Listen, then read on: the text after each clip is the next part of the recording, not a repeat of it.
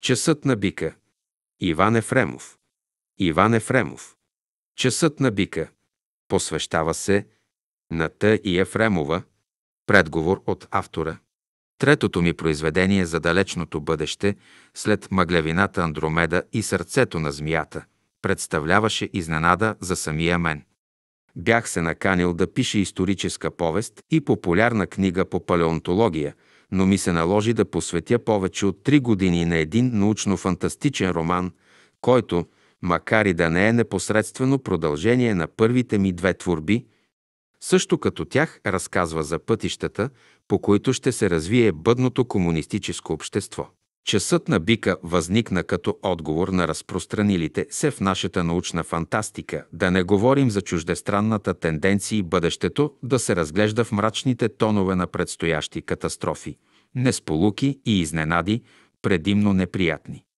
Подобни произведения, наречени романи предупреждения или антиутопии, щяха да бъдат дори необходими – ако успоредно с картините на бедствията показваха как да се избягнат те или поне как да излезе човечеството от страшните капани, които бъдещето му готви.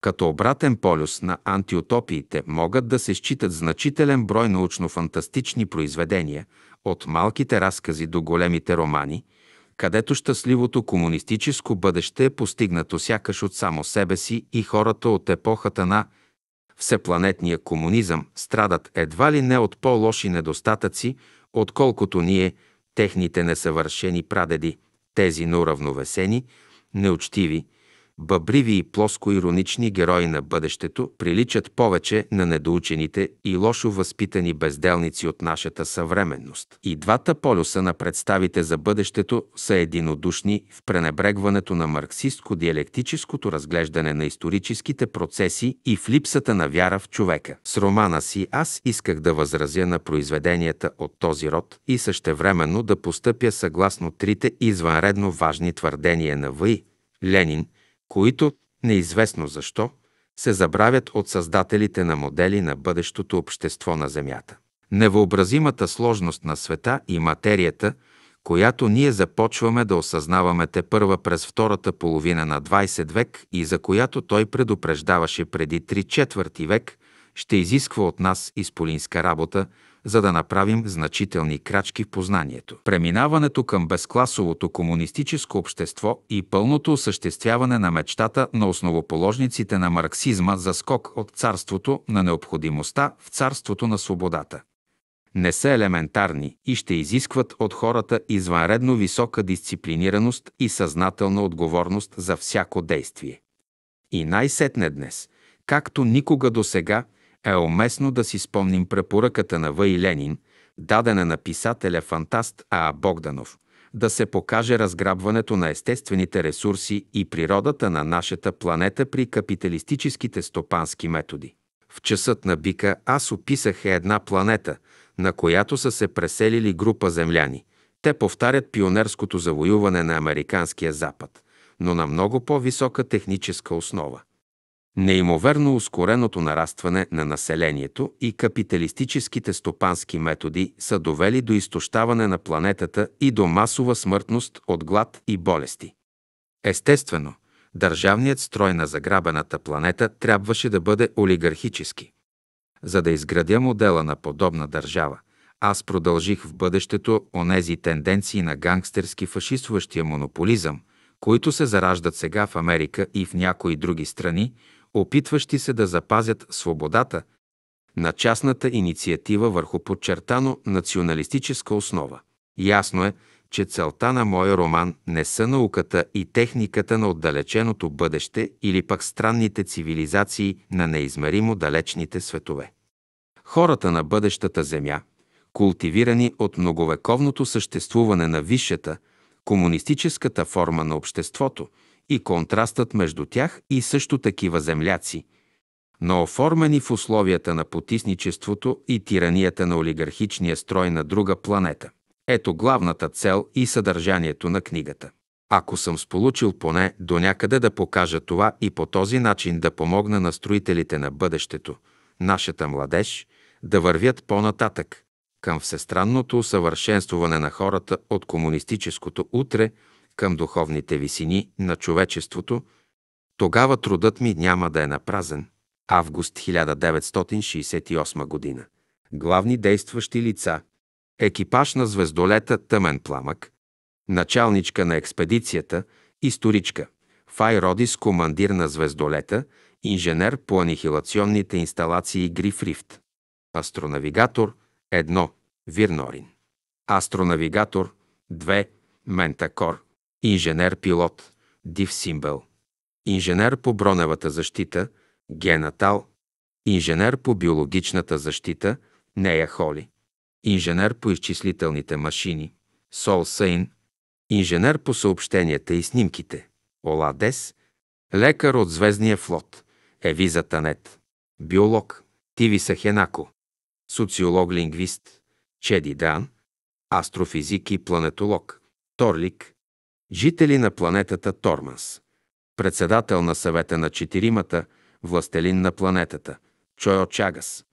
Негови заместници Генши, Зетук, Калуф, жената на Чойо Чагас, Ян Треяхах, любовницата на Чагас, Ервобия, инженер по информацията, Хонтело Толов Рел Тайл, началник на лилавите, Ям Галюар Янгар, момичето от Торманс, Сюанте Сюте, вождат на Кжи, Гзер Буям, пролог, Дип Хиюич Хол, земята е родена в часа на бика, или демона, два часа през нощта, старият китайско-руски речник. На епископ Инокенти, Пекин, 1909, в училището от трети цикъл започна последната година от обучението. Накрая, под ръководството на вече избрани ментори учениците, трябваше да пристъпят към изпълняването на Херкулесовите подвизи. Докато се готвеха за самостоятелни действия, Младежите и девойките с особен интерес слушаха обзорните лекции по историята на човечеството на Земята.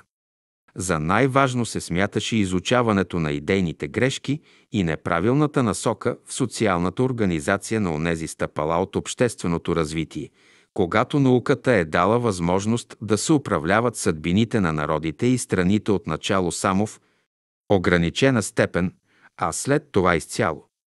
Историята на хората на Земята се сравняваше с многото други цивилизации от далечните светове на Великия пръстен.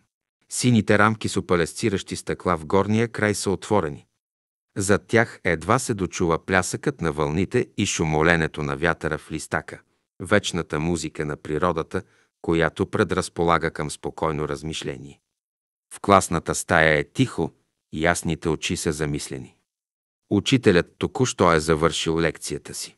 Той безшумно спуща шторите над големите екрани, с едно натискане на бутона прибира стереопрожекционния апарат над в едно под катедрата, сяда и започва да се любува на съсредоточените лица. Лекцията като че ли излезе сполучлива, макар да е извънредно трудно да съчетаеш дребното и великото, могъщия полет на човечеството и бездната от мъки през миналите времена – трогателните краткотрайни радости на отделните хора и страхотното сгромолясване на цели държави. Учителят знаеше, че след мълчанието ще последват въпроси, толкова по-любопитни, колкото по-силно е развълнувала младите хора обрисуваната от него историческа картина. И докато ги очакваше, той се стараеше да отгадне кое е заинтересовало най-много учениците му днес, кое е могло да остане неразбрано. Вероятно, психологията на хората през трудните епохи на преминаването от нишите обществени форми към висшите, когато вярата в благородството и честността на човека, в неговото светло бъдеще е била разяждана от натрупаната лъжа, безсмислена жестокост и страх. Съмнението обезоръжавали борците за преобразяване на света или правили хората равнодушни към всичко, мързеливи циници. Как могат да се проумеят чудовищните масови психози в края на Ерс, ерата на разединения свят, които довеждали до унищожаване на културата и до избиване на най-добрите? Младите хора от Ес, ерата на срещналите се ръце, са безкрайно далеч от всичко, което е свързано с истерично напрегнатата нервност и страховете на миналите времена. Мислите на учителя бяха прекъснати когато и зад масичките си в различни редици едновременно станаха едно момиче и едно момче, които си приличаха по навика широко да отварят очи. Това придаваше и на двамата очуден вид. Те се спогледаха и момчето вдигна ръка, обърната с дланта нагоре, въпросителен жест. Правилно ли е да се каже, че целият исторически опит потвърждава неизбежната победа на висшите форми над нишите, както в развитието на природата, така и в смяната на обществените форми? Започна момчето. Правилно е, Ларк, ако изключим особените стечения на обстоятелствата, които са много редки, както и всичко онова, което излиза извън границите на великия диалектически процес на осредняването, отговори учителят. Например, случаят с Зирда, чието мъртви развалини са обрасли с черни макове. Нали? Попита Пуна, източвайки се в целия си дребниче кръст. Или други, открити по-късно планети, добави учителят, където има всичко необходимо за живот. Дълбок свод на могъща атмосфера, прозрачно море и чисти реки, топло светило но ветровете разнасят мъртви пясъци и техният шум заедно с шума на морето или бурята са единствените звуци, нарушаващи безмълвието на огромните пустини. Едва опитал мощта на атома и космоса, мислещият живот, обзет от дива заблуда, е убил в себе си всичко живо. Но нали ние вече сме ги заселили? О, да! Но какво значение има това за онези, чието следи са станали на прах преди милиони години, без да запазят нищо, за да можем да разберем как и защо са унищожили себе си и целия живот на своята планета. По пътеката между масичките се плъзна Йода, мълчаливо момиче, по общото мнение на класа, приличащо на древните момичета от Южна Азия, които носели в прическите или на коланите си остри, като бръснач, ками и смело ги използвали, за да защитят честа си. Аз скоро четох за мъртвите цивилизации на нашата галактика, каза тя с ниския си глас. Не убитите, не самоунищожилите се, а именно мъртвите. Ако се е запазило наследството от техните мисли и дела, това понякога може да представлява опасна отрова, способна да погуби едно още незряло общество, което сляпо възприема мнимата мъдрост. А друг път скъпоценен опит от милиони години борба за освобождаване от оковите на природата. Изследването на загиналите цивилизации е не по-малко опасно от разчистването на древните оръжейни складове, които от време на време се срещат на нашата планета. Аз бих искала да посветя живота си на такива изследвания, тихо добави момичето. Ние като че ли се отклоняваме от онова, от което започна Ларк, каза учителят. Пуна зададе неправилно въпроса. Надигна се едно набито чернокосо момче. То погледна другарите си, повечето от които бяха вдигнали ръце и едва не подскачаха от нетърпение. Трябва ли да смятаме, че започналото развитие на обществото е задължително или преминаване към висшата, комунистическата форма или всеобща гибел? И нищо друго, продължи той. Формулировката ти не е вярна, Кими възрази учителят. Процесът на общественото развитие не бива да се сравнява с двете блюда на везните. Сред познатите ни изпръстена цивилизации са известни случаи на бързо и леко преминаване към висшето, комунистическото общество. Ние току-що говорихме за самоунищожаването на един разединен свят, достигнал до големи научни и технически познания. Имало е периоди на продължителни смутове, на убийствени войни, които връщали човечеството на някои планети назад към мизерията и подивяването. Започвал нов възход, нова война и така няколко пъти, докато производителните сили на планетата не се изтощавали и не деградирали технически. Потомците трябвало да преодоляват с векове тази деградация, въпреки безграничното могъщество на висшата обществена форма и помощта на разума на Великия пръстен. Но нали и тук идването на тази форма на комунистическото общество е било неизбежно? Разбира се, тогава аз неправилно съм поставил въпроса, каза, след като помисли малко, Кими. Известни ли са случаи, когато човечеството на някоя друга планета е достигало високо равнище на науката, техниката и производителните сили, но не е ставало комунистическо и не е загивало от страшните сили на преждевременното познание. Много ли са тези изключения от общия закон на развитието, които той, щом е общ, трябва да има? Учителят се позамисли, свел очи към полупрозрачния зелен пулт на катедрата, под която през време на лекцията светваха нужните сведения и цифрови данни. Удивителната история на планетата Торманс беше сензация в паметта на по-старото поколение. Естествено, знаеха я и неговите млади ученици. Много книги, филми, песни и поеми беше породила епопеята на звездолета Тъмен пламък. Тринайсетте и герои са увековечени в скулптурна група от сияещ червеника в камък на малкото плато Ревът, на същото място, откъдето потеглил звездолетът. Аудиторията чакаше смълчана. Учениците от горните класове бяха достатъчно тренирани в издръжливостта и самообладанието. Без култивирането на тези необходими качества човек не можеше нито да изпълни Херкулесовите подвизи, нито дори да пристъпи към тях. Планетата Торманс ли имахте предвид? каза най-сетне учителят. Ние знаем само нея. Хорово отговориха учениците. А колко други такива е имало? Не мога да ви кажа без подробни справки. Усмихна се малко безпомощно учителят. Аз съм историк на Земята и познавам цивилизациите на другите планети само в общи черти. Трябва ли да ви напомням, че за да се разкрие изключително сложният процес на историята на другите светове, е необходимо много дълбоко вникване в същината на чужди за нас економика и социална психология. Дори и за това да се разбере добра или лоша е дадена цивилизация, радост ли носи, или мъка, разцвет или гибел. Обади се седналото до прозореца момче, което изпъкваше сред другите със сериозността си. Дори и за това, Миран, потвърди учителят. Инак ние няма да се различаваме от нашите прадеди, които са били прибързани в действията и незрели в съжденията си. Аз ви говорих за загиналите от безразсъдство планети, но е имало и други светове, където никой никого не е убивал и въпреки това разумният живот на тях се изчерпвал, както казвали едно време, по естествен път. Мислещият вид живот на тези планети е измрял, както неизбежно измират всички сменящи се последователно видове животни, включително и човекът, ако той пренебрегне опознаването на биологичните явления в тяхното историческо развитие. Тези уредени и прекрасни планети били предадени от измиращите им обитатели на други, за които била най-подходяща съвкупността от естествените им условия.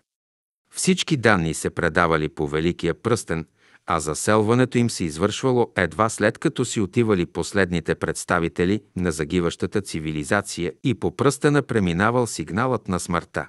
Също като рицарите на щастието, каза стеснителната Кунти, но ние знаем много малко дори и за Торманс.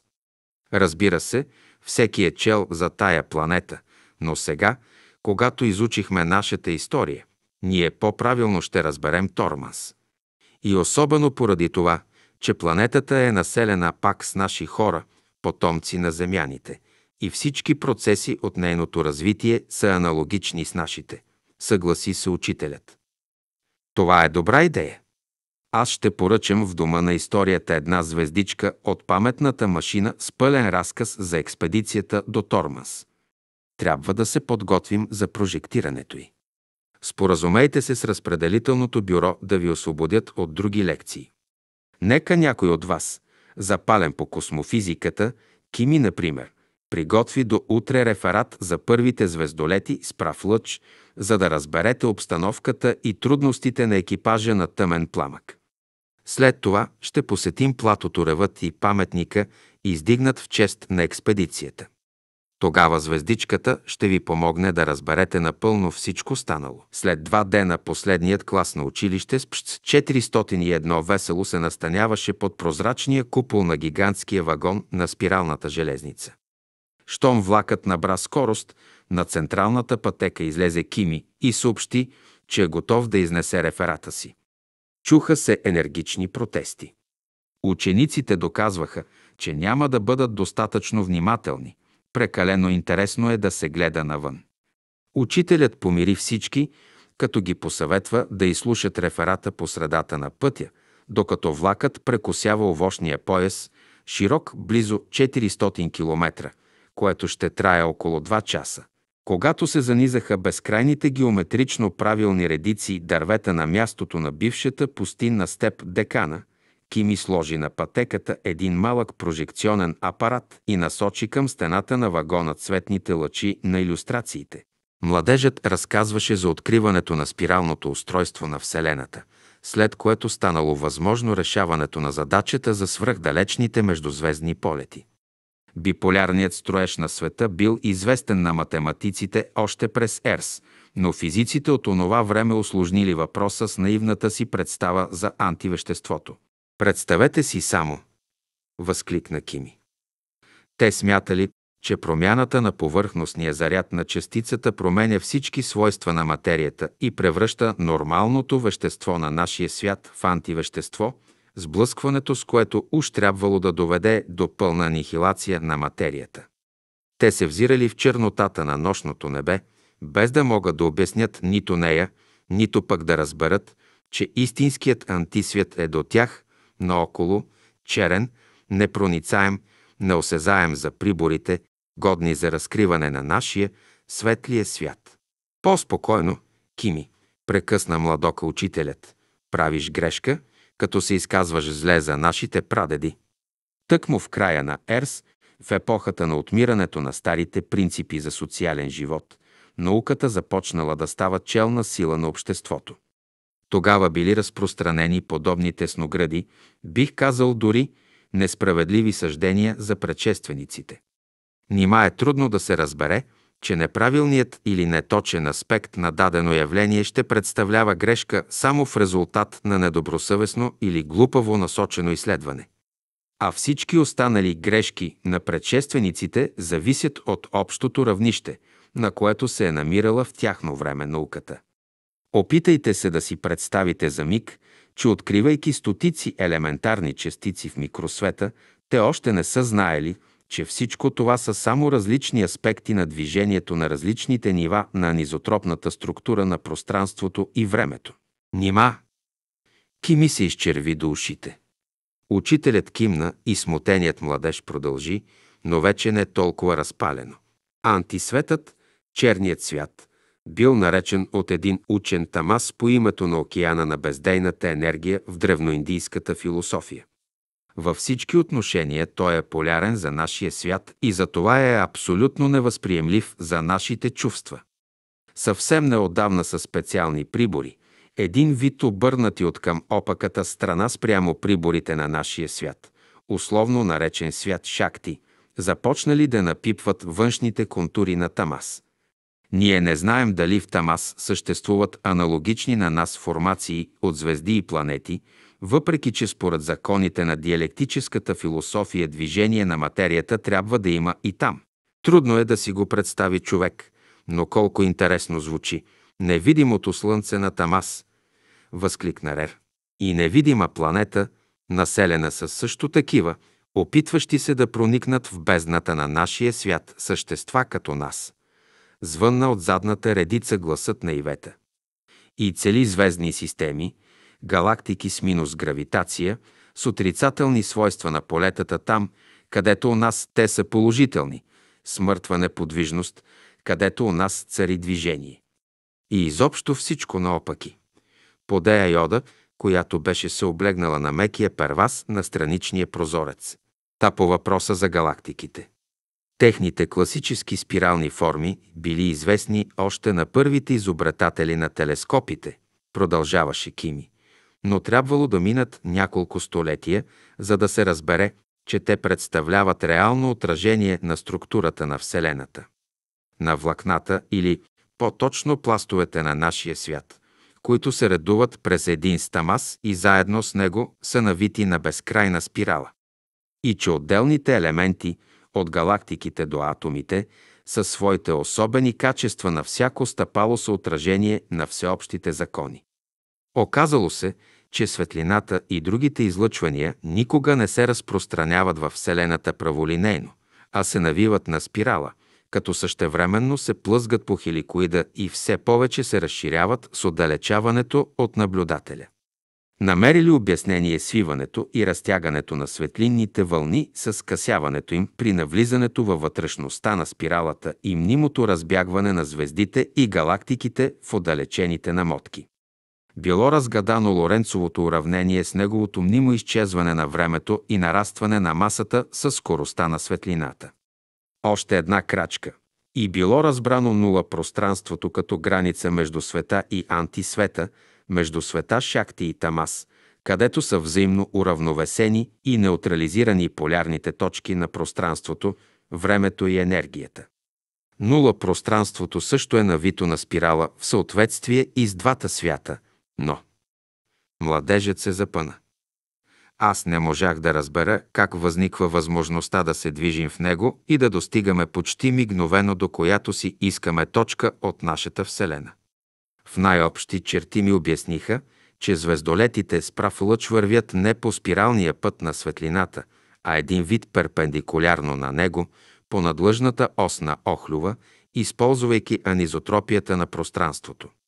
Освен това, спрямо времето тези звездолети стоят, така да се каже, на едно място, а цялата спирала на света се върти около тях. Кими се изчерви и завъртя глава, а другарите му се разсмяха. Не трябваше да се отблагодарите така на Кими. Недоволно вдигна ръка учителят. В новата картина на Вселената и до сега много неща са достъпни само за математическо напипване на отделните явления.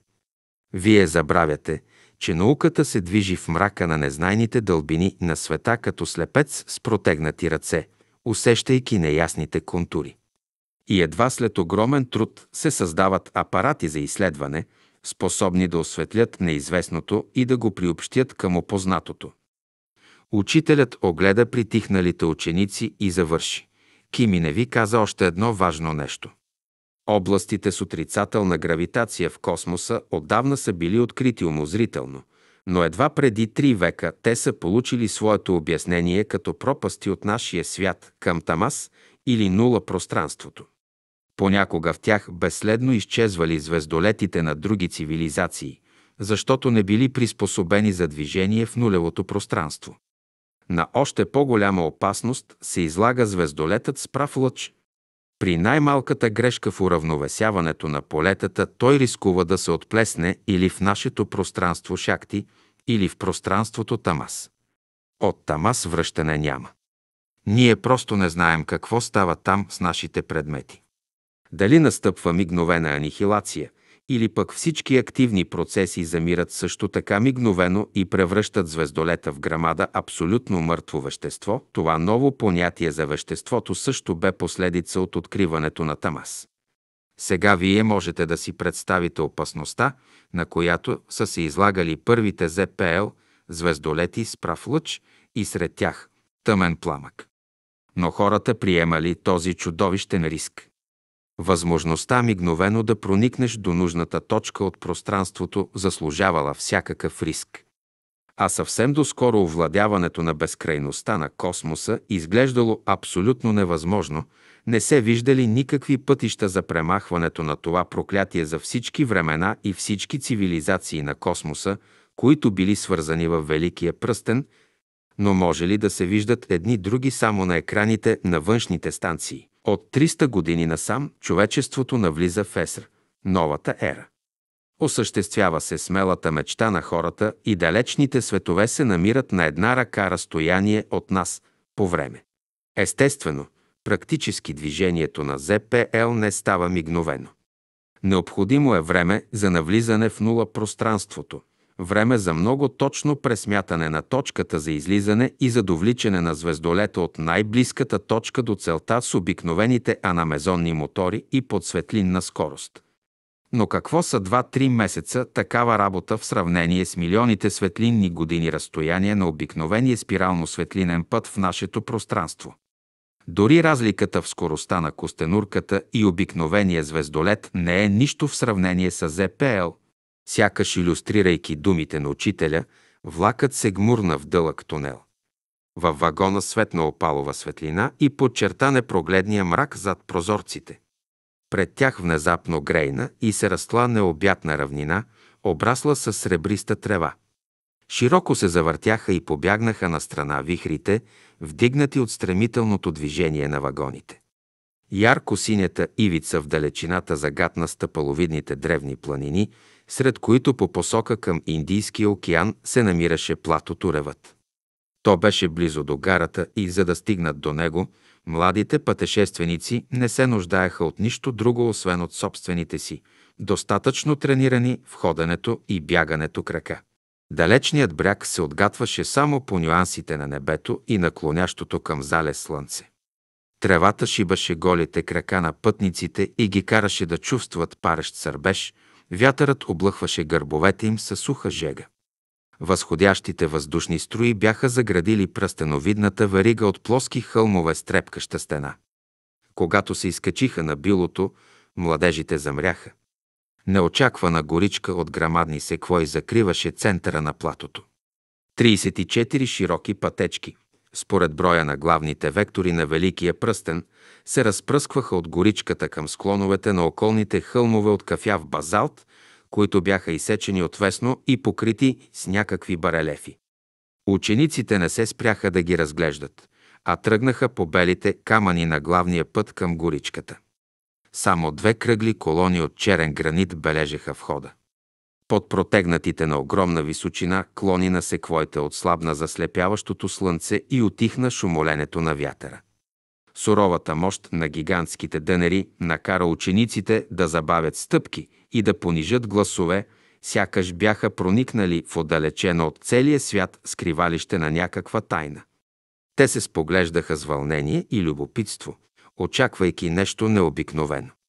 Но когато излязоха на централната поляна под предишното неумолимо ярко небе, паметникът на звездолета тъмен пламък им се стори прекалено обикновен. Моделът на кораба, полусферичен купол от тъмнозелен метал, беше разсечен от груба права цепнатина, сякаш направена с колосален меч. Около основата му, под пръстеновидната издатина, бяха разположени статуите на хора. Площадката, подножието на паметника, представляваше стегнато навита спирала от светъл, огледално полиран метал, врязан в черния матов камък. Броят на скулптурите във всеки полукръг от двете страни на цепнатината не беше еднакъв – пет от западната, 8 от източната. Учениците бързо отгатнаха простата символика. Това е смъртта, която разделила загиналите на планетата Торманс и завърналите се на Земята. Тихо каза Йода, леко пребледняла от обзелото я чувство. Учителят мълком наведе глава. Глава първа. Митът за планетата Торманс. Позволете ми в заключение да разкажа за происхода на името. През петия период от Ерс в западната сфера на световната култура нараствало недоволството от цивилизацията, рожба на капиталистическата форма на обществото. Мнозина писатели и учени се опитвали да надникнат в бъдещето. Предчувствието на художниците будало тревога в мислите на най-добрите умове пред наближаващата криза през годините, когато назряващите противоречия завършвали с военни конфликти. Но след изобретяването на ракетите за далечни разстояния и ядреното оръжие опасението за бъдещата съдба на човечеството станало всеобщо и, естествено, се отразило в изкуството. В дома на изкуствата се пази една картина от онези времена. Късият и надпис е съвсем ясен за нас – последната минута. На обширно поле са строени в редици гигантски ракети, подобни на високи кръстове в старинни гробища. Ниско над тях е надвиснало мътното, лишено от слънце небе, застрашително штриховано от острите копия на бойните заряди, ужасните носители на термоядрената смърт. Страхливо озъртайки се, сякаш самите те изплашени от стореното – Хората тичат в индийска нишка към черната пещера на дълбокия блиндаж. Художникът е съумял да предаде чувството за страшната беда, вече неотвратима, защото в отговор на гибелта на милиони невинни хора някъде оттам, накъдето са насочени кръгообразните чудовища, ще дойде не по-малко убийствен отговор. Ще загинат не онези, които тичат към блиндажа, а изобразените в другата половина на диптиха мъж и жена, млади и симпатични, коленичили на брега на голяма река. Жената притиска към себе си пеленаче, а по-голямото момченце здраво се е вкопчило в баща си. Мъжът прегръща жената и децата си. Той е обърнал глава назад, натам, където от наближаващия облак на атомната експлозия се подава гигантският меч, надвесен над жалките фигурки на хората. Жената не се озърта, тя гледа към зрителя и безкрайната мъка на обречеността, отпечатана върху лицето й, потиска всеки го, който види тази картина. Не по-малко силно е изразена безпомощността на мъжа. Той знае, че всичко е свършено и му се иска само едно – краят да дойде по-скоро. Още преди това, след Първата световна война от Ерс, настроения, аналогични с отразените на картината, се били появили сред хората, които изповядвали християнската религия и безусловно вярвали в особени, мистични, както ги наричали тогава, сили, стоящи над природата.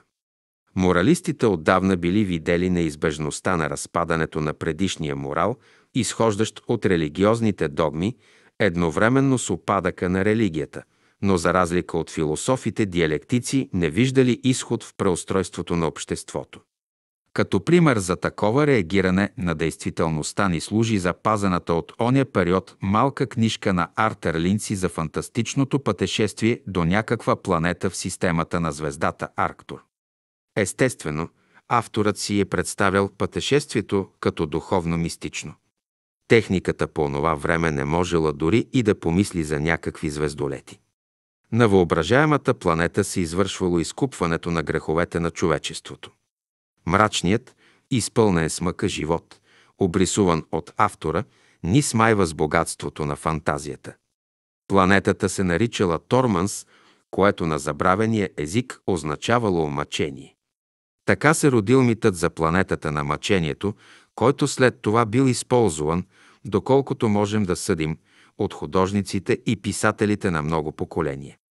Митът за Торманс много пъти привличал тяхното внимание и това винаги ставало в периоди на кризи, на тежка война, глад и мъгляво бъдеще.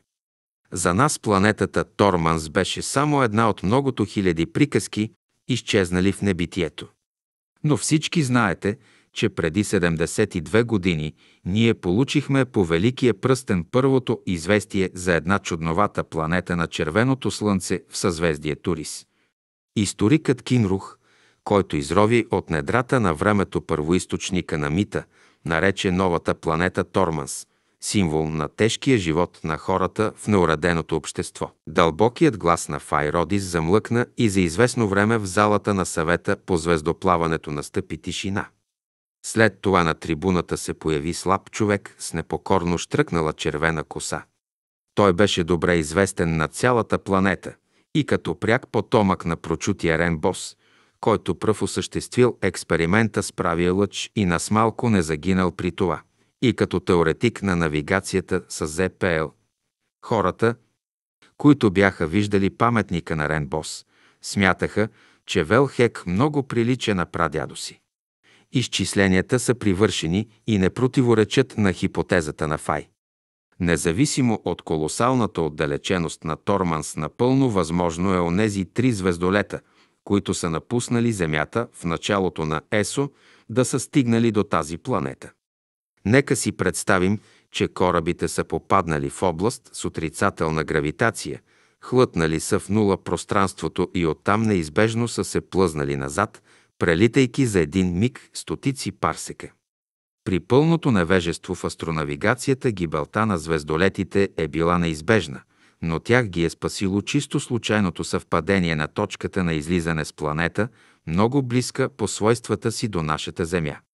Сега е известно, че планетите от наш тип съвсем не са рядко явление и обикновено съществуват във всяка звездна система с по няколко спътника. Затова откриването на такава планета само по себе си не е очудващо – но натъкването на нея в бедните на звезди ширини на галактиката представлява изключително събитие. В древността, долавяйки закона за предварителното преодоляване на обстоятелствата, хората казвали, че безумието върви ръка за ръка с полуката. Така станало и тук, безумното начинание на бегалците от земята, на фанатиците, които не искали да се покорят на неизбежния ход на историята, се увенчало с успех.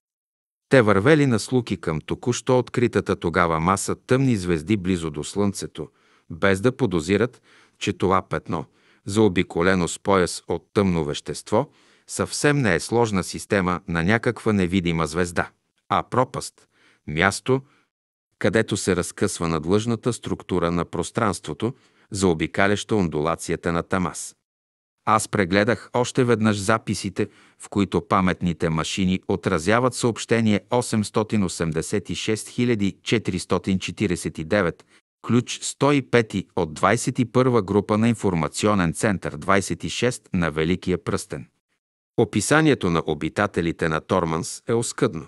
Една експедиция от планета в съзвездието Цефей, чието наименование още не е преведено на езика на пръстена, е успяла да получи само няколко снимки и по тях може да се съди, че тормансяните доста приличат на онези хора, които са направили отчаяния опит преди много векове. Вече е пресметната биполярната вероятност. Тя е равна на 0 и 4. Машините на обществения размисъл по всички окрази сумираха да с висок индекс и Академията на мъката и радостта също се изказа за изпращане на експедиция. Велхек напусна трибуната и мястото му бе заето от председателя на съвета. След такава аргументация съветът няма какво да решава. Ние се подчиняваме на мнението на планетата. В отговор на думите на председателя цялата зала грейна в зелени светлинки. Той продължи. Съветът незабавно пристъпва към формирането на експедицията. Най-главен, най-важен е подборът на астронавтите. Тъмен пламък. Нашият втори ЗПЛ е малък и ние не можем да изпратим толкова хора, колкото са нужни. От 8-те души, заети с управляването на звездолета, само астронавигаторите се дублират. Пет души свръх това, включително началника, ето максимума, който тъмен пламък може да побере, без да се сгъстяват непоносимо хората.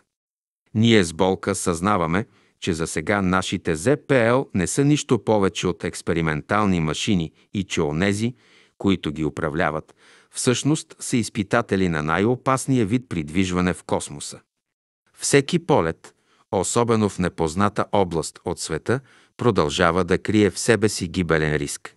На една от горните редици в залата три пъти мигна червена светлинка. Стана млад човек с широко бяло на метало. Необходимо ли е да подчертаваме опасността? заяви той. Известно ви е колко увеличава това притока на желаящи дори при технически опит. Но става дума за Торманс, за възможност да се срещнем с наши хора, частица от човечеството, случайно запратена в неизмеримите далечини на пространството. Председателят поклати глава. Вие скоро пристигнахте от Юпитер и сте изпуснали подробностите на обсъждането. Няма дори капка съмнение, че ние трябва да сторим това. Ако жителите на Торманс са хора от Земята, тогава нашите и техните прадеди са дишали същия въздух, чието молекули изпълват дробовете ни. И те, и ние имаме общ генетичен фонд, обща кръв, както биха казали те през епохата, когато са излетели от Земята. И ако животът им е толкова тежък, както смятат Кинрух и неговите сътрудници, толкова повече сме длъжни да побързаме. Ние в съвета говорихме за опасността като специален мотив при подбора на хората.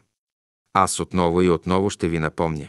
Ние не можем да прилагаме сила, не можем да отидем при тях нито като наказващи, нито като всеопрощаващи вестители на един виш свят. Безумие ще бъде да ги накараме да променят живота си и за това е нужен съвсем особен такт и подход в тази небивала експедиция. Тогава на какво се надявате? Загрижено попита човекът от Юпитер. Ако бедата им, както огромното большинство от всички беди, се дължи на невежеството, т.е. на слепотата на познанието, тогава нека прогледнат. И ние ще лекуваме очите им. Ако болестта е причинена от общите трудни условия на планетата, ще им предложим лек за тяхната економика и техника. Във всички случаи наш дълг е да отидем като лекари, отговори председателят и всички членове на съвета станаха като един, за да изразят пълното си съгласие. Ами ако те не поискат, възрази юпитерянецът. Председателят неохотно му отговори. Попитайте в Академията по предсказване на бъдещето. Тя вече обсъжда различните варианти. А ние, преди членовете на съвета да се разотидат по работните групи, трябва да решим всички заедно въпроса за началника на експедицията. Името на Файродис, ученичка на Кинрух и познавачка на историята на Ерс, предизвика светването на ивици от зелени светлини. Струва ми се, добави председателят, като се канеше да напусне трибуната, че трябва да се подберат колкото може по-млади хора, включително и корабни специалисти. Младеща по психика е по-близо до Ерс и Есо, отколкото зрелите хора, които са отишли много далеч по пътя на самоусъвършенствуването и понякога трудно разбират внезапността и силата на емоциите на младостта. Председателят се поусмихна лукаво, като си представи какви оспорващи декларации ще получи информационният център на съвета по звездоплаване от младежките групи. Мястото, откъдето щеше да потегли ЗПЛ тъмен пламък, бе избрано така, че той да може да бъде изпратен от най-голям брой хора. В това отношение степната равнина, в пръстена от ниски хълмове на платото ревът в Индия се оказа идеална. Както всички първи звездолети с прав лъч, тъмен пламък излизаше извън пределите на Слънчевата система с обикновени анамезонни мотори и там, в предварително пресметната точка, екранираше своето състояние в нашата система на пространство – времето. Това му позволяваше да застане на границата на Тамас в нула пространство. Тромавата форма на звездолета затрудняваше откъсването му от Земята. Налагаше се той да излети не с планетарни, а направо са на мезонните двигатели. Затова първите ЗПЛ не можеха да излитат от обикновените космодруми, а само от отдалечени и пустинни места.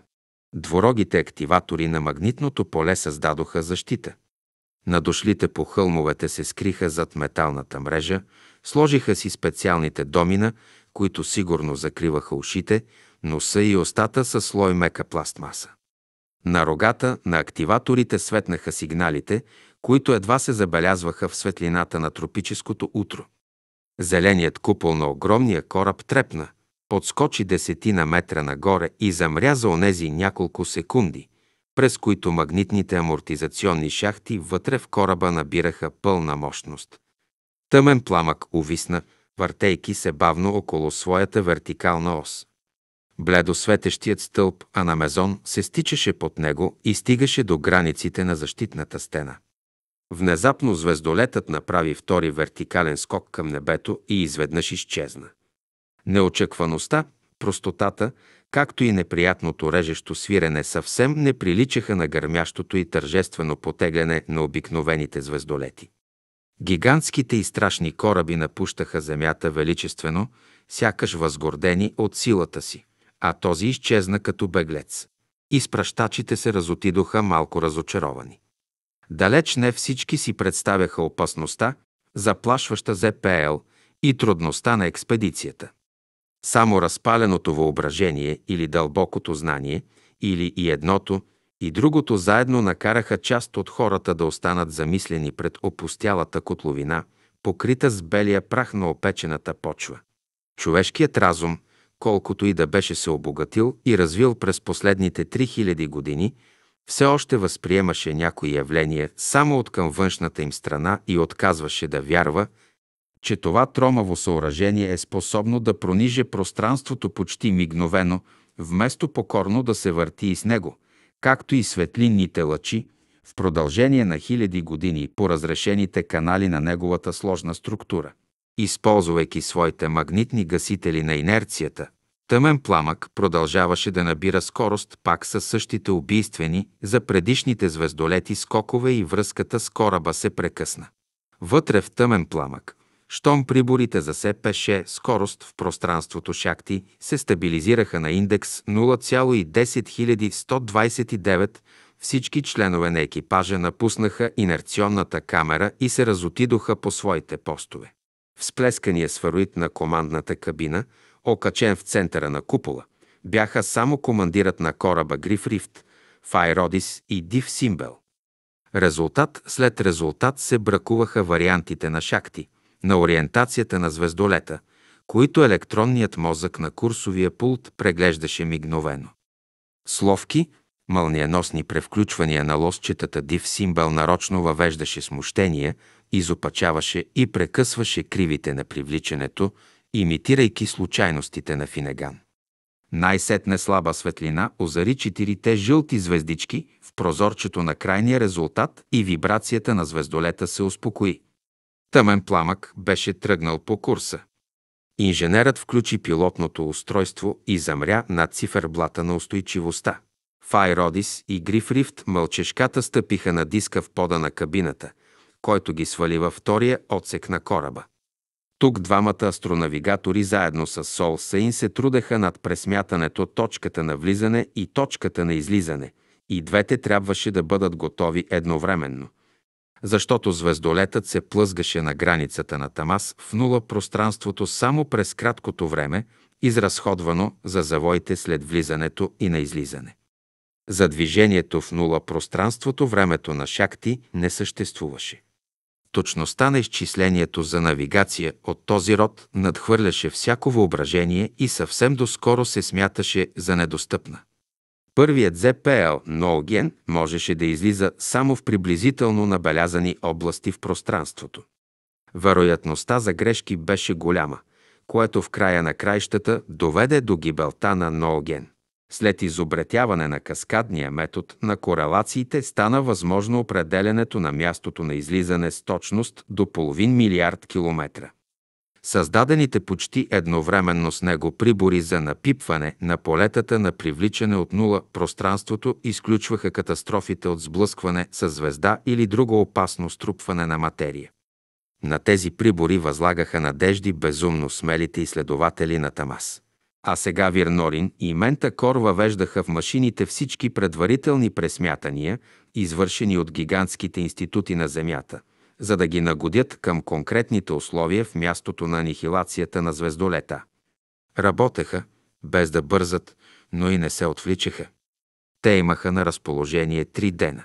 Файродис се прости с рифт, смахване на ръка и бавно тръгна по меката пътечка към каютата си, която беше разположена в една редица с другите по периферията на втората палуба. Присъствието й не беше наложително никъде. Екипажът и специалистите, подготвени месеци наред за експедицията, не се нуждаеха от никакви указания за ежедневната си работа, условия, които от хилядолетия насам съществуваха за хората на Земята. Докато не се случеше нещо, времето на Фай Родис принадлежеше на нея самата, още повече, че голяма част от процесите стояха неизмеримо по-високо от нейната компетенция. Дебелата врата от влакнест силикол автоматично се отвори, пусна Файродис и пак се затвори. Тя засили притока на въздух в каютата и му придаде своя любим аромат, свежата, топла миризма на напечените от слънцето африкански степи. Стените на каютата бучаха тихо сякаш наоколо наистина се простираше обвявана от вятъра савана. Файроди седна на ниското канапе, помисли малко и се свлече на белия твърд килим пред магнитната масичка. Сред полепналите по нейната повърхност предмети се виждаше вградена в златист овал малка диорама.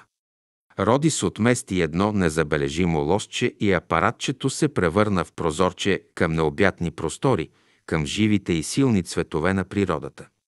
Над снишаващата се към неизвестността синкава равнина летеше крехък безмоторник във вид на неугледна платформа, с грубо стърчащи ягли, криви подпори и напрашен покрив. Вкопчани в някакъв лост, на него стояха двама млади хора. Младеж, с резки черти на лицето, здраво държеше за талията момиче от монголски тип.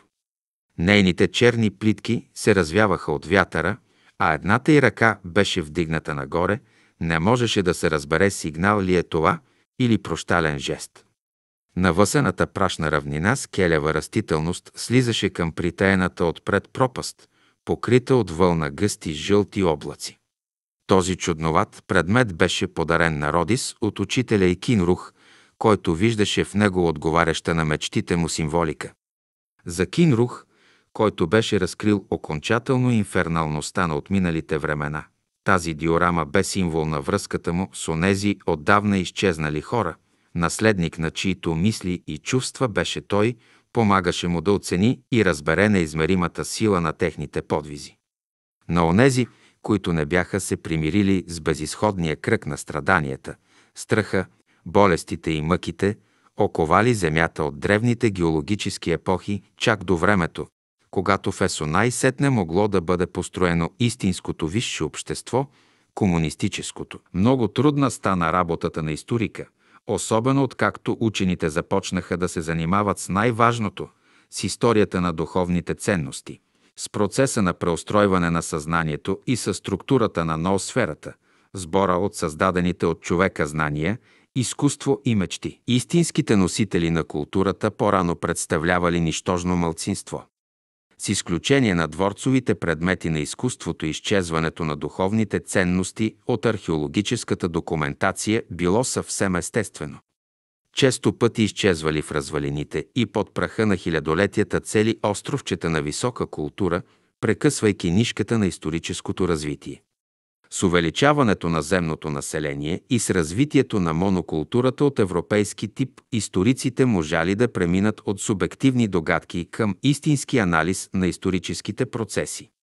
От друга страна, станало по-трудно да се изяснява реалното значение на документацията. Дезинформацията и чудовищната лъжа се превърнали в уръдие на политическата борба за власт. Целият пети период от Ерс на чието изучаване беше се посветила Файродис, е характерен с колосални купища псевдоисторически произведения от този именно род. В тези камари се губят отделните документи и книги, отразяващи истинското съчетание на причините и следствията. Файродис си спомняше странното чувство на ужас и отвращение, което започна да я спохожда, когато се задълбочи в избраната от нея епоха. В съсредоточените си размисли тя един вид се превъплащаваше в някакъв среден човек от онези времена, едностранно образован, мизерно информиран, обременен с предразсъдъци и с наивна, идваща от незнанието вяра в чудесата. Учените от онова време и се струваха емоционално глухи, обогатените с емоции художници, невежи до слепота. И между тези крайности, обикновеният човек от Ерс предоставен на самия себе си, лишен от дисциплината на възпитанието, болезнен, губещ вяра в себе си и в хората, застанал на границата на нервното прекършване, се мятал от една безсмислица към друга през краткия си, зависещ от безброй случайности живот. Най-ужасна и се струваше липсата на ясна цел и жажда за опознаване на света у извънредно много хора, които гледали без интерес към тъмното, не обещаващо никакви съществени промени бъдеще с неговия неизбежен край – смъртта. Начинаещата 25-годишна изследователка се яви при учителя си с наведена глава. Фай Родис винаги беше се смятала достатъчно способна за трудното поприще на древната му на история, но сега бе почувствала емоционалната си слабост. На Фай Родис и си искаше да навлезе в още по-далечната древност – където отделните огнища на цивилизацията не даваха възможност за моноисторически синтез и се струваха много по-прекрасни. Недостигът на факти даваше простор за предположение, осветлени от представите на ерата на срещналите се ръце. Запазилите се произведения на изкуството окичваха малкото известно с ореола на голям духовен възход. Без да скрива усмивката си, Кинрух предложи на Фай да продължи изучаването на Ерс още една година. Когато Родис започна да вижда как в неуредения живот на Ерс са се изковавали духовните морално-етични основи на бъдещия свят, тя беше смаяна и напълно запленена от картината на великата борба за знание, истина и справедливост, за съзнателно завоюване на здравето и красотата. За пръв път тя проумя привидно загадъчната внезапност на прелома в хода на историята на границата на Есо, когато човечеството, измъчено от съществуването на ръба на всеизтребителната война, раздробено от класови, национални и езикови различия, изтощило естествените ресурси на планетата, беше осъществило световното социалистическо обединение. Сега, гледана от многовековно разстояние, тази гигантска крачка напред правеше впечатление на неочакван скок.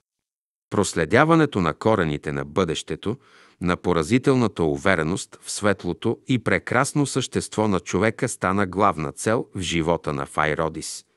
И днес, 15 години по-късно, след като достигна 40 годишната си зрялост, това я направи ръководител на една небивала експедиция до чудовищно отдалечен свят, приличащ на земния период от края на Ерс, на олигархическия държавен капитализъм, спрям по някакъв начин в смятаното за неотвратимо историческо обществено развитие.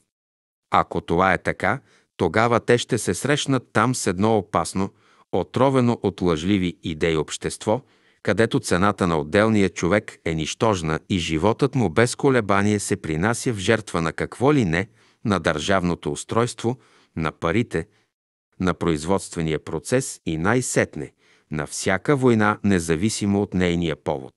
На нея ще й се наложи да застане лице срещу лице с този свят, и то не само като безстрастен изследовател, чиято роля е да гледа, да изучава и да занесе народната си планета събраните материали. Тя беше избрана, естествено, не заради нищожните и научни постижения, а като пратеничка на Земята, като жена от Еср, която с цялата дълбочина на чувствата, такта и нежността си ще може да предаде на потомците народната си планета радостта от светлия живот на комунистическия свят. Фай Родис изключи с отстраняващ жест диорамата. Да вземе със себе си частица от мечтата на своя учител, какво беше това, ако не отзвук от нейния някогашен смут при опознаването на Ерс. Сега, в момента, когато звездолетът се носи към неизвестна съдба, тя възприемаше летящото момиче като своя приятелка. Онази стоеше в пълна готовност, вдигнала за сигнал тънката си ръка преди спущането към пропаста. Роди също скоро ще застане пред смъртно опасния за всичко чуждо свят на Торманс и нейните спътници и помощници ще чакат от нея решаващия сигнал. А тя, Файродис натисна лосчето под възглавницата на канапето и една част от стената на каютата се превърна в огледало. Около една минута тя изучаваше в него лицето си, търсеше прилика с трагично напрегнатото лице на момичето. Но твърдото, правилно лице на зряла жена от Еср, с идеално моделирана структура на силните кости, изпъкваща под изразителните мускули и безупречната кожа, рязко се различаваше от полудетския израз на момичето от Ерс, дори в много сходните преживявания. Предчувствието за изпитанията и тревогата за успеха на експедицията бяха задълбочили сериозността на зелените очи на Файродис, бяха очертали по-рязко упоритите и твърдо изрязани устни. Файродис разтвори широко очи и вдигна ръка, с жеста на летящата върху платформата, но в огледалото той се отрази някак си патетичен и забавен. Роди си и смя късо, после махна огледалото, свали роклята си и легна на канапето. Отпусна тяло и впери поглед в синкавото, едва светещо кълбо над главата си. Тя лежа неподвижно близо 3 часа, докато в системата от концентрични кръгове на тавана не светна жълта точка и не се раздаде слаб звън. Файродис направи няколко гимнастически упражнения. Още няколко минути и пред огледалото стоеше друга жена, която изглеждаше по-строга и по-сурова в меката прилепнала дреха на астронавт и с късата си стегната прическа. Тя сложи тежката сигнална гривна на лявата си ръка и излезе от каютата. В кръглото помещение, също на централната ос на кораба, под пилотския сфероид и изчислителните машини, вече бяха се събрали участниците в експедицията. Оживяха циферблатите на дублерните прибори и в същия миг през люка на тавана се плъзнаха в залата Ментакор и Див Симбел. Тихо запя настроената на си бемол струна на ОФ, показвайки, че в работата на охраната на електронните връзки всичко е нормално. Звездолетът не се нуждаеше повече от внимание и вървеше по определения му курс към галактичния полюс. Изчаквателната тишина накара Фай Родис веднага да пристъпи към най-трудното – да раздели хората на слизащи от кораба и оставащи в неприкосновения му екипаж. Тя започна с демонстрация на снимките, предадени от чуждата експедиция от Цефей по пръстена. По обикновения път те биха стигнали до Земята след цели две хилядолетия и половина, Ако един ЗПЛ от планетите в областта на съзвездието Дракон не беше минал в нашата част от галактиката и не беше предал съобщението на 26-я сегмент от Великия пръстен. Експедицията на цефеяните само два пъти обиколила планетата на Торманс и понеже не получила разрешение за кацане, се оттеглила, като направила обща снимка на планетата и на нейните обитатели по хванатите телевизионни предавания. Червеното слънце на Торманс, една обикновена звезда за земния наблюдател, се намираше в съзвездие Турис, тъмна, бедна на звезди област във високите ширини на галактиката. На никого не би му хрумнало, че в тези дълбини на пространството са могли да се настанят жители на Земята. Но предадените по пръстена снимки не оставяха съмнение. Тези хора напълно приличаха на земляните. Трудно можеше да се съди за цвета на кожата им. Те май не се различаваха от по-мургавите земляни. Тесните им издължени очи изглеждаха непроницаемо тъмни и придаваха на лицата малко трагичен израз. Антрополозите откриваха в профилите на жителите на Торманс черти на монголоидна сплеснатост, а дребният ръст и слабото, в повечето случаи неправилно телосложение също напомняше за хората от края на Ерс и началото на Есо. Повърхността на планетата, фотографирана през пролуките на облачната покривка, не приличаше на Земята. Тя по-скоро можеше да бъде сравнена с планета на зеленото слънце по незначителната височина на континентите.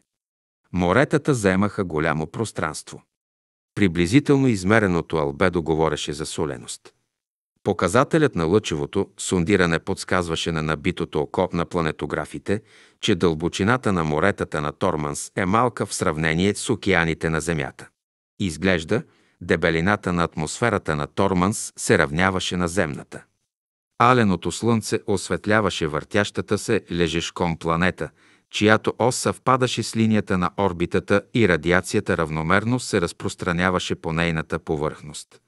Ако растителността и следователно съставът на атмосферата тук приличат на нашите, ако тук няма някакви особено патогенни организми, тогава на тази планета се живее лесно – наруши мълчанието Торлик. Тук трябва да липсват резки промени на климата, излишък на радиация, земетресения, урагани и други катастрофални явления, които ние толкова е трябвало да смекчаваме. Като че ли сте прав, потвърди Грифрифт. Но тогава защо Торманс? Може би състоянието на планетата не е чак толкова лошо и учителят на Фай Родис само е възкресил един миг от миналото. Някои смятат, че той прекалено смело е дал това име на планетата, базирайки се само на предварителните данни. Орбиталните демографски профили на Цефеянската експедиция показаха численост на населението от порядъка на 15 милиарда души. Кръговратът на водната маса и характерът на релефа подсказват, че е невъзможно биологичното процъфтяване на такъв голям брой хора. Гладът би могъл да се избегне единствено, ако на планетата са били направени или получени по пръстена научни открития в производството на синтетична храна и е отпаднала зависимостта от висшите организми.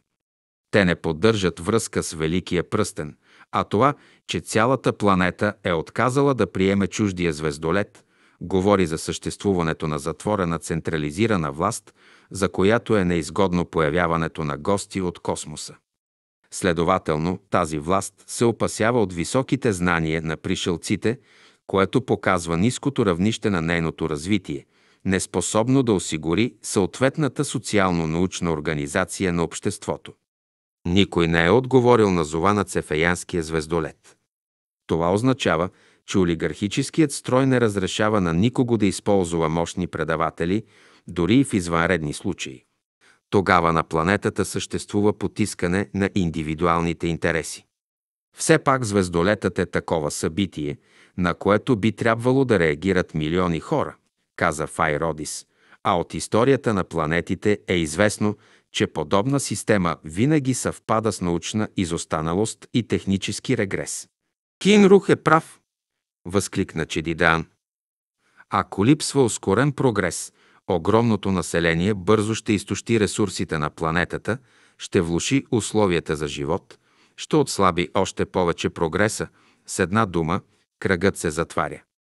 С подобни думи мотивираше и моят учител своето наименование на планетата, защото мъките на хората по формулата на инферналността в подобни условия са неизбежни, потвърди Файродис.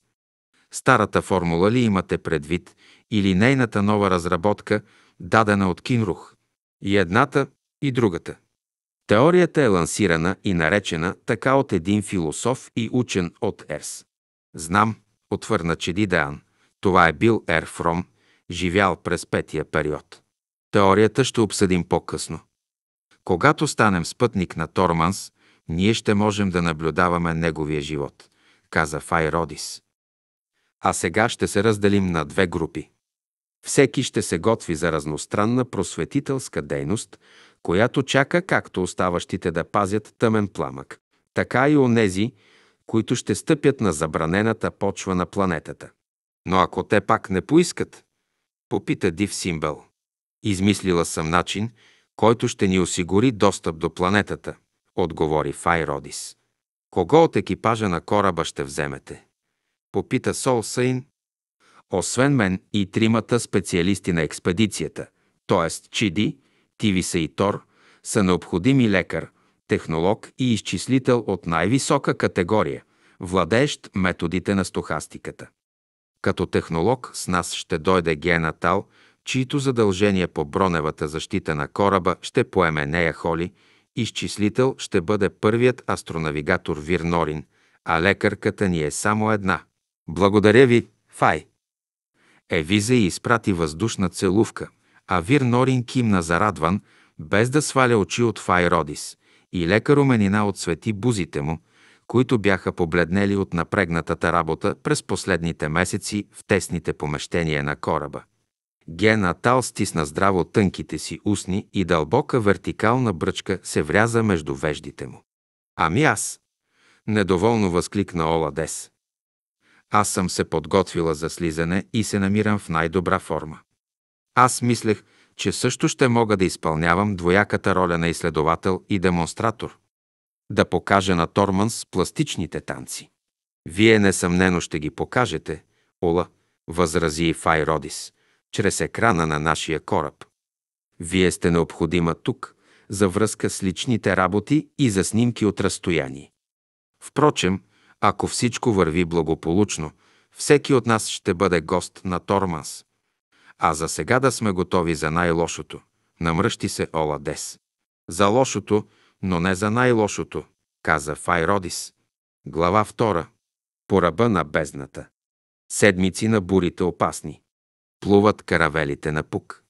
Седмици стрелите на компаса. Сочат да е север, да е юг. Та наникайки си тия древни думи по мелодията на разорания рай, че Дидеан се втурна в кръглата зала, видя Файродис, която беше се навела над машината за четене и се смути. Навлизам в мисленето на Ерс, поясни Чеди. Днес стават точно 20 дена, откакто включихме спирачките и висим неподвижно в пространството.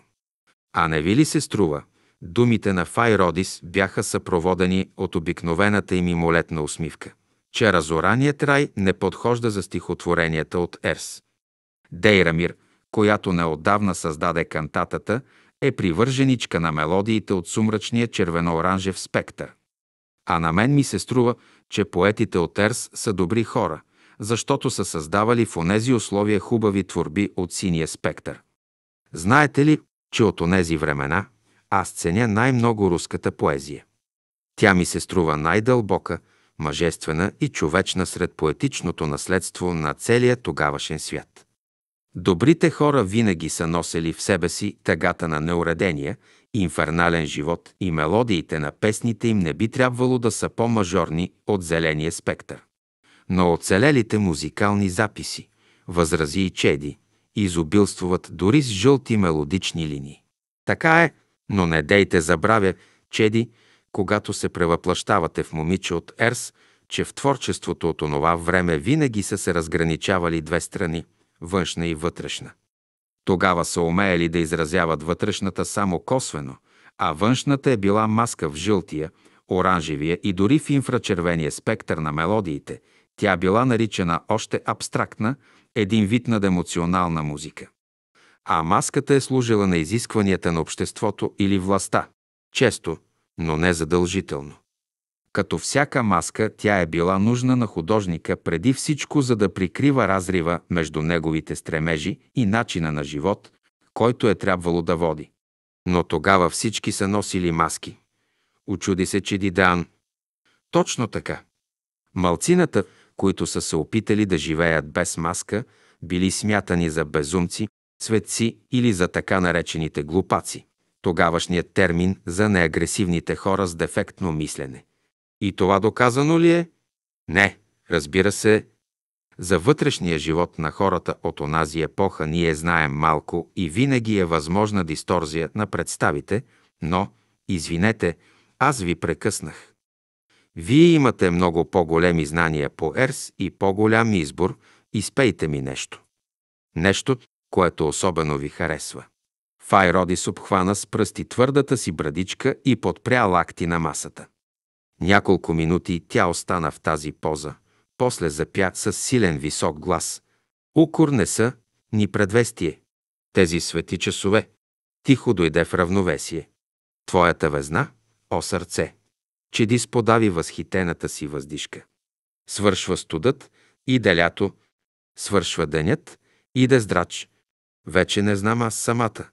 Песен ли съм или плач? В синия спектър ли е? Попита Чеди. В зеления.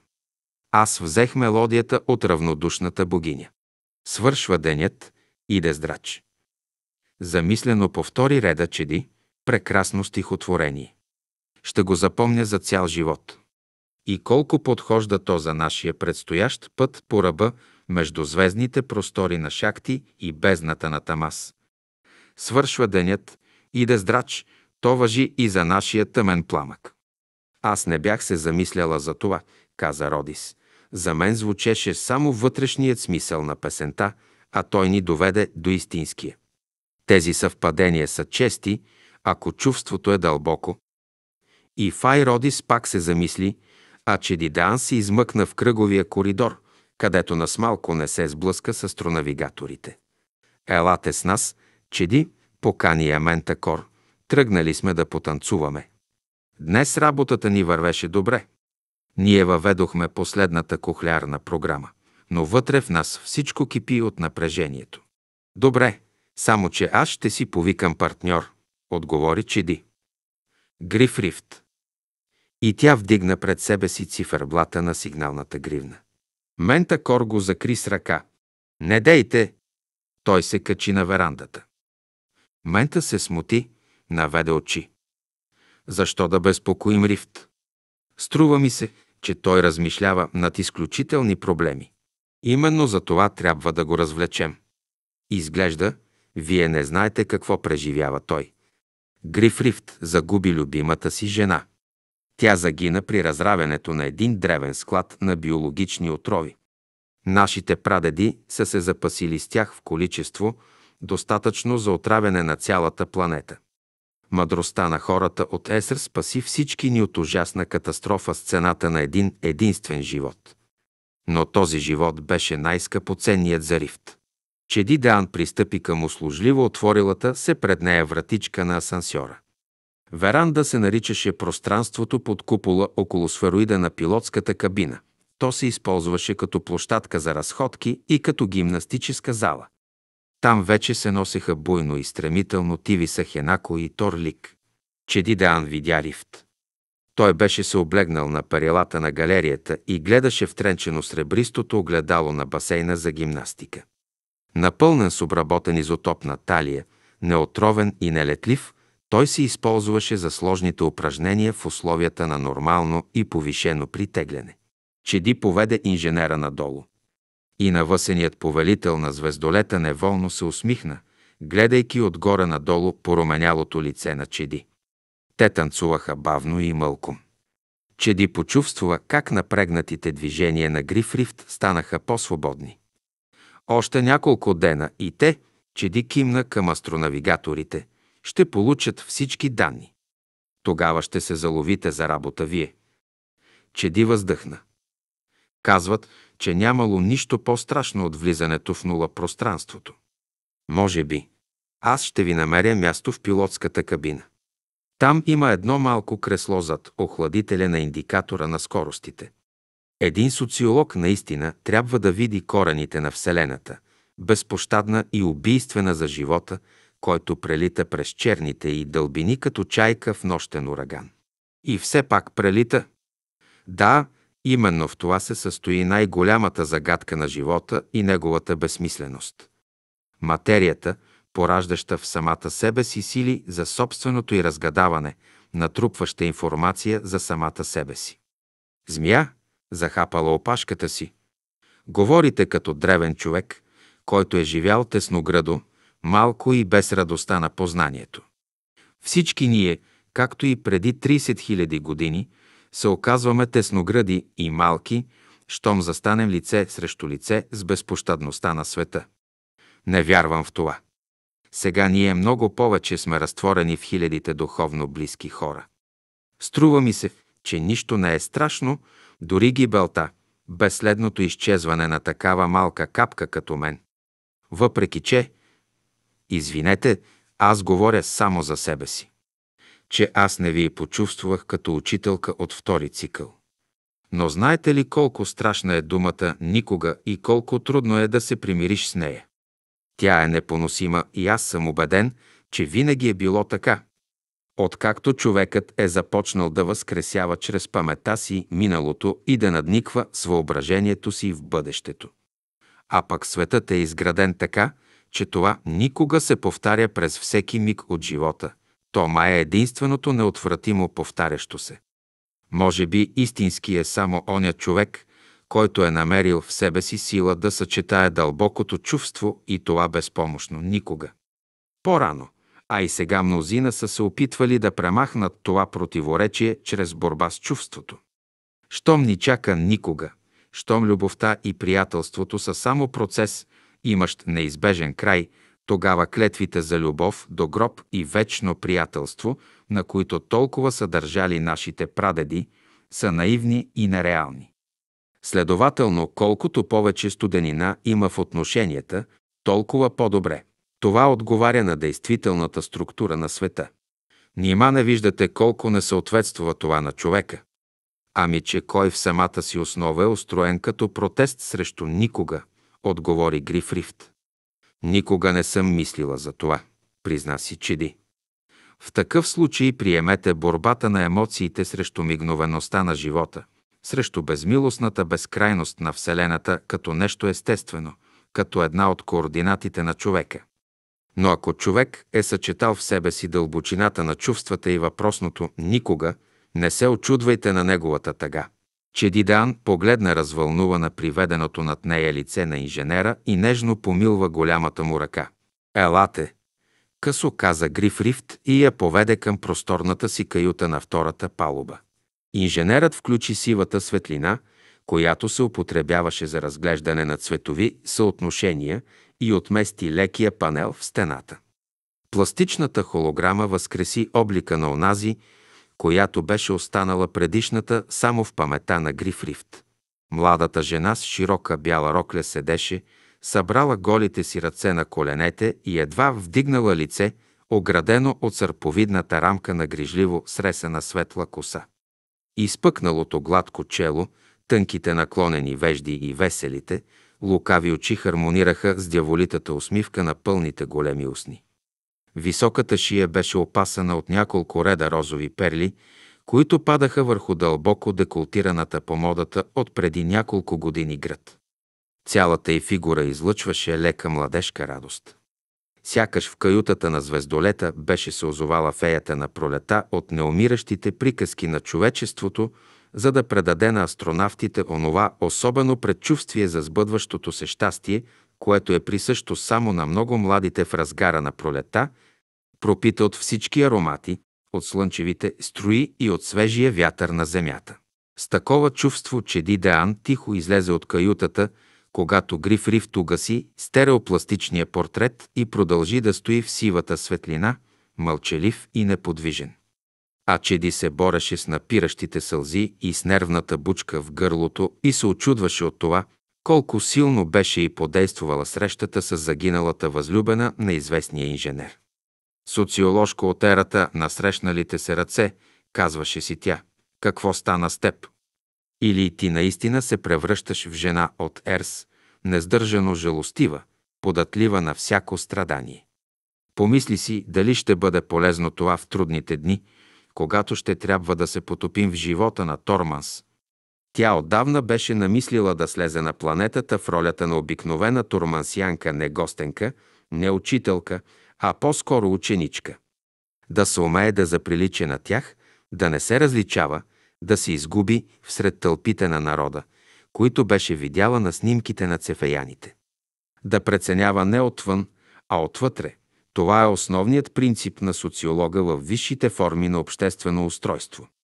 Файродис одобрява нейния проект, само поставя условието, че окончателно решение ще бъде взето на Торманс. Грифрифт изпълни обещанието си. Чеди се пъхна дълбоко в креслото. Всички места в пилотската кабина бяха заети.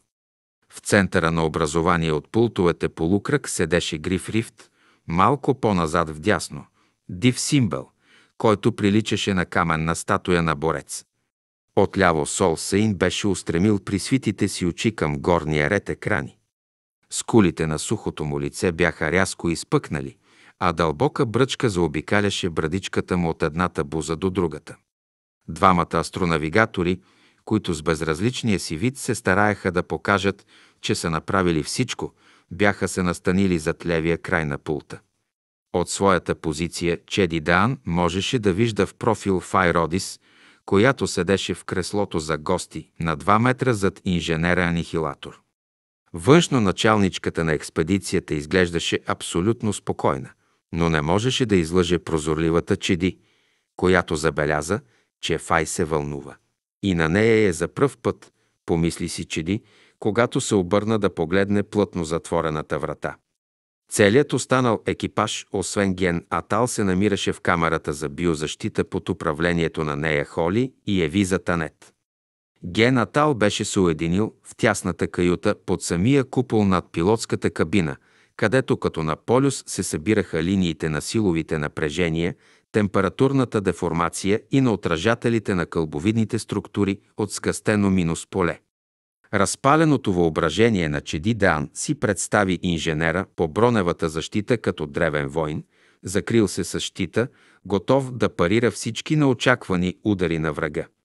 Всъщност точно така си беше, само че вместо дръжките на меч и кама пръстите на инженера стискаха лостовете на много по-мощни оръжия.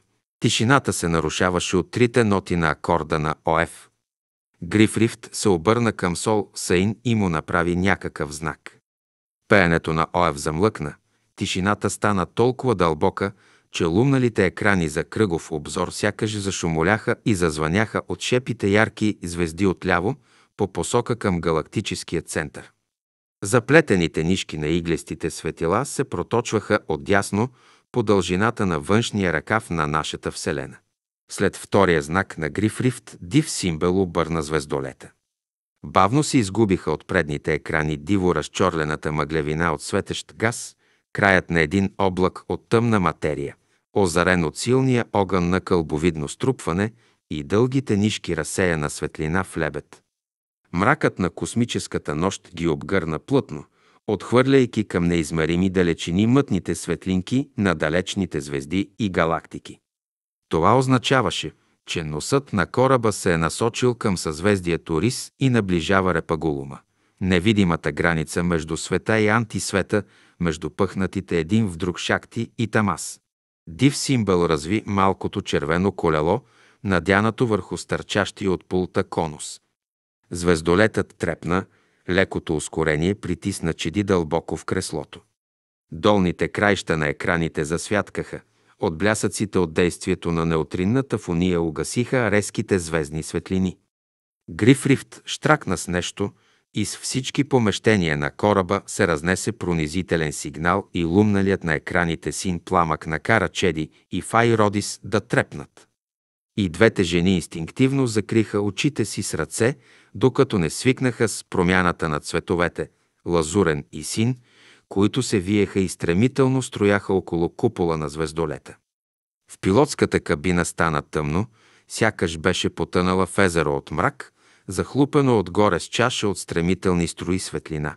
Четири гигантски кръгли скали светнаха една над друга на вертикалната стена, която разделяше двата екрана на билото на дъгата от пултове. Гриф Рифт кимна на див симбъл и инженер-пилотът побърза да върне червеното колело назад. Чеди Даан по-скоро отгатна, отколкото почувства, че сфероидът на кабината се върти, по циферблатите започнаха да се гонят оранжеви светлини и техните огромни стрелки се отместиха наляво, като трепкаха и се люшкаха безразборно. Грифрифт се наведе над пулта и ръцете му, осветени само от отблясъка на циферблатите, затичаха по клавишите на приборите с бързината на първокласен музикант. Стрелките бавно започнаха да се успокояват и една подир друга да прекратяват хаотичното си треперене, а отдясно върху екраните започна да се спуща тъмнина. Това не беше нощният мрак на земята, изпълнен с въздуха, миризмите и звуците на живота. Нито мракът на космическото пространство, чиято чернота винаги предполага необятен простор. Към звездолета пълзеше нещо, което не се подаваше на чувствата и разума, не притежаваше нито едно от нормалните за човека свойства, не се подаваше дори на абстрактно определение. Това не беше вещество, нито пространство, не беше празнота, нито облак. Нещо такова, в което всички усещания на човека едновременно потъваха и се удряха, предизвиквайки необикновен ужас. Чеди Деан се вкопчи в креслото и стисна зъби, обзета от първобитен страх. Цялата разтреперана, Чеди спря погледа си върху продълговатото сурово лице на Гриф Рифт, който беше замрял над приборите си. Четирите циферблата над главата му сега светеха с мътен жълт пламък. Рязко се очертаваха острията на стрелките, две горе, две долу, които отиваха към вертикалната черта. Щом стрелките докоснаха тази черта, звездолетът се раздруса. За секунда пред очите на Чеди се появи незабравимо грандиозно зрелище. Светещи с кинжални лъчи звездни облаци, ивици и кълба дим до самия вертикален стълб с циферблатите, а отляво – запълнилата всичко стена от тъмнина и изведнъж всичко угасна. Чувството за хлътване, зарухване в бездна без опора и спасение потисна угасващото съзнание на Чеди. Едно неописуемо, мъчително усещане за вътрешна нервна експлозия я накара да вика истерично и малодушно. В действителност Чеди само мърдаше беззвучно устни. Струваше и се, че цялото й същество се изпарява също като капка вода. После леден студ я скова в дълбините на бездната, където падаше без край. Заедно с чувството за цялост на тялото се върна и съзнанието на Чеди. Струйки тонизираща газова смес тихо облъхваха покритото изпод лице. Бавно, страхувайки се да не преживее повторно разпадане на съзнанието, Чеди изви очи към десните екрани. На тях не се виждаше нищо, освен мътна и сива пустота. Отляво, където доскоро сияеше светлоносната мощ на милионите слънца в центъра на галактиката, тя видя същото сиво нищо. Чеди срещна погледа на Фай Родис, която се усмихна слабо и когато видя, че Чеди се кани да каже нещо, допря пръст до устните си. Гриф Рифт, Див Симбел и Сол Сейн бяха доближили креслата си. В триъгълника на техните рамене и глави сега светеше една ниска, прозрачна като кристал колона. Вътре в нея по едва забележима спирала течеше подобна на живак течност. И най-малкото забавяне или ускоряване на нейния поток предизвикваше подскачане на една от стрелките на големите циферблати и късо настойчиво изсвирване някъде от подножието на пулта. След всяко изсвирване трите глави трепваха, напрягаха се и пак се вцепеняваха, щом стрелката се върнеше на чертата. Прозвуча необикновено настойчиво изсвирване, две от стрелките се отместиха едновременно. На десния екран от сивата мъгла се появи петно мрак. Чеди беше достатъчно запозната с новите представи за устройството на Вселената, за да схване това петно мрак като издатина на Тамас. Тя знаеше, че гравитационните полета в нашата Вселена имат много разнообразна форма, най-често наподобяваща пумпали, фунии и силно сплескани конуси, проточени във варига по посоките на анизотропията пространство, време. Няма да бъде никак чудно, ако антигравитационните за нас полета на антисвета, т.е. гравитацията на Тамас, са изградени аналогично и зад тази вълнообразна издатина се крият маси антиматерия, черните галактики и невидимите слънца на Тамас. Едно време на хората им се струвало невероятно, че в съседните галактики, като например мъглевината Андромеда, могат да съществуват обитаеми светове. А още по-рано на тях им се завивал свят само от представата за жителите на планетите около Арктур или Алтейр. А сега на човека вече не му стига неговата вселена с милиардите и галактики и той се промъква към ужасяващия мрак на антисвета, който се оказа съвсем близо. Но каква смелост и жажда за знание е трябвало да натрупат хората, за да могат не само безстрашно да застанат пред стената на ужаса, но и да се стремят да проникнат през нея в онова, за което обикновеният човек от рода на чеди не разполага дори смислено определение. А тя на всичко отгоре на смалко не беше се осмелила да обяснява какво е животът на самия Гриф Рифт. Не, тя говори с него добре, с приятелско разбиране и единство на чувствата. Свършва денят и да здрач. Зазвуча в памета и песента на Родис. Те наистина се намират между деня и здрача. Вертикалната стена с циферблатите олицетворява границата. Достатъчно е да се свлекат от нея и... Сега тя знае, че ще се намери в Тамас. Може да се озове и в нашия свят, в светлия шакти, но той също е убийствен, ако попаднеш прекалено близо до звезда или до кълбовидно натрупване. И те се носят погребена на вълната с тази разлика само, че твърде голяма мисия имат тъмен пламък и 13-те члена на неговия екипаж. Грифрифт беше и казал за чайката, която лети в нощния ураган, той ли няма да знае. За него това не е поетично сравнение, а точен образ на ЗПЛ. Но достатъчно. Корените на Вселената са прекалено страшни за нея, отгледаната в грижовното общество на Земята. Интересно какво ли е почувствала Файродис. Ето я, все така неподвижна, също като тримата около кристалната колона, вперила поглед в екраните, зад които е сивата пустота, и сигурно също се опитва да си представи Тамас, че един е отгад мислите на Файродис. Преживените от нея усещания бяха още по-мъчителни от тия на Чиди, защото Родис не загуби съзнание. Нейното силно, великолепно тренирано тяло се съпротивляваше на прехода в нула пространството не по-зле от телата на управляващите ЗПЛ, тя бързо се върна към нормалното си състояние и започна да мисли за стаята си в института на Кинрух в източна Канада, където се готвеше за експедицията. Просторната стая, с стена, застъклена с огромни силиколови плочи, гледаше към долината на голяма река сред боровите гори на резервата. Фай Родис си спомняше най-незначителни подробности. От бледо-жълтия цвят на покриващия целия под килим до големите маси и канапета от изкуствено сиво копринено дърво. Топлият уют благоприятстваше за работата. Особено когато зад обърнатата към речните далечини прозрачна стена пълзяха ниски облаци и вятърът донасяше студен дъжд. Тогава Фай Родис се настаняваше на канапето в противоположния край на стаята до читалния апарат и купчината възстановени древни филми, четеше, мислеше и гледаше.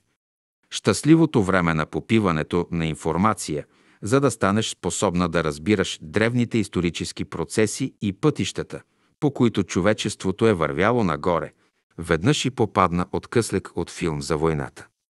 Гъбата от вода и пара от ядрената експлозия се издигаше над океана на задоблачна височина, над хълмовете и палмовите горички на стръмния бряг. Няколко кораба бяха преобърнати и разпилени. От бреговото укрепление двама души наблюдаваха какво става. Възрастни и възстромави, те бяха с еднакви фуражки с златни символи, очевидно командири.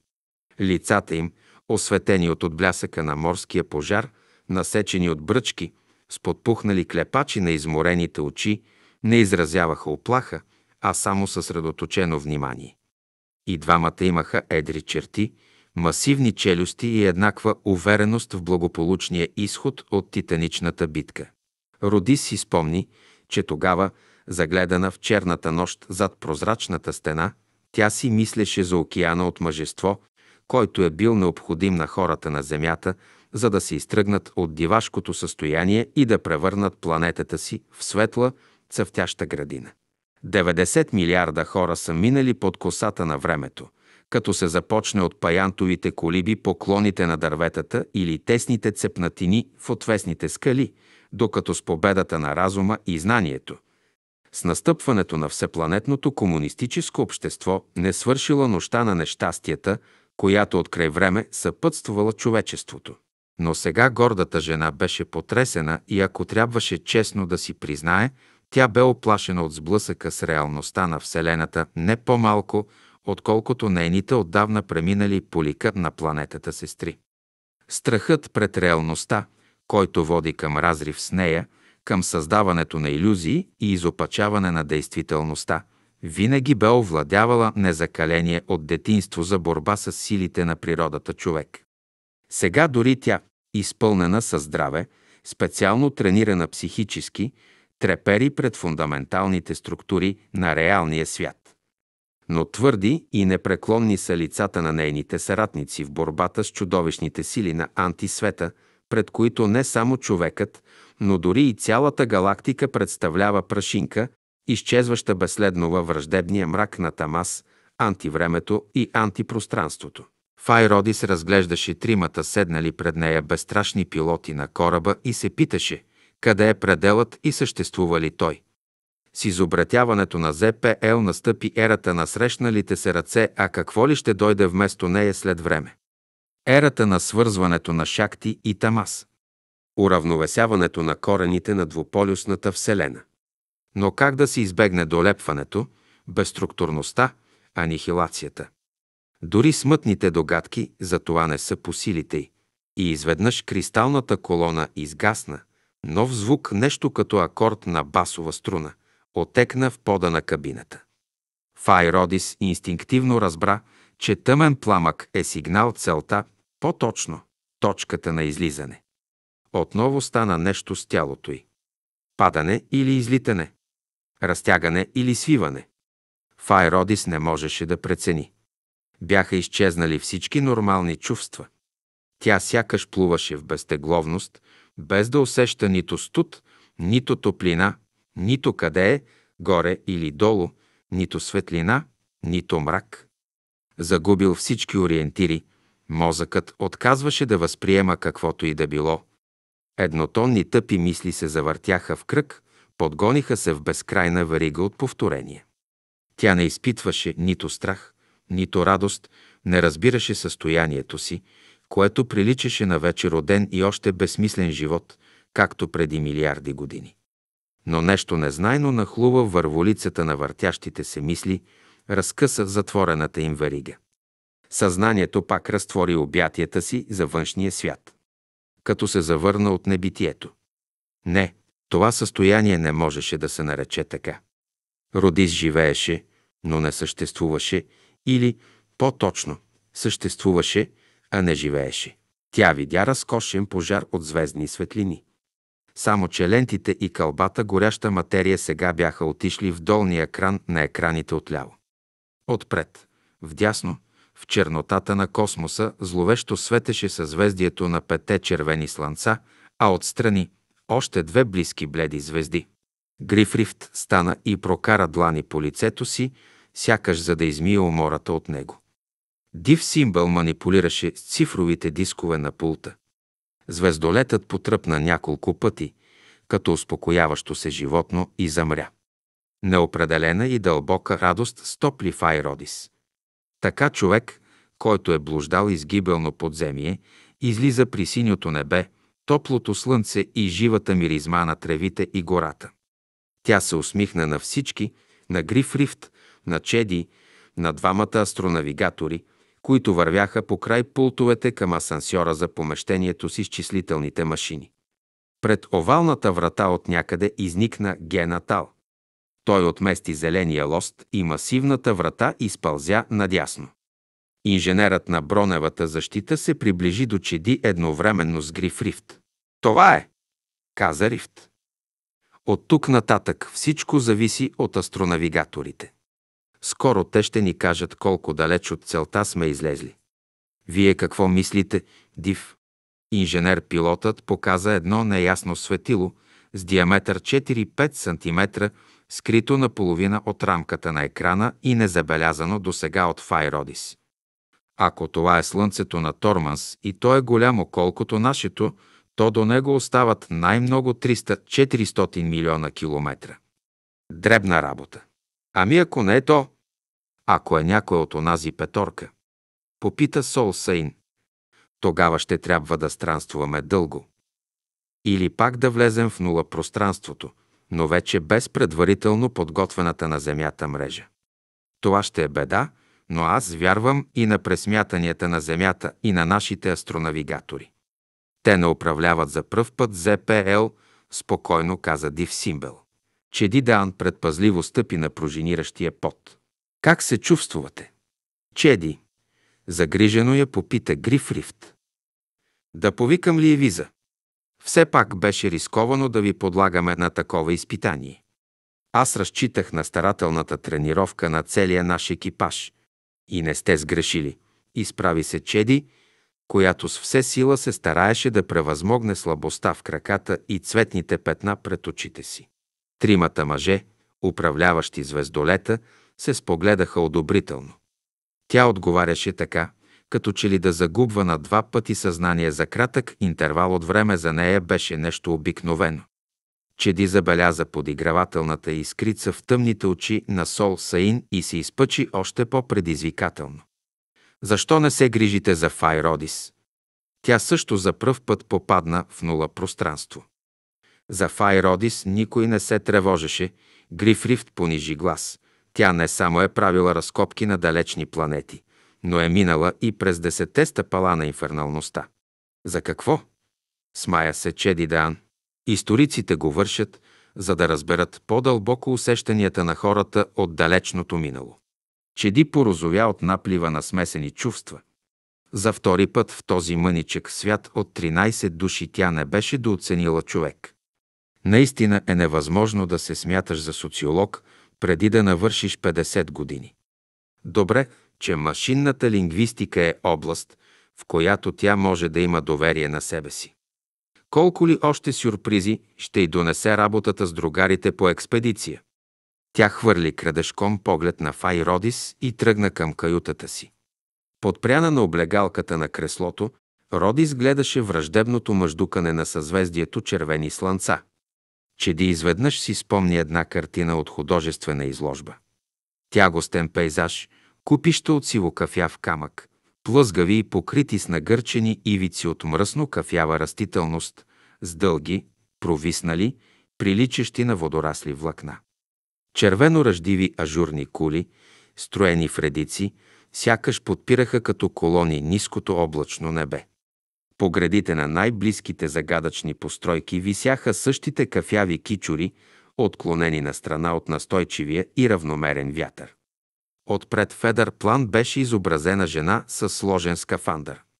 Горната част на шлема, повдигнат като забралото на древен рицар, откриваше част от лицето. По характерните очертания на челото, горния край на носа, веждите и очите чеди сега безпогрешно позна Файродис, въпреки че носът, устата и брадичката й бяха закрити от сложния дихателен апарат. Да, тя безспорно е била там, на мокрите планети на инфрачервените слънца, а следователно късият, предпоследен скок на Нооген е станал с участието на Файродис. И тя е мълчала, за да не би Чеди и нейните другари, които още не бяха влизали в нула пространството, да се почувстват зелени новаци в сравнение с нея. Чеди не знаеше още много неща. Впрочем, и самата Фай Родис не подозираше, че в същия този момент сред планините на предкавказието до Изполински телескоп седеше авторът на картината, известен астроном. Ободрявайки се с хапчета, които пропъждаха съня, той дежуреше трета нощ. Пред него, увеличени един милион пъти, на екрана мъждукаха червените точки на петзвездната конфигурация в съзвездието Рис. Някъде там, може би край тази нищожна червена светлинка, над конфигурацията, на хиляди светлинни години разстояние, трябва да изкочи на повърхността тъмен пламък. На него е незабравимата Файродис, чието многолики образи ще може да заличи в памета му само смъртта. Тъкмо в този момент в сферата на пилотската кабина Файродис и Грифрифт също гледаха алената звезда. Инженер-пилотът бе познал мътното светило, което на екрана изглеждаше като мъничек диск, беше слънцето на Тормас. Вирнорин и Мента Кор вече бяха определили разстоянието. 380 милиона километра трябваше да пропътува звездолетът са на мезонните мотори, обикновените космически двигатели.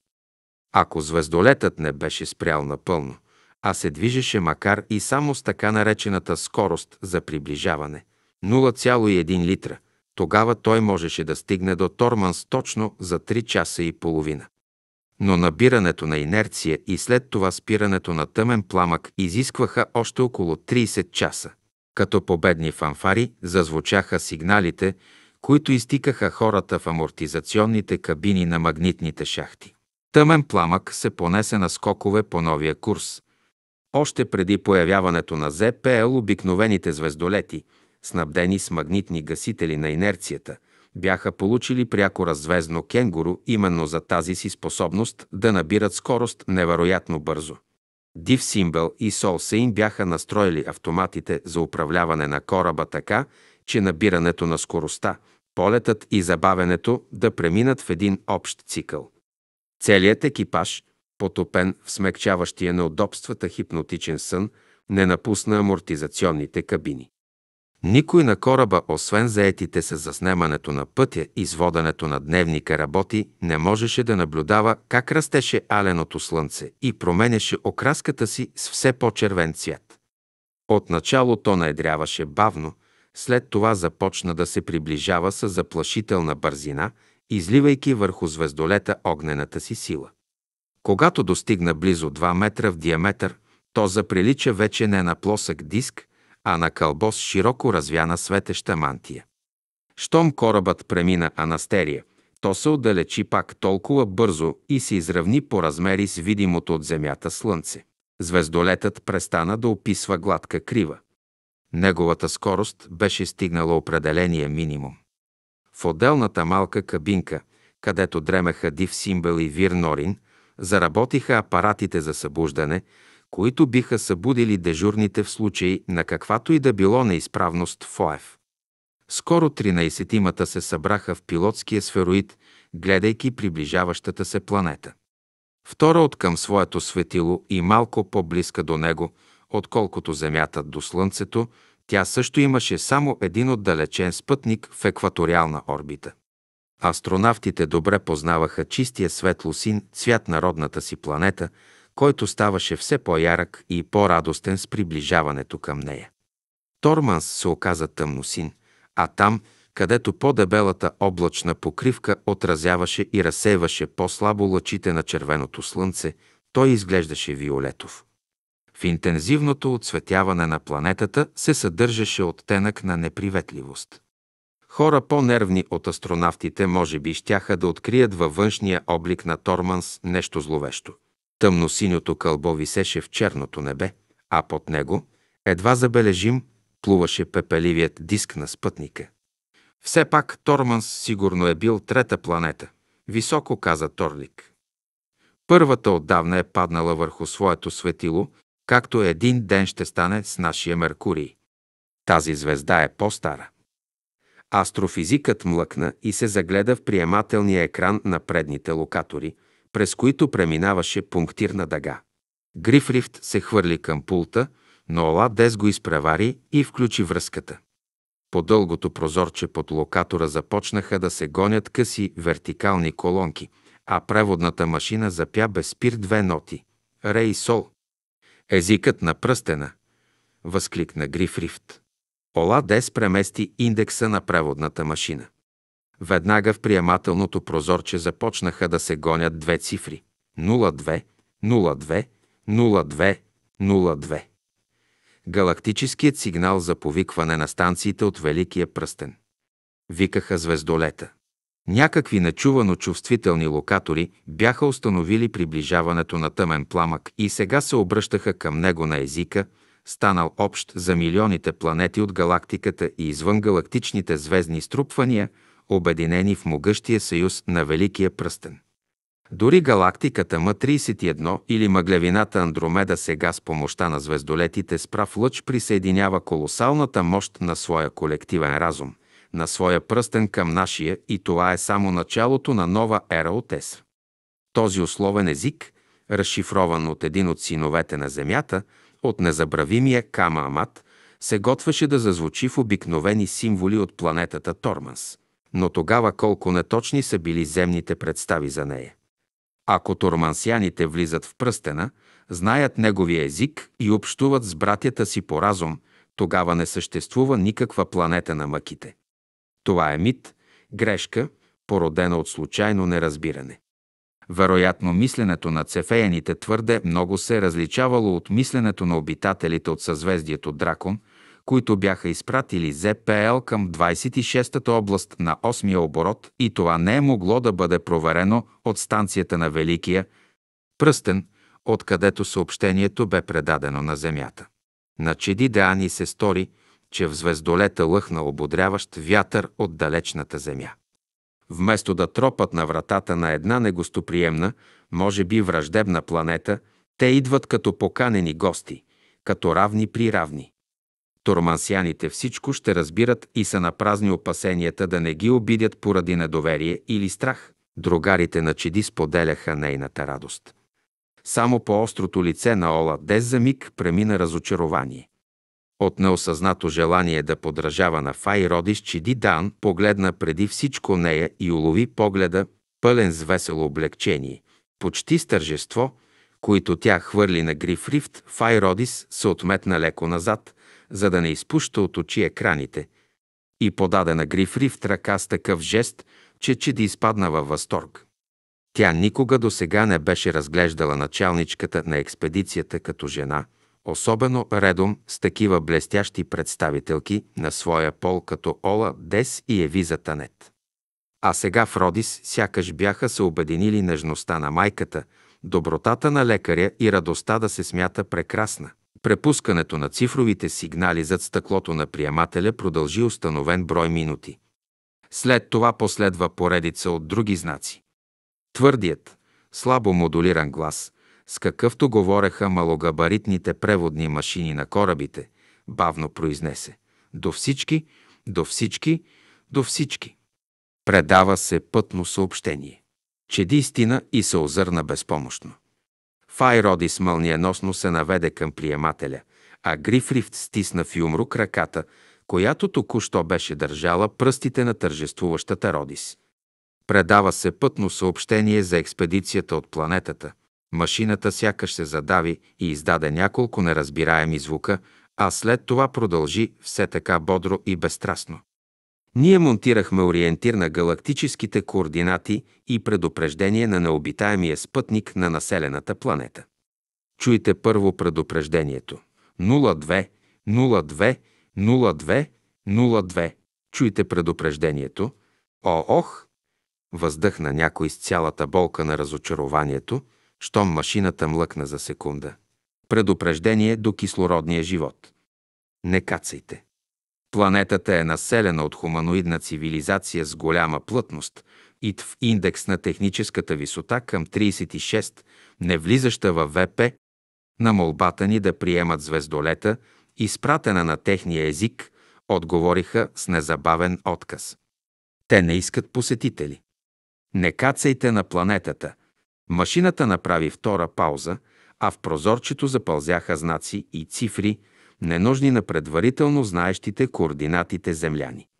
Хората стояха смълчани, докато пак не се повториха нотите и цифрите на галактическия сигнал за повикване. Всичко е ясно. Ола Дес изключи приемателя. Да, мрачно каза астронавигаторът. На спътника има бомбен предавател. Работи нормално трети век. Браво на цефеяните! Изобщо, ако не бяха те, започна Оладес. Ние нямаше да сме тук, обади се Сол Саин и сухо се изсмя от преживяното напрежение. Хората се размърдаха и заговориха, като се стараеха да скрият един от друг разочарованието си. Моля за внимание. Прекрати разговорите Гриф Рифт и се обърна към Файродис. Какъв е планът? Както до сега, без промени, отговори тя. Това беше предишната, спокойна и твърда Родис. Трябва ли първо да се приближим до спътника? Попита Грифрифт. Сега, когато съобщението на цефеяните потвърждава неговата необитаемост. Все пак трябва. С нашия опит ние можем да видим онова, което цефеяните не са разбрали, а следователно и не са забелязали. Може би на спътника са останали постройки от предишна цивилизация на Торманс, която едва по-късно е западнала. На планетата е могла да съществува още по-древна цивилизация, измряла или изтребена от съвременните обитатели на Торманс, ако те са пришълци. Грифрен е фете кимна, съгласявайки се безмълвно. Тъмен пламък бавно се приближи към спътника, изравни с него орбиталната си скорост и започна да обикаля около безжизненото кълбо с диаметър около 600 км, както мима с обикаля Сатурн. Мощните стереотелескопи опипваха сивата повърхност, тук-там пресечена от прави пукнатини и от ниски планини. От апаратите лентите на заснетите филми влизаха направо в увеличителите, които бяха толкова силни, че позволяваха да се различат отделните камъни. Кръстосаната обиколка не даде и най-малкото доказателство, че на спътника, когато и да било, са се заселвали разумни същества.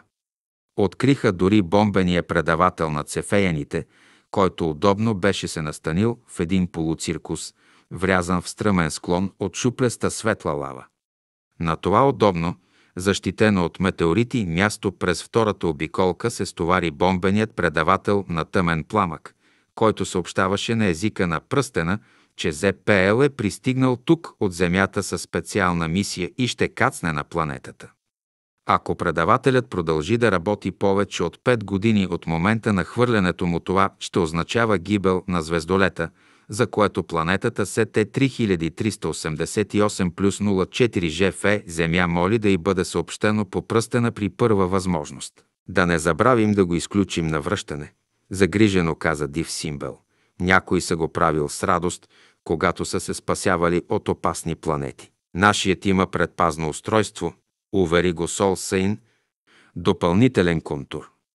Когато започнем да се отдалечаваме от Торманс и спътника му, предавателят ще издава вой, докато не го изключим. Тогава всичко е готово. Време е да тръгнем към Торманс, каза, прозявайки се, инженер-пилотът. Ще имаме време да си починем. Файродис предупреди да се доближим до планетата колкото може по-бавно от към дневната и страна, без да използваме локаторите и да сигнализираме. Промъкваме се като древни ловци към диво животно. Недоволно се усмихна Сол Сейн. Не ви ли харесва? Очуди се Див Симбел. В това има нещо грозно, да се спотайваш, да се приближаваш с Кришум. Фай Родис каза, че не бива да тревожим обитателите на Торманс. Ако те са враждебно настроени към гостите от космоса, тогава пристигането на тъмен пламък ще предизвика възмущение, а на нас ще ни се наложи месец-два да се въртим на орбита около планетата, докато освоим езика и се запознаем с обичаите им. Ако те се научат, че над планетата им лети звездолет, в момента ние дори не ще можем да им обясним какво търсим тук. Цефеяните нали са им обяснили? Вероятно, като са заучили една-две фрази. И са получили отказ. А ние не бива да го получаваме. Прекалено далечен беше пътят и Торманс е нашата цел, а не случайно забелязана планета, каза Див Симбел. А не прилича ли това на нескромно надничене и зад ъгъла? Не се предаваше Солсейн. Тези методи подхождат на древните хора, а не на общество от висша форма. Ето го и нашия социолог. Вие на какво мнение сте, чеди? Инженер-кибернетикът и преразказа разговора. Тя се замисли, после решително заяви.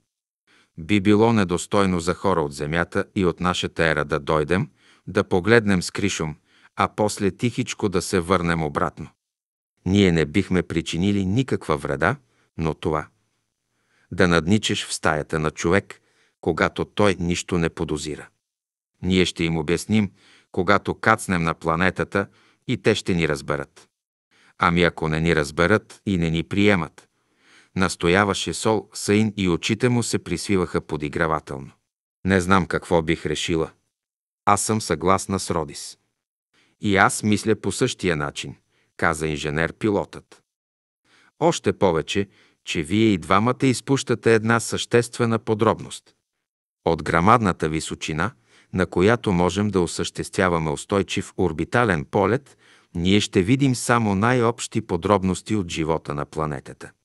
И ще можем да хващаме само онези предавания, които са предназначени за цялата планета. С други думи, ще видим и чуем само явния обществен живот, а за да разберем техните език и норми на поведение.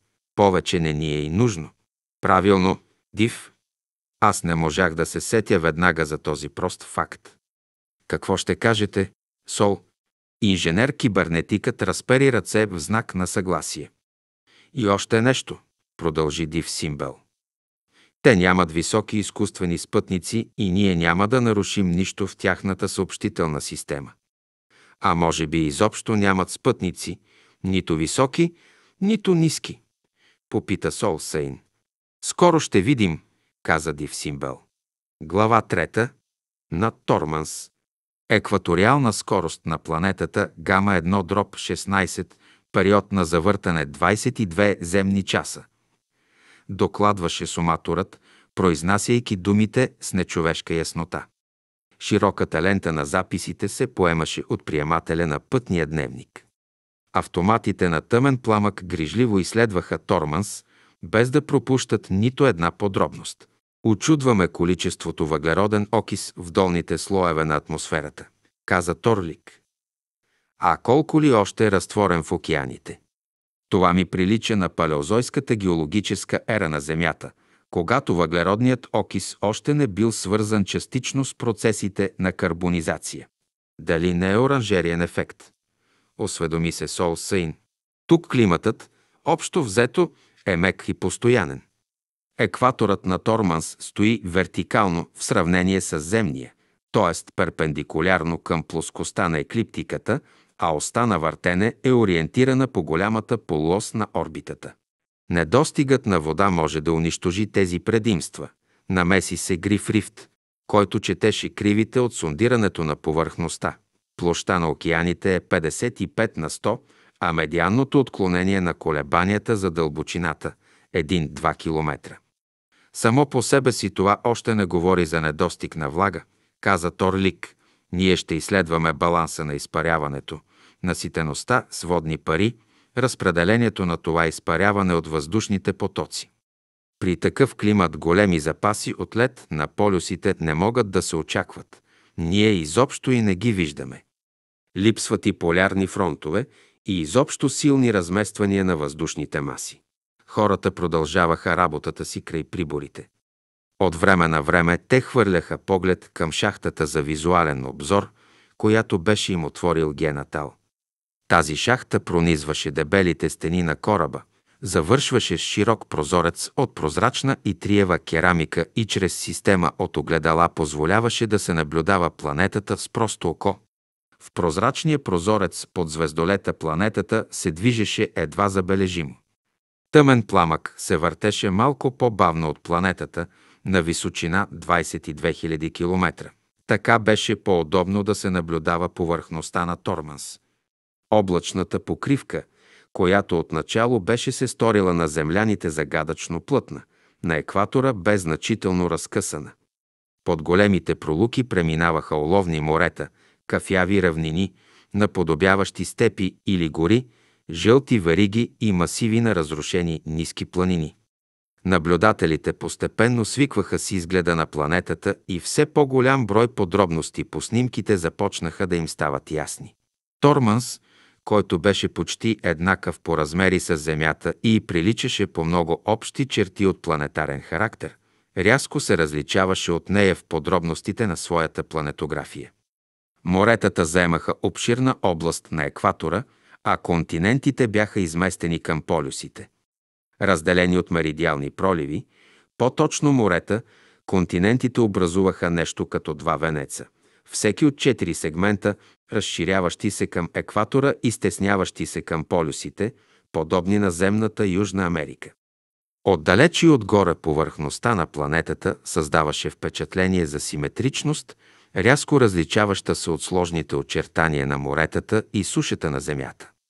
Големите реки течаха предимно от полюсите към екватора и се вливаха в екваториалния океан или в неговите заливи.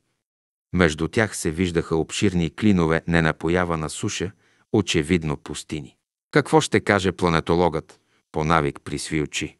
Сол Саин, чудновата планета, а няма нищо чудновато. Важно му отговори Торлик. По-древна е от нашата Земя, но се върти по-бързо.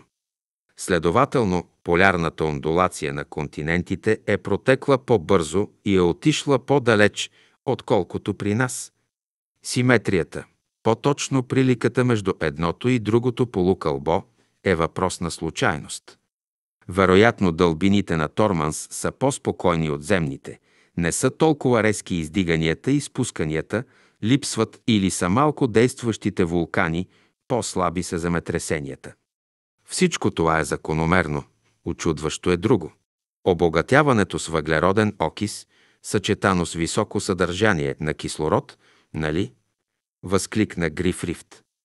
Прекалено много естествено гориво са употребили турмансяните. Тук ще ни бъде трудно да дишаме и ще трябва да избягваме дълбоките вдлъбнатини на релефа. За сметка на това наситеното с въглероден окис море ще е прозрачно като през най-древните геологически епохи на Земята. Сигурно с голямо количество варовикова отайка по дъното. Всичко това не съответствува на броя на населението, който са констатирали цефеяните преди 250 години. Тук съществуват доста противоречия между планетографията и демографията. Съгласи се Гриф. Може би не си струва да правим опити да ги разгадаваме, докато не слезем на ниска орбита. Щом като липсват изкуствени спътници, то освен рискът да бъдем открити, нищо не ни пречи да обиколим планетата на каквато си искаме височина. Особено след като сме събрали всичко още от първата орбита. Разпалено го подкрепи Торлик. Чеди и Фай още са заети. Нашата лингвистка можа да получи текстове с достатъчна дължина, за да си изясни структурата на езика по метода на Камамат. Фай Родис иска, когато наближим планетата и започнем да гледаме телевизионните предавания, вече да разбираме говора на турмансяните. Това е разумно. Да се избягнат неточните асоциации, от които се образуват устойчиви шаблони, спъващи разбирането. О, вас, планетолозите, добре ви подготвят. Дори и по психология. Отдавна е било забелязано несъвършенството на физико-космолозите, които са се съсредоточавали само върху своята област. Без представа за човека като фактор от планетен мащаб са били допускани опасни грешки.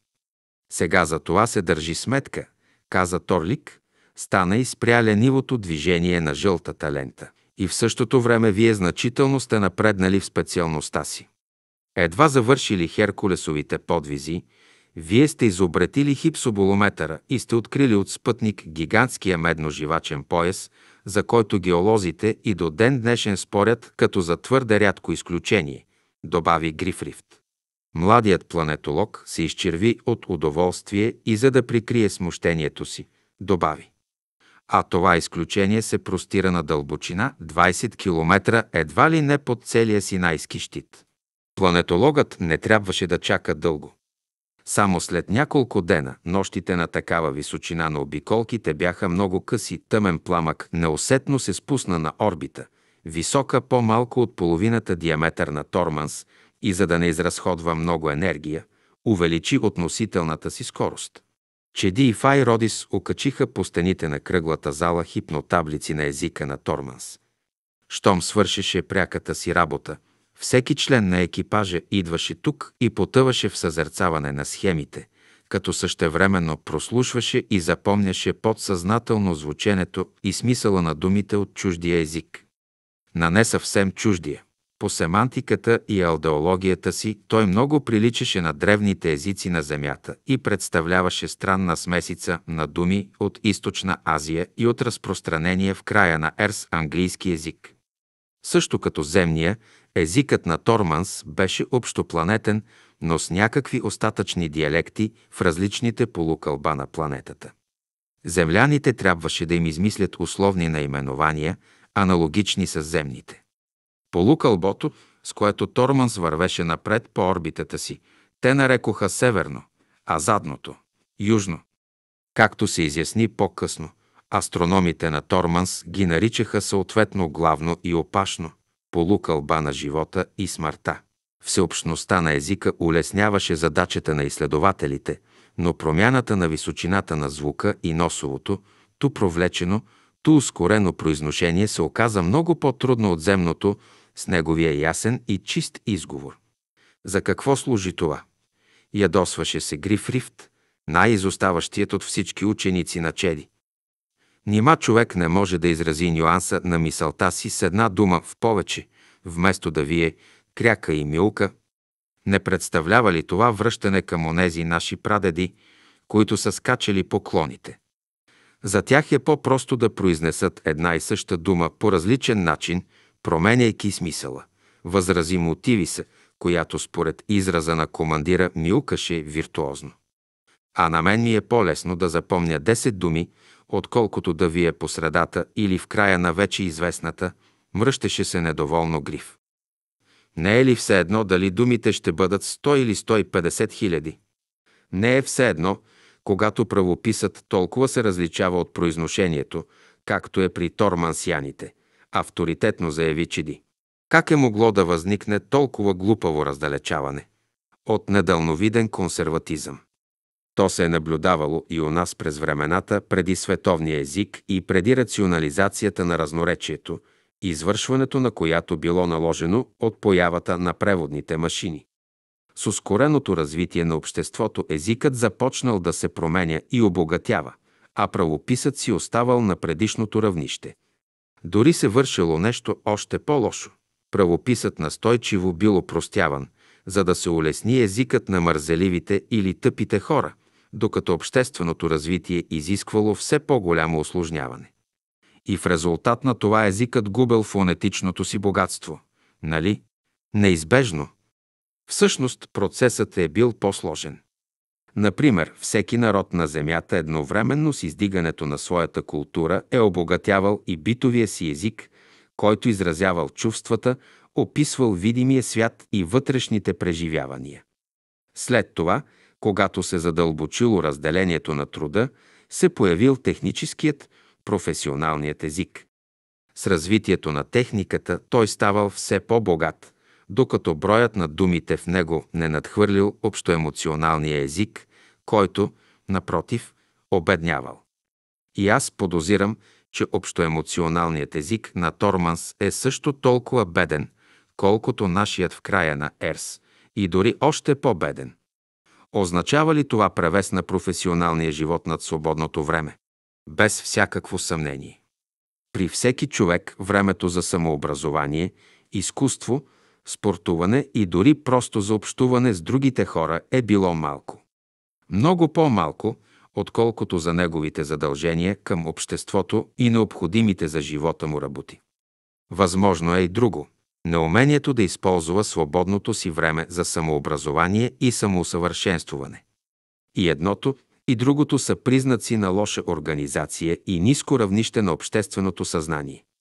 Фай Родис казва, че в прочетените от нас текстове на радиопредаванията на Торманс има толкова малко смисъл, както у нас през древните исторически периоди от Терс, когато отпечатаните на листове лошокачествена хартия ежедневни бюлетини с новини – Телевизионните и радиопредаванията съдържали не повече от 3 до 5% полезна информация. Освен това, Родис подозира от наличието на голям брой семантични стереотипи, че писмеността на планетата, кой знае защо, е на ниско равнище на развитие. Но ние още не сме я виждали, тъй като разшифровахме езика по записите на паметните машини. И писмеността ли ще учим? Шеговито въздъхна Вир. Норин. Тогава има много да се въртим над Торманс. Няма да е чак толкова много. Утеши го Чеди. Сега работата ще стане по-интересна. Днес Ола Дес започна да засича телевизионните предавания и вероятно най-късно утре ние ще видим живота на Торманс. Те го видяха. Телевизията на Торманс не беше достигнала твърде прецизната ендопластична техника на Земята, но предаванията се оказаха ясни, с добра цветова гама. Екипажът на тъмен пламък, с изключение на дежурните, се настаняваше пред грамадния стереоекран и с часове наблюдаваше чуждия живот. Хората на Торманс толкова приличаха на земните, че вече никой не се съмняваше в правотата на предположението на историците за съдбата на трите звездолета от Есо. Странно чувство завладяваше екипажа, сякаш гледаха собствените си масови представления на исторически теми. Те виждаха гигантски градове, пръснати далеч един от друг по планетата. Като същински въртопи те бяха всмукали в себе си основната маса на населението. Вътре в тях хората на Торманс живееха в теснотията на големите сгради, под които в лабиринтите на подземията се извършваше ежедневната техническа работа.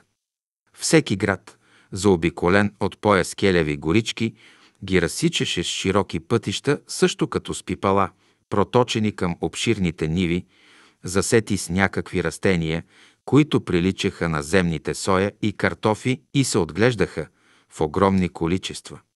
Най-големите градове се намираха близо до бреговете на екваториалния океан, на онези участъци от делтите на реките, където каменистата почва даваше опора на големите сгради. Отдалечените от реките и от обработените ниви колосални площи суша бяха заети от сухи степи с рядка тръвоподобна растителност и безкрайно еднообразни хръсталаци. В поясите от обработена земя поразяваше липсата на постоянни селища. Някакви скучни постройки, дълги и ниски изморяваха окото с повтарянето на еднообразието навсякъде. И в главното, и в опашното полукълбо, край големите градове и около по-малките концентрации на населението. Тежки машини се движеха сред облаци прах, те обработваха почвата или прибираха реколтата. Не по-малко тежки каруци с грохот се носеха по гладките и широки пътища. Земните наблюдатели дълго не можеха да разберат защо вдигат такъв шум тези огромни машини, докато не се сетиха, че чудовищният грохот се дължи просто на лошата конструкция на двигателите и лошото опасване на частите. Час след час, без да смеят да нарушат мълчанието, за да не пречат на другарите си, обитателите на Земята наблюдаваха живота на далечната планета, замаяни от изобилието на първите впечатления.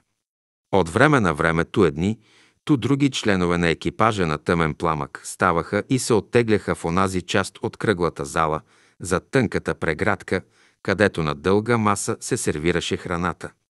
Там хората разменяха впечатление, ядяха и пак се връщаха при екраните, защото ги беше страх да изпуснат дори един час от времето, през което работеше телевизията на Торманс.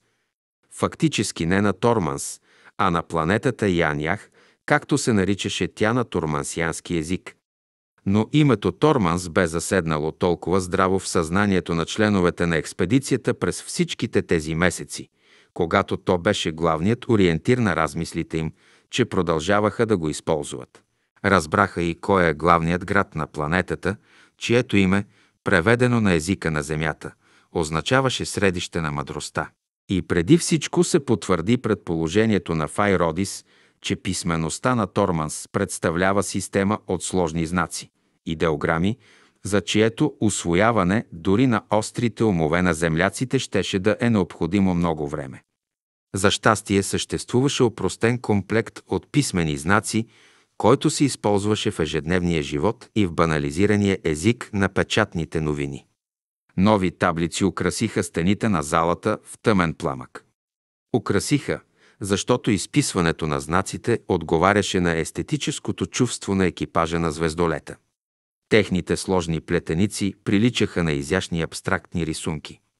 Текстовете се пишеха или с черно на ярко-жълта хартия, или пък с интензивна тъмнозелена боя върху бледосинка фон. Колко е красиво в сравнение с жалката простота на нашата линейна азбука. Възхищаваше се Ола Дес. Може би след завръщането си трябва да предложим азбуката на Торманс в СВУ, съвета за всеобщи усъвършенствувания. Не мисля така, възрази и Фай Родис. Азбуки от този вид вече са били използвани на Земята, и то векове наред.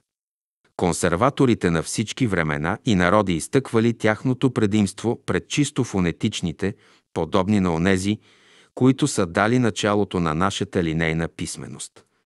Те доказвали, че в качеството си на идеограми тези знаци се четат с общ смисъл от народи, които говорят на различни езици.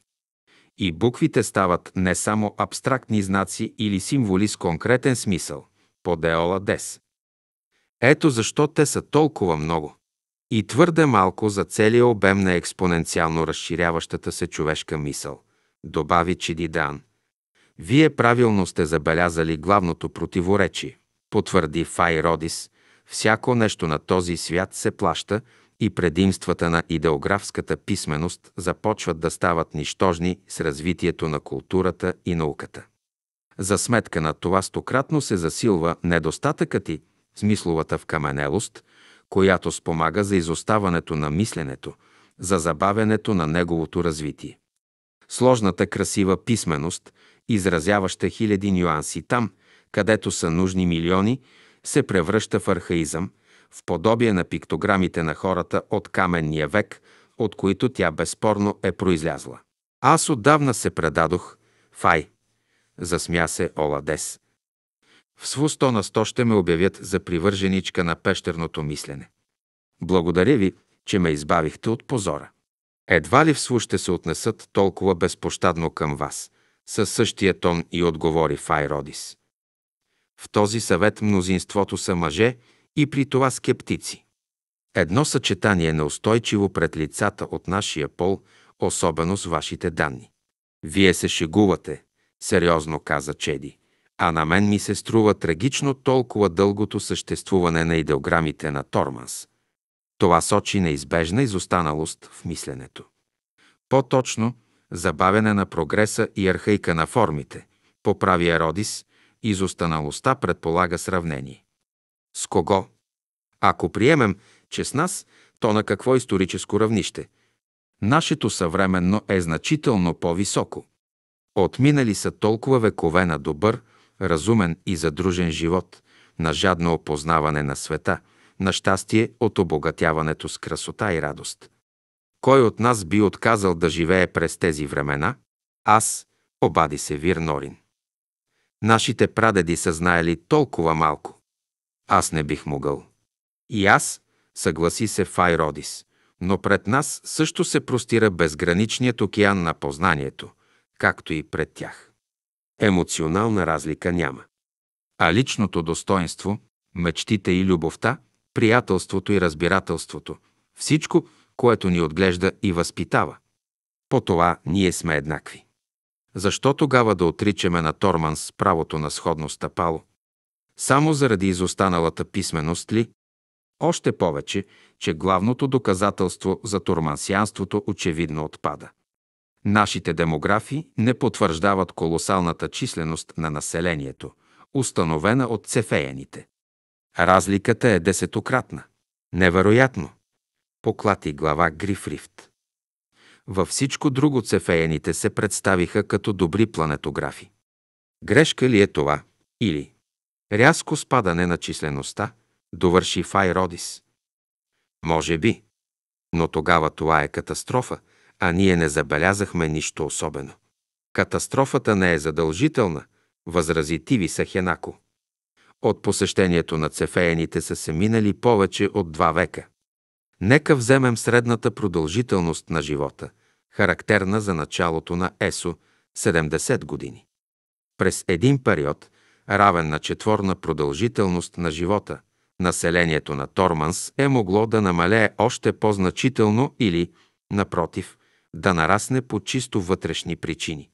На мен ми се струва, че вътрешните причини са най-лошият вид катастрофа, каза Чеди. За сега планетата Ян Ях не ми харесва по нейните телевизионни предавания.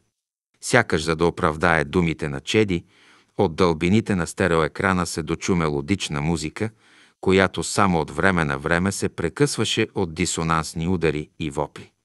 Пред тях се появи площад на една височина, постлан с нещо като сиво кафеникаво стъкло. Стъклена пътека пресичаше площада и водеше до една стълба от същия материал. Украсеното с високи вази и масивни стълбове от сив камък стълбище само след няколко стъпала стигаше до една стъклена сграда, която блестеше на червеното слънце. Лекият фронтон се крепеше от ниски колони, свързани с причудливо преплетени пиластри от ярко-жълт метал. Лек дим се виеше над двете грамадни черни чаши пред входа. По стъкления път се движеше тълпа от млади хора. Те размахваха къси палки и удряха с тях звънтящи и кънтящи дискове. Някои носеха на преметнати през рамо каиши малки червенозлатни кутийки, настроени на една и съща музика, която земляните бяха причислили към зелено-синкавия спектър. До сега цялата музика на Торманс, която те бяха чували, принадлежеше само към червеното и жълтото ветрило на тоналностите и мелодиите. Камерата на телевизионния приемател се приближи към вървящите. Те имаха ярко-жълти на метала, изпъстрени с зинали сгърчени черни змии. Всеки от мъжете подаде ръка на спътничката си. Продължавайки да се движат, обърнати в профил към стълбата, те изведнъж запяха, по-точно, пронизително се завайкаха. Виещият напев бе подет от всички, които ги съпровождаха. Чеди Деан, Файродис и Тиви Сахенако, които най-добре от всички бяха овладели езика на Торманс, заслушаха напрегнато. Штракна специалният филтър на звукозаписа, който модулираше ускорения, неясен говор. Те възпяват ранната смърт, защото я смятат за главно задължение на човека спрямо обществото. Възкликна Тивиса Хенако. Файродис мълчеше, наведена към екрана, както правеше всеки път, когато видяното я смайваше. Чеди Деан затули лицето си с длани и започна да повтаря набързо преведения напев, чиято мелодия отначало беше им се харесала. Висша мъдрост е да прегърнеш смъртта, докато си пълен със здраве и сили, и да избегнеш тъгите на староста и неизбежните страдания, които ни дава жизненият опит. Така си отиват хората в топлата нощ, след като са се събрали вечерта с приятели. Така си отиват в свежата утрин след прекарана с любимите нощ, тихо затваряйки вратата на цъфналата градина на живота. А могъщите мъже, опора и закрила, излизат, затръшвайки вратата. Последният удар отеква в мрака на подземията на времето, които крият както бъдещето, така и миналото. Чеди спря да превежда, погледна очудено Файродис и добави. Те пеят, че дългът на смъртта идвал на 26-та година. Сега изпращат онези четиримата до храма на нежната смърт. Как може да съществува подобно общество? С негодование извикал Ладес, забравила добрия тон. Наколкото по-високо стъпало са социалната структура и науката, толкова по-късно озрява човек. Тъкмо за това ние, биолозите, още от древността на Ерс, преди всичко сме си поставили за цел продължаването на живота, по-точно на младостта, каза нея Холи, без да откъсва поглед от изкачващата се по стъпалата турмансианска процесия. У нас човек, поради сложността на живота и огромния обем на информацията, се смята за дете, докато не извърши Херкулесовите подвизи. Още 20 години продължава младостта, зрелостта настъпва едва към 40-та година. След това ние имаме пред себе си 70 години или дори цял век зрелост, изпълнена с енергия, могъщ труд и опознаване на живота. Вместо 10-20 години, както в древността. Някога човек се е смятал за стар на 40 години. Аз щях да съм бабичка, каза Файродис. И човекът е умирал, без изобщо да научи нещо за многообразието и красотата на света. Възмутено се обади Вирнорин. Но за онази древност, когато 90% от хората не са можели дори да четат, това не е очудващо. Дългият живот е бил обременителен, просто ненужен. Умрелите на младени били наричани любимци на боговете. Но на Торманс има доста висока техническа цивилизация. В такъв случай как могат да секат дърветата, които още не са дали плод? Това е безумие и гибел. Вир, забравяте, че имаме пред себе си не комунистическо и дори не социалистическо общество, а класова социална структура. Според мен чудовищният обичай на ранната смърт има пряка връзка с пренаселеността и с изтощаването на ресурсите на планетата, възрази Родис. Разбирам, каза Чеди, ранната смърт не е за всички. Да, онези, които движат техническия прогрес, трябва да живеят по-дълго, да не говорим вече за управляващата върхушка. Умират неспособните да дадат на обществото нищо друго, освен живота си и елементарен физически труд, т.е. негодните за високо равнище на образованието. Във всеки случай на Торманс има две класи – образовани и необразовани, над които стоят управниците, а някъде между тях са хората на изкуството – забавляващите, украсяващите и оправдаващите. Те също не умират на 25 години възкликна Оладес. Естествено. Но като че ли за артистите там, където се изискват младост и красота, пределът на живота не е доста по-висок. А по ТВ на звездолета загърмя рязка, диворитмична музика, прекъсвана от напевите на марша, т.е. от съгласувания ритмичен вървеж на човешкото множество. Пискливите звуци на непознати инструменти пресичаха едва доловимата нишка на скукливата и неспокойна мелодия. Започваше филм на историческа тема. По просторните, обрасли с висока трева степи се точеха тромави каруци, запрегнати с рогати четири краки, наподобяващи земните преживни, нещо средно между антилопи и волове. Яхнали по-дълго краки, приличащи на елени животни, през степите препускаха почернели от слънцето турмансияни и размахваха брадви или механизми, аналогични с огнестрелното оръжие от древността на земята. Ездачите смело се бранеха от глутници, пълзящи късокраки хищници, от гъмжила ужасни змии с високи, сплескани от страни глави. В престрелката загиваше или пътуващият през степта кирван, или нападателите, или и едните, и другите. Бързо разбраха, че гледат филм за разселването на тормансяните по планетата. Не им стана ясно само какви са нападащите разбойници. Те не можеха да бъдат сметнати за туземци, защото по нищо не се различаваха от преселниците. Екипажът на Тъмен пламък успя да види голям брой филми, постановки и картини на тема героичното минало и покоряването на новата планета. Яростните побоища, над препусквания и убийства се редуваха с удивително плоско елементарно разкриване на духовния живот. Навсякъде и винаги възтържествуваха младите мъже, надарени с качествата, които се смятаха за особено ценни в този въображаем свят на забавните иллюзии. Това бяха свъдливостта, силата, бързата реакция и умението да стрелят с примитивно оръжие във вид на тънка тръба – от която при силно разширяване на газовете изхвъркваше тежко къщче метал. Подобни теми се разглеждаха в различни вариации и много бързо омръзнаха. Но те все пак продължаваха да ги гледат заради откъслеците автентична хроника на древните времена, често пъти вмъкнати в крайно глупав сюжет.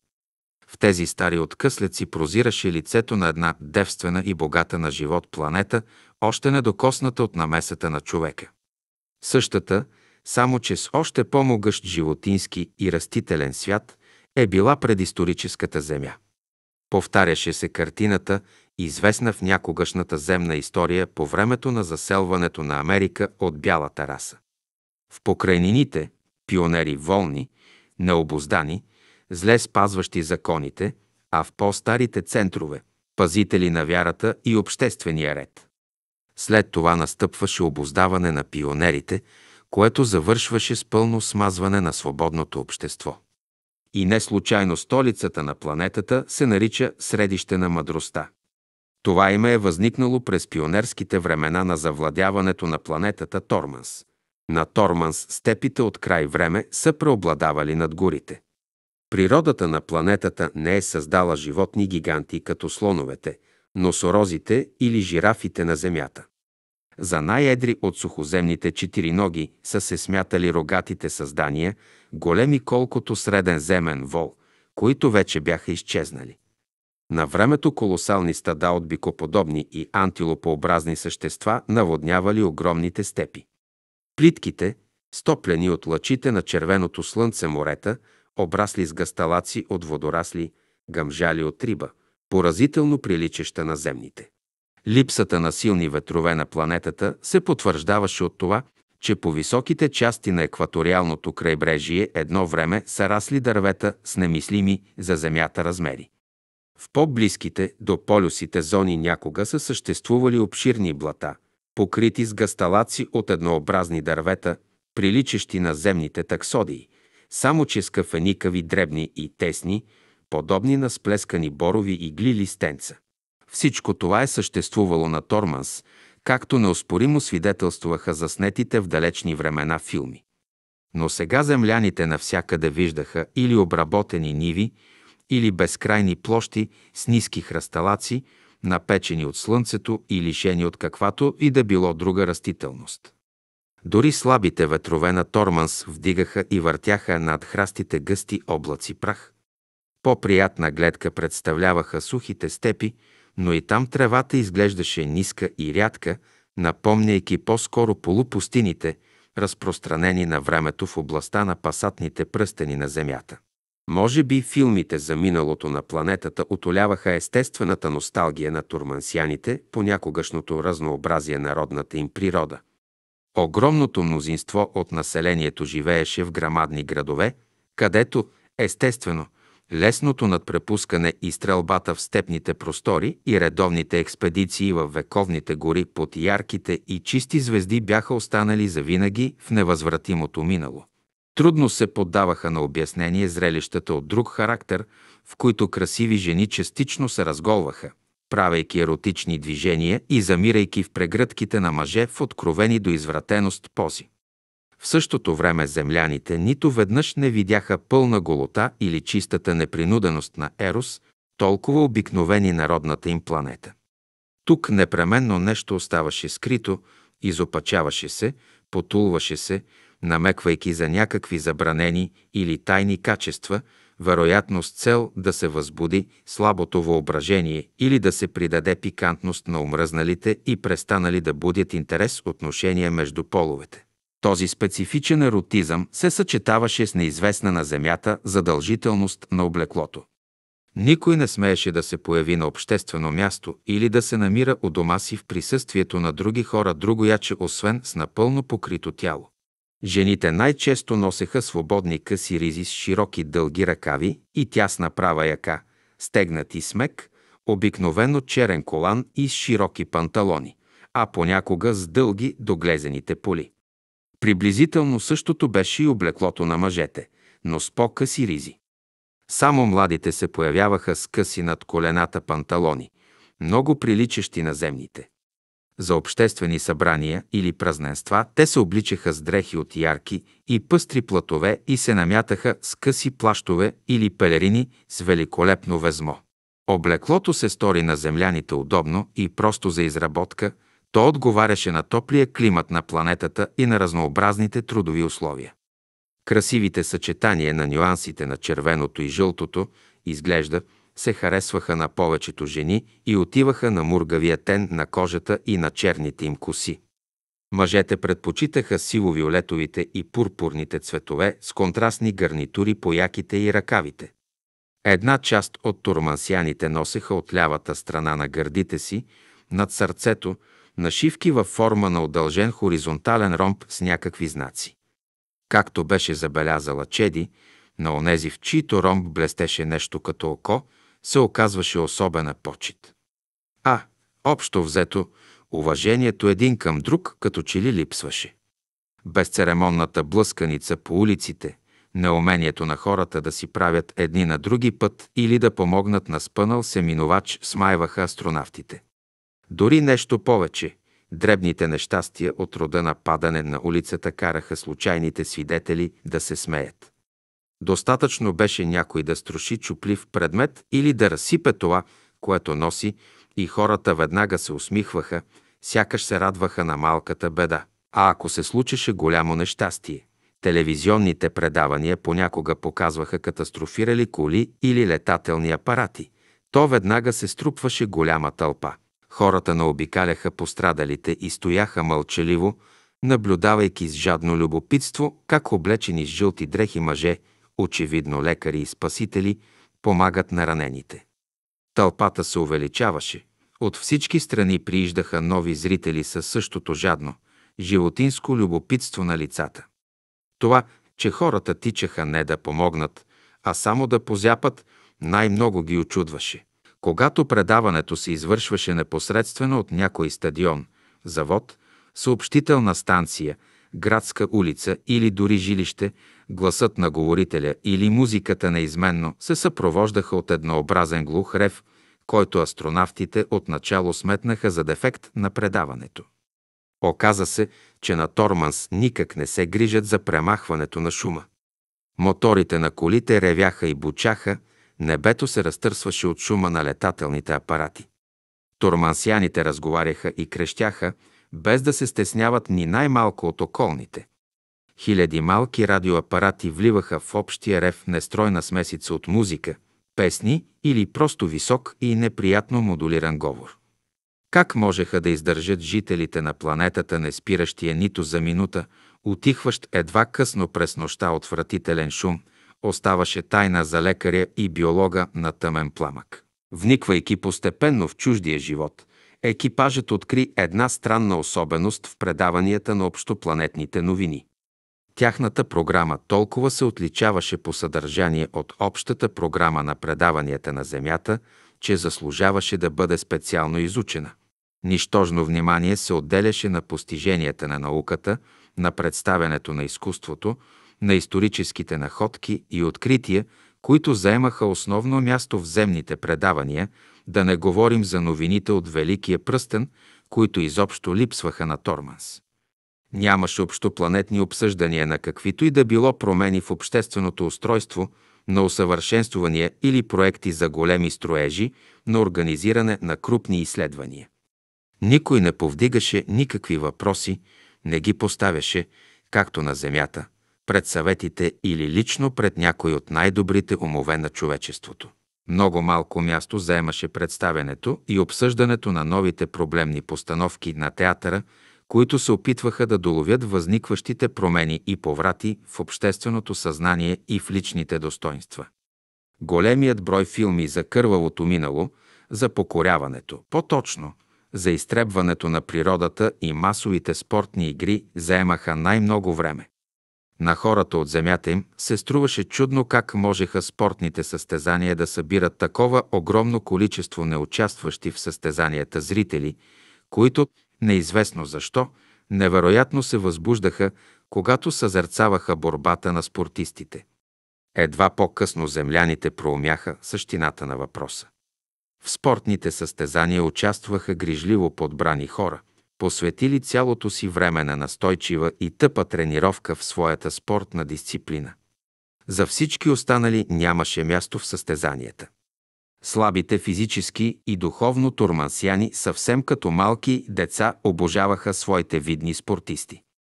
Това изглеждаше смешно и дори неприятно. Сходно положение заемаха артистите от стереопластиката и театъра, певците, танцорите и акробатите. От милионите хора се подбираха единици.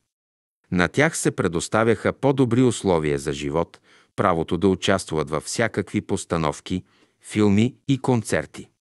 Техните имена служеха като примамка за безброй зрители, състезаващи се за места в театрите, а самите тези артисти, които се наричаха звезди, бяха подложени на същото наивно обожествяване като спортистите. Постигнатото от звездата положение я лишаваше от всякаква друга дейност. Тук всеки друг човек се умял самостоятелно да достигне върховете на изкуството и изглежда не можеше, както на земята, да се изявява като артист. Изобщо отпечатъкът на тесния професионализъм личеше върху целия живот на Торманс, обеднявайки чувствата на хората и стеснявайки кръгозора им. Възможно беше това да е само впечатление на астронавтите, възникнало в резултат от подбора на събитията и материалите в информациите. Едва прекият допир с народа на планетата можеше да реши този въпрос. В телевизионните предавания и в радиоинформацията извънредно голямо внимание се отделяше на една малка група хора, на техните изказвания и пътувания, съвещания и решения. Най-често се споменаваше името на Чойо Чагас, чието мнения по различни въпроси от обществения живот и на първо място по економическите будеха прекомерен възторг и се възхваляваха като висша държавна мъдрост. Но може би изказванията на Чойо Чагас, нямащи нищо общо с истинската прозорливост на гения, който обхваща цялата дълбочина и широта на проблемата, бяха с нещо много важни за обитателите на Торманс.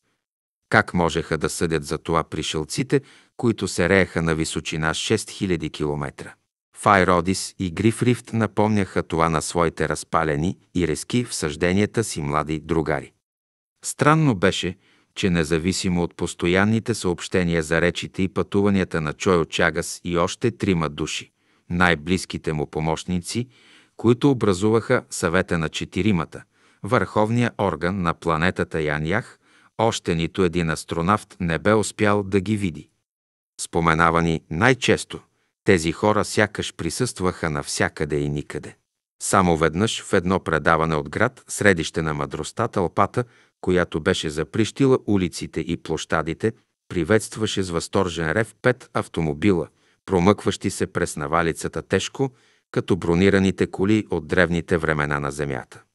През тъмните стъкла не се виждаше нищо, но обзетите от масова психоза тормансияни крещяха и жестикулираха като на спортните си състезания. Земляните разбраха, че тези четиримата начело с Чойо Чагас са истинските господари на всички и всичко. Както при повечето древни народи, ужителите на Торманс преобладаваха еднообразните имена и затова всеки от тях трябваше да притежава по три имена. Понякога се срещаха хора с две имена. Изглежда, двоименните образуваха висшите класи на обществото на планетата. Тормансианските имена звучаха до някъде като земните, но в труден дисонанс на сричките. Чойо Чагас, Гент Луши, Кандолелов и Зетрино Умрок. Така се наричаше четворката от върховните управници. Освен името на Чойо Чагас, всички останали можеха да се съкръщават. Генши, Калув и Зет Ук се повтаряха с натрапчиво еднообразие в неизменен ред след името на Чойо Чагас, което звучеше като магическо заклинание на дивите ни прадеди. Ола десна шега заяви, че всички земляни с тяхната система от двойни безкрайно разнообразни имена на Торманс трябва да спадат към върховната класа. Но ти ще поискаш ли? Няма ли да те е срам? Попита Чедидаан. Бих получила възможност да видя истинските господари на живота и смъртта на всеки човек. Още в училището от втори цикъл мен ме увличаха историческите фантазии. Най-много ме грабваха книгите за могъщите крале и завоевателите, за пиратите и тираните. С тях са пълни всички приказки на земята, независимо на коя от древните страни са принадлежали. Това е несериозно, Ола, каза Чеди. Най-големите страдания на човечеството са причинени тъкмо от тези хора, които почти винаги са били прости и жестоки. Едното е тясно свързано с другото. В зле уреденото общество човек или трябва да развива в себе си здрава, безстрашна психика, служеща за самозащита, или, което се случва значително по-често да се надява само на външна опора, на Бога. Ако нямало Бог, възниквала вярата в свръхчовеците, със същата потребност от прекланяне пред слънцеподобните вождове, пред всемогъщите монарси. Онези, които играели тази роля, обикновено били съмнителни политикани. Те може ли да дадат на човечеството само фашизъм и нищо повече? Между тях също е имало мъдреци и герои, не се смути Оладес. Аз бих искала да се срещна с подобни хора. Тя отметна ръце зад главата си, опря гръб на облегалката на канапето и мечтателно присви очи. Файродис се загледа внимателно в инженера по съобщенията. Чеди е права в един аспект, каза тя. В действията на всички тези владетели, освен обословеността, е имало и липса на разбиране на далечните последици. Това е пораждало безотговорност, която водела до трагичен резултат. И аз разбирам Ола Дес. Как? Едновременно възкликнаха Чеди, Вири Тивиса. Всеки човек на земята е толкова предпазлив в постъпките си, че съпоставянето му с властелините от нашата древност не е в негова полза. Той не притежава външни признаци на могъщество, макар в действителност да е като предпазливо стъпващия изполински слон пред летящия направо през гасталаците на плашен Елен. Властелин и наплашен? Разсмя се Ола. Едното противоречи на другото. И следователно образува диалектическо единство, заключи Файродис. Дискусиите от подобен род се повтаряха много пъти, но внезапно дойде краят на спокойното изучаване на планетата. Нощният дежурен по радиопредаванията. Този път беше Генатал, вдигна по тревога Родис, Грифт и Чеди. И четиримата се събраха край тъмния екран, прорязан само от светещата индикаторна линия с зъбарите на нейните осцилации. Преводната машина беше изключена, тъй като звучащите от обертонната фония думи вече бяха разбираеми за астронавтите. Съобщението на главната обсерватория на юга е потвърдено от следящите станции. Около нашата планета се върти неизвестно небесно тяло, вероятно космически кораб. Орбитата му е кръгова, ъгъл спрямо екваториалната плоскост 45, височина 200, скорост. Те знаят да изчисляват и орбити. Промармори Грифрифт. Размерите на космическото тяло по предварителни данни са значително по-малки, отколкото на звездолета, които ни е посетил през века на мъдрия отказ. Вторият доклад на следящите станции ще бъде предаден в 8 часа сутринта. Ето, че ни откриха, малко тъжно каза Грифрен Ефете на Фай Родис. Какво ще предприемем? Родис не успя да му отговори, когато свет на големият екран и на него се появи познатият им говорител. Спешно съобщение. Всички да слушат, да слушат град средище на мъдростта. Тор Мансианинът говореше отсечено, рязко и по средата на изреченията сякаш излайваше. В 10 часа сутринта ще говори съратникът на великия Чойо Чагас, самият Зетук. Всички да слушат град средище на мъдростта. Какво ще правим? Повтори Гриф Рифт, след като намали звука на повторното съобщение. Ще говорим с Торманс. След речта на Зет Ук ще прекъснем предаването и на всички екрани ще се появя аз с молба за кацане. Ола Дес се е подготвила за такава възможност. По бузите на Фай роди си изби руменина от лекото вълнение. В определения час целият екипаж на звездолета се събра край екраните. Беше настъпил най-важният момент. Заради него те бяха изпратени от Земята и извършиха целия невероятен полет с прав лъч – всичко зависи от това, какви отношения ще установят гостите, за съжаление неканени, с турмансяните, по-точно с техните управници. Защото решението на тази малка групичка хора, а може би дори и само на Чойо Чагас, ще определи волята на Торманс и успеха на експедицията на земните жители. Сигналният часовник над крилото на отражателя на стереоекрана беше сверен с времето на главния град на Торманс Файродис, която временно беше се отдалечила в каютата си, се появи приблизително четвърт час преди речта на Зет Ук. Вероятно тя предварително си беше приготвила рокля с любимия тормансянски цвят, червен с златисто-оранжеви примеси, от пухкав, придаващ дълбочина на тона плат. Подчертани от тази рокля, непознатите черти на Файродис бяха станали по-непреклонни и по-твърди, почти страшни – а плавните й движения приличаха на лъчи от червеното слънце на Торманс. Тя беше отрязала косата си още по-късо и беше открила напълно гордата си шия. Грижливо сресана с кадрици черна коса на страните, без нито едно украшение. Файродис седна в креслото пред екрана, без да размени нито дума с спътниците си. Тихата привична песен на приборите за ОФ не нарушаваше напрегнатата тишина на кораба кънтящи удари с метален тембър, сякаш някой удреше огромен боен щит, възвестиха началото на речта на един от управниците на планетата. За известно време екранът остана празен, След това на него се появи дребен човек с червено на метало, избродирано с причудливо нагърчени златни змии. Неговата кожа изглеждаше по-светла, отколкото на повечето хора на Торманс. Някаква болезнена подпухналост смекчаваше резките гънки около широката му уста с тънки устни, в малките му умни очи светеше решителност, но същевременно те се въртяха неспокойно, сякаш турмансиянинът се страхуваше да не би да забрави нещо. Ола Дес подави въздишката си на недоумение и разочарование и погледна крадешком към Фай Родис. Тя продължаваше да е безстрастна, сякаш външността на този човек не я изненадваше. Зетрино умрок прокара малката си ръка по високото плешиво чело, набраздено от напречни бръчки. Някой услужливо му подаде лист с красиви писмени знаци. Нагоре на Янях. Великият Чой Очагас ми възложи да те предупредя за опасността. В нашето небе се е появил пришелец от мрака и студа на Вселената. Управляем кораб на враждебни сили. Ние обявяваме по цялата планета извънредно положение, за да отблъснем врага.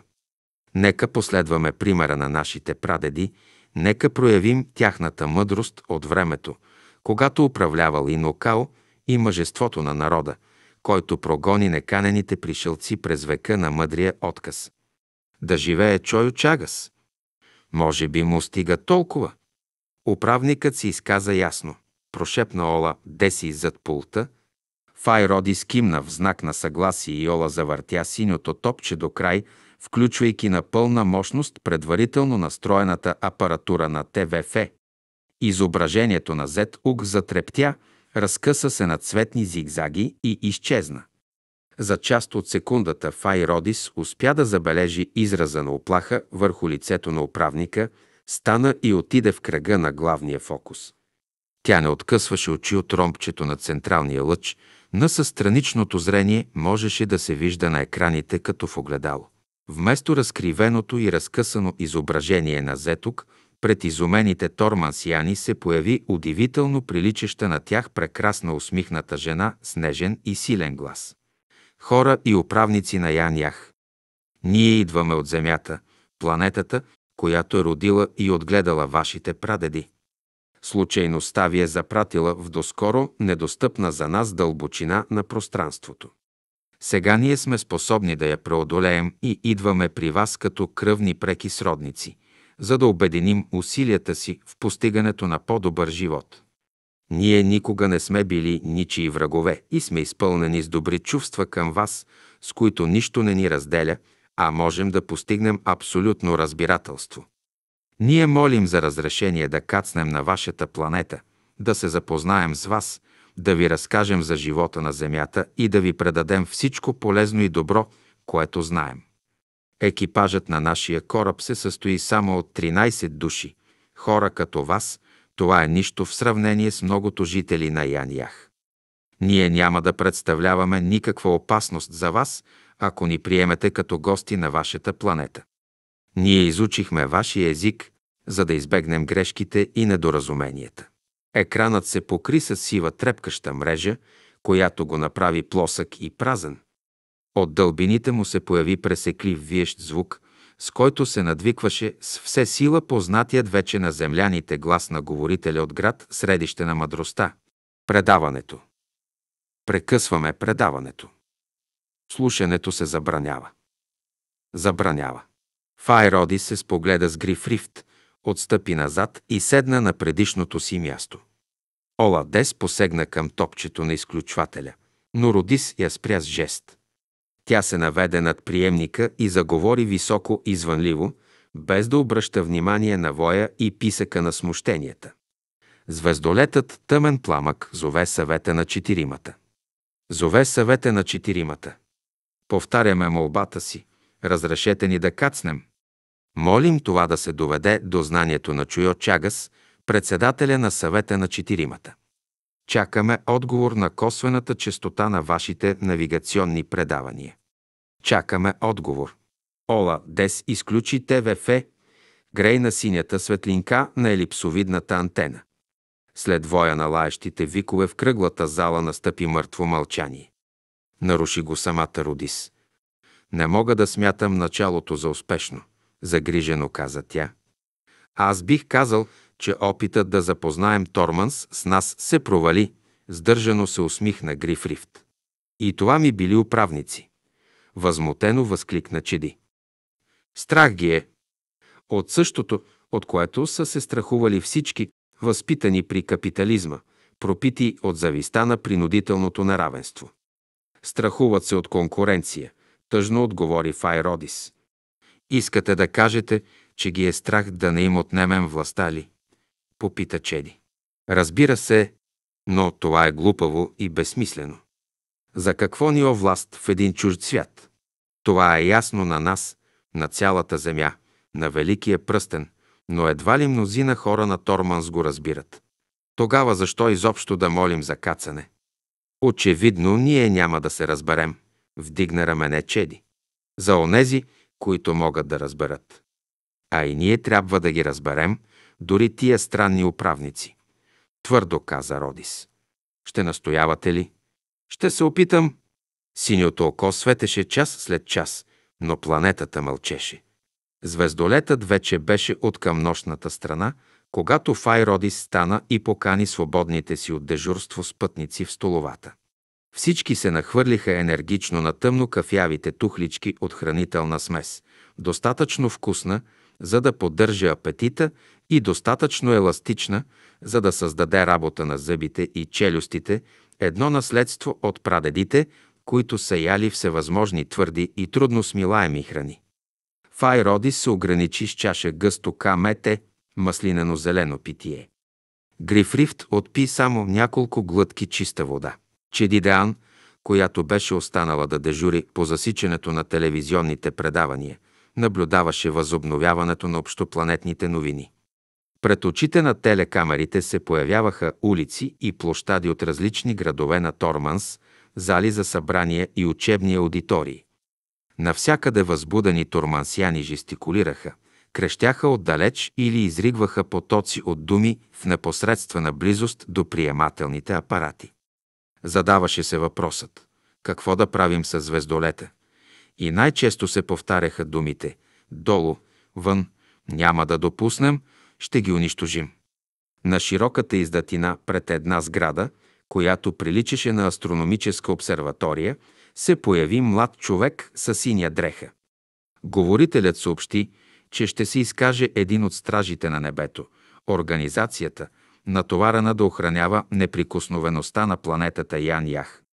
Човекът с сините дрехи се разкрещя. Вие чухте долната лъжа на онази непрокопсаница, очевидно главатарка на шайката между звездни разбойници, която с неописуемо нахалство посмя да се нарече кръвна сестра на нашия велик народ. Опасните пришелци подлежат на наказание дори само за това коштунство. Нашите учени отдавна са установили и доказали, че прадедите на Ян Ях са се появили от белите звезди, за да покорят природата на забравената планета и да създадат тук живот, изпълнен с щастие и спокойствие. Увлечена от нелепата реч на оратора, произнесена с патос, непривичен за земляните, ступотреперващ, то издигащ се глас, че Дидеан не забеляза как зад гърба и се появи Файродис и включи преводната машина но дори и тя не можа да намери еквиваленти на думите долен, шайка, разбойници, непрокопсаница, коштунство. Родис отиде да направи справки, а Чеди, прибягвайки от време на време до диференциалното увеличение, продължи да се вглежда в тълпата. Млади лица, само млади, Соня непроницаем и откъснат от света израз, какъвто имат само фанатиците или тъпите, равнодушни хора. Внезапно предположение накара Чеди да включи на сигналната си гривна кода на Оладес. Тя дотича, зачервена от отблъскването на атаката, извършена срещу нея едновременно от Вир Норин, Тивиса и нея холи за романтичното и пристрастие към властелините. След нея влезе Файродис, тя носеше листче, току-що изкопирано от звездичката с речника на древните понятия. Намерихте ли загадъчните думи, не се сдържа и попита Чеди, колкото и да й се щеше да изкаже собственото си предположение. Рогатни, т.е. думи, смятани на ниското равнище на развитие за обидни спрямо онези, до които са адресирани. Защо? Нали те нищо не знаят за нас? Те прилагат метода за проникване в психиката на човека чрез подсъзнанието, които на времето са били забранени у нас с закон, но широко са се използвали в демагогията на фашистките и лъжесоциалистическите държави от ЕРС. Страшният престъпник Хитлер, който смятал народа си за стадна сбирщина от маймуни, действувал точно като тези тормансиански оратори. Той викал, крещял, почервенявал в яростни припадъци, изригвал ругатни и думи на омраза, заразявайки тълпата с отровата на нездържаните си емоции.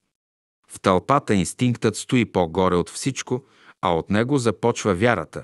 Това са негови думи, използвани по-късно в олигархическия лъжесоциализъм в Китай. С противниците не се спори.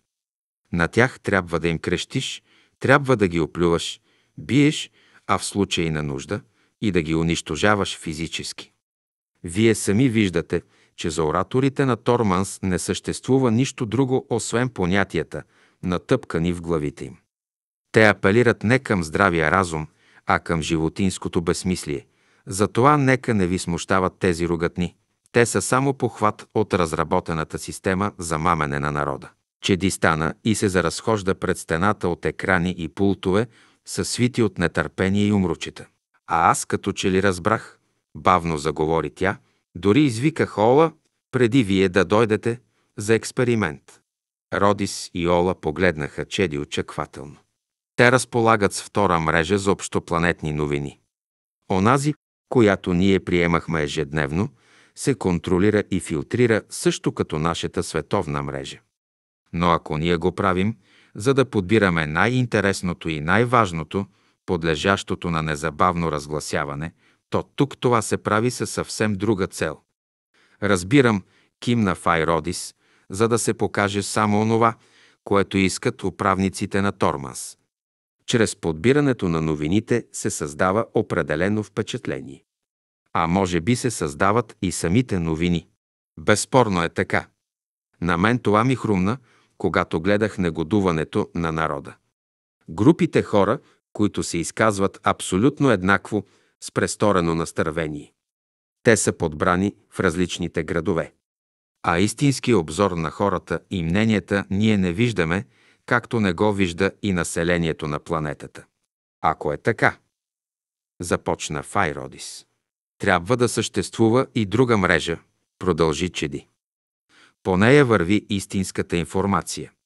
Управниците не гледат фалшификата. Това е не само безполезно, но дори вредно за управлението. И вие искате да се настроим на втората мрежа? Попита Оладес. Съществуват ли предположения за нейните параметри?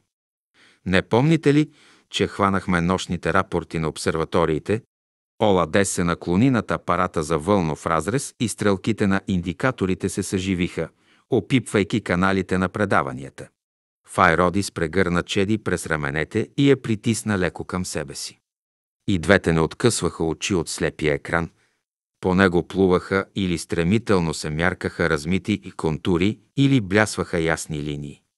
След няколко минути зазвуча висок говор и едновременно с него на синия екран се появи обширно помещение, запълнено с наредени една до друга маси, върху които бяха разгърнати таблици и чертежи. Хора, съвсем неприличащи на буйстващите по улиците, с кафяви и тъмно-сиви дрехи, се бяха събрали в кръг на заден план.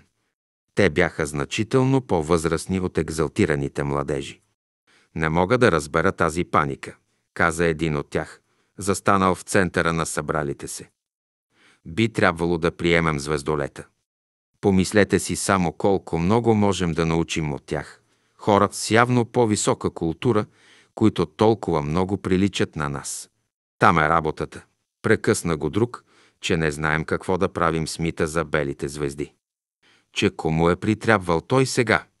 Сърдито се намръщи първият. На онези, които твърдяха за непоклатимостта на истината в книгите на най-великия гений Цуам, докарани от белите звезди. А ако ние сме дошли от планетата на тези пришелци и там толкова се е променило всичко, тогава. Стига! Четиримата навсякъде имат очи и уши, прекъсна го първият мъж. Да мълчим. Също като по сигнал хората се разотидоха по местата си зад масите. Окото на телекамерата се превключи на нещо друго, на една лаборатория с апаратура и стена от замрежени клетки, в които се мърдаше нещо живо. Тук стояха възрастни хора с жълти престилки и разговорът се въртеше пак около звездолета на земляните. Необикновеното най-сетне се случи, каза една жена с смешни плитчици, които на земята биха подхождали на момиченце. Ние хилядолетия наред отричахме разумния живот с висока култура около нас или го смятахме за изключителна рядкост. Във века на мъдрия отказ дойде един звездолет, а сега се появи втори, и при това с наши преки сродници. Как може да не го приемем? Шиша! Съвсем поземно му направи знак за мълчание един стар, превит от възрастта турмансянин. Там той вдигна пръст нагоре, още нищо не са казали. И пак по безмълвна команда хората се разотидоха. Камерата се превключи на една висока зала с огромни стълбообразни машини, тръби и кутли. И изведнъж всичко угасна. Синьото око на приемника угасна, прозорчето на филтратора се озари от зеленикава светлина и се дочу креслив турмансиански говор. Земляните, които бяха се забавили в столовата, побързаха да се присъединят към наблюдателите. Пришелци от чуждата планета. Пришелци от чуждата планета. Съветът на четиримата викани на преговори. Влезте в двустранна видеовръзка по специалния канал. Техникът ще ви обясни начина за включване. Тъмният стереоекран пак светна. В една тясна кабинка, приличаща на обикновената автоматична апаратура за ТВФ, седеше възрастен турмансянин с сини дрехи. Той започна да говори през малкия рупор пред себе си, опитвайки се да обясни на земляните параметрите на специалната линия. Ола Дес мигновено включи вече настроения ТВФ на тъмен пламък. Турмансиянинът се отдръпна назад и замръзна от смайване, когато видя на екрана си хората от звездолета. Звездолет тъмен пламък е готов за преговори, с едва доловима тържествуваща нотка каза Ола Дес, леко препъвайки се в тормансянското произношение. Техникът с сините дрехи най-сетне дойде на себе си от изненадата и каза тихо и неясно нещо в купчето с гъвкаво кръче и слуша отговора и вдигна пребледнялото си лице. Пригответе се. Изберете измежду вас човек, който може да говори добре на езика на Ян Ях и знае да се изразява почтително. Свързвам ви с обителта на съвета на четиримата. На екрана се появи огромна стая, цялата драпирана с вертикални гънки от тежка тъкан с наситен малахитово-зелен цвят. На преден план се виждаше кръгла маса с масивни, украсени с дърворезба крака формата на ногтести лапи. Върху масата самотно стоеше светло-синьо опалесциращо кълбо. Четири кресла от същия зелен плат бяха сложени върху ярък слънчев жълт килим. На задната стена се забелязваше астрономическа карта, която светеше слабо над един черен шкаф, чието вратички бяха украсени с пъстри и изящни рисунки. Върху шкафа гореше висока лампа с бледосинкав абажур с зелен кант и хвърляше светлина върху четиримата души, които бяха се разположили в креслата с неприлична важност. Трима се криеха в сянка, отпред седеше възслаб висок човек с бяло на метало, с непокрита глава и штръкнала като четка сивочерна коса. Суровата уста не хармонираше с възстъпия къс нос, а проницателните тесни очи, с високо вдигнатите, сякаш стремящи се да проумеят нещо вежди. Но Ола Дес можеше да бъде доволна. Чой от чага справяше впечатление на властелин и безспорно беше такъв. Файродис, пак с червено-оранжевата си рокля, стъпи върху кръга на главния фокус. Чой от чага се изправи и дълго разглежда жената от земята. Приветствувам ви, макар че се появихте неканени, каза той най-сетне. За да си издействаме покана и да получим отговор, биха отишли няколко хиляди години. Устните на Роди стрепнаха в едва забележима усмивка, която предизвика също такава бърза реакция. Веждите на властелина се помръднаха леко. Нека оня, който е ваш владетел и на когото е възложено да представя управниците на вашата планета. Ми обясни целта на пристигането ви, продължи Чойо Чагас. Фай роди кратко и точно разказа за експедицията, за източниците на сведенията за планетата Янях и историята на изчезването на трите звездолета от Земята в самото начало на ЕСО. Чойо Чагас слушаше безстрастно, отпуснат назад и сложил върху мека подставка краката си с бели гети.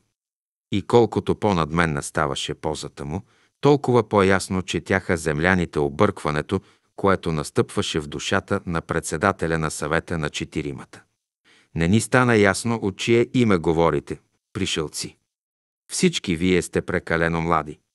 Каза Чойо Чагас, щом Родис привърши съобщението си с молба за приемането на тъмен пламък. Ние сме хора от Земята и говорим от името на нашата планета, отговори Файродис. Виждам, че сте хора от Земята, но кой ви е наредил да говорите така, а не иначе? Ние не можем да говорим иначе, възрази му Родис. Тук ние сме частица от човечеството. Всеки от хората на Земята би говорил същото, само че може би с други изрази или по-ясно. Човечеството. Какво е това? Населението на нашата планета. Искате да кажете народ. Понятието народ е съществувало у нас в древността, докато всички народи на планетата не се слели в едно семейство. Но ако решим да използваме това понятие, ние говорим от името на единния народ на Земята.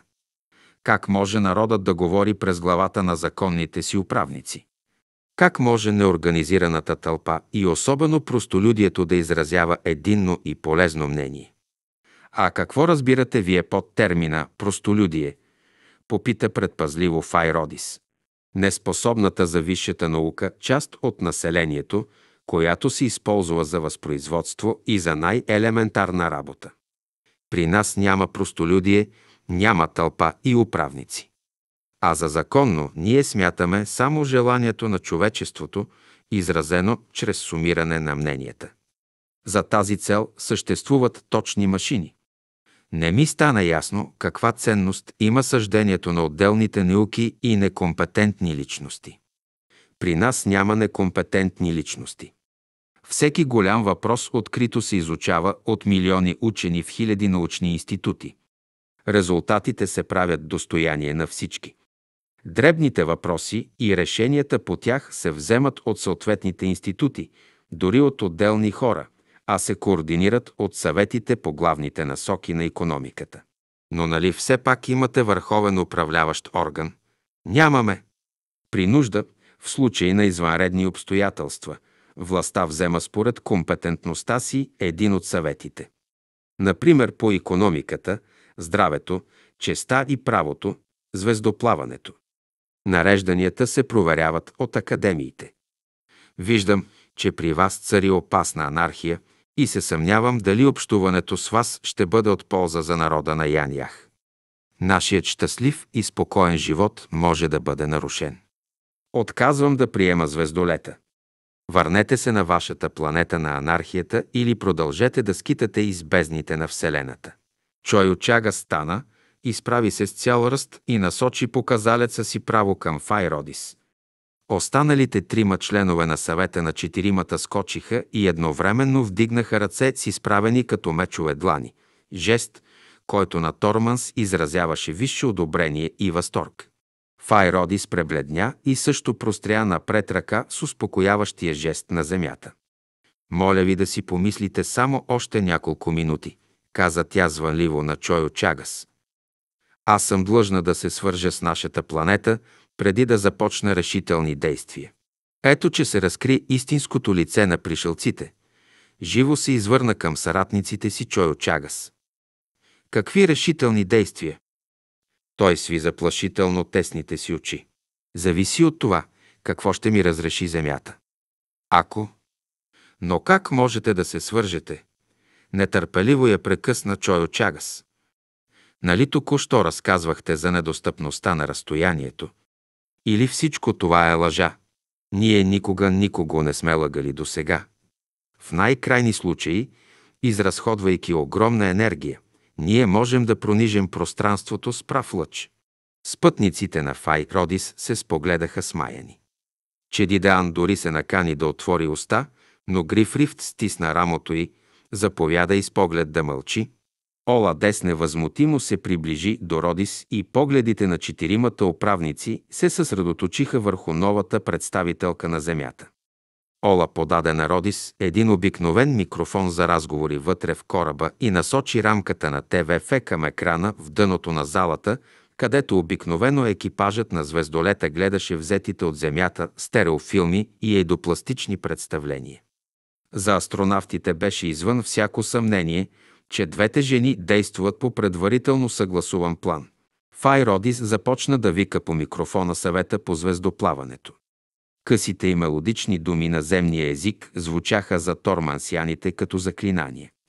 Четиримата властелини останаха прави извън светлината на лампата и Фай Родис не можеше да наблюдава израза на тъмните им лица.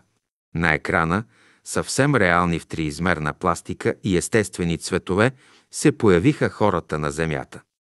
В голяма зала се провеждаше заседание на един от съветите, по всяка вероятност отказ от кинопреглед. Чедида рязко освободи рамото си изпод пръстите на Грифрифт. Недостойна измама, произнесе тя с висок глас. Фай Родис не трепна, а продължи, наведена напред, без да сваля очи от властелините на Торманс. Превеждам въпросите си до земята на езика на Ян Ях. И тя започна да говори последователно ту на земен, ту на тормансиански език. Уважаеми членове на съвета, принудена съм да моля да ми се разрешат извънредни мерки. Управниците на Торманс, без да се допитват до мнението на народа и в разрез с желанието на много хора от планетата, отказаха да приемат нашия звездолет по погрешни и маловажни мотиви. Лъжа! Нима не видяхте от общопланетните предавания как негодува народът и настоява не само да не ви пущаме при нас, а направо да ви унищожим. Повелително я прекъсна Чойо Чагас. Ние се включихме във вашата специална мрежа и видяхме и нещо друго. Невъзмутимо го парира Родис и продължи. Затова моля да ни разрешите да изтрием от лицето на планетата главния и град, центъра на една самовластна олигархия. Или да извършим общопланетна наркотизация с индивидуален подбор. Чой Очагас се отпусна на края на масата, а останалите трима се втурнаха напред и размахаха ръце. Ола Дес неусетно премести кадрите на ендопластиката. На екрана ТВФ председателят на съвета заговори енергично, сочийки нагоре към картата. Членовете на съвета закимаха утвърдително. Обсъждаше се въпросът за построяването на тренировъчна школа за бъдещите изследователи на Тамас.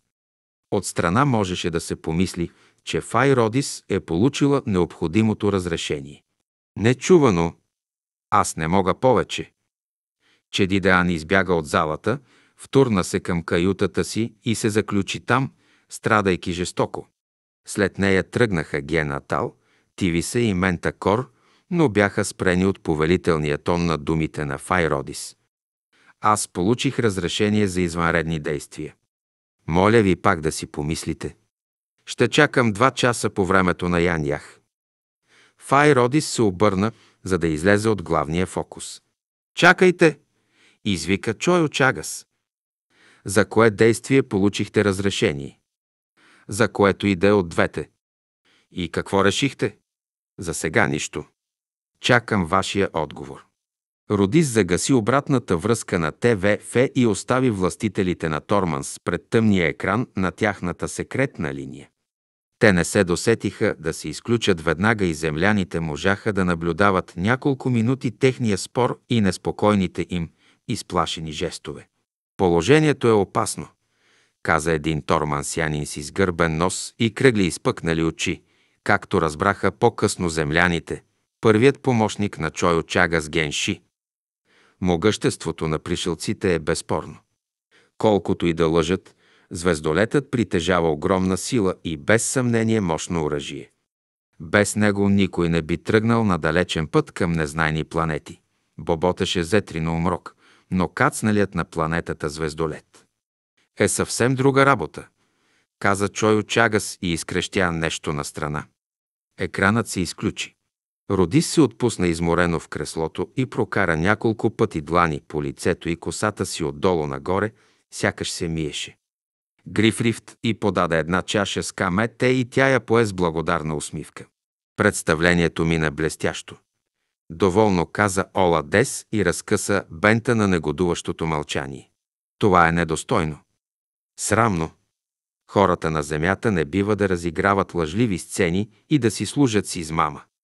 Никога не сме очаквали, че ръководителката на нашата експедиция е способна на нечестна постъпка.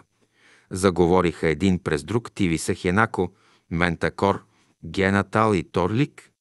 Даже непоклатимият див симбъл гледаше Файродис осъдително, докато нея Холи, Вирнорин, Сол Саин и Евиза Танет не криеха възхищението си от нея. Файродис остави чашата, стана и отиде при другарите си.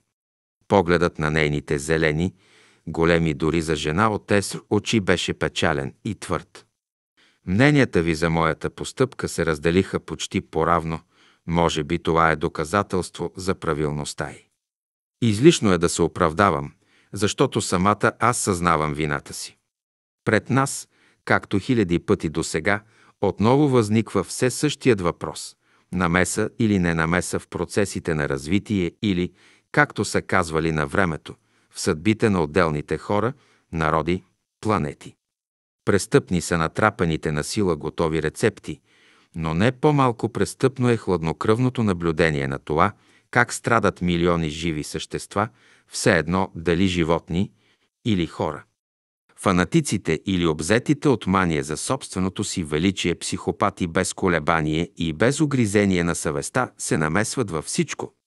В индивидуалните съдби, в историческите пътища на народите, убивайки наляво и надясно в името на своята идея, които в огромното большинство от случаите се оказва рожба на ограничение ум и на болната воля на параноик.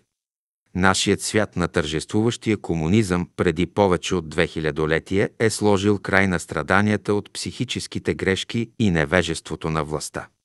Естествено, на всеки от нас му се иска да помогне на онези, които още страдат.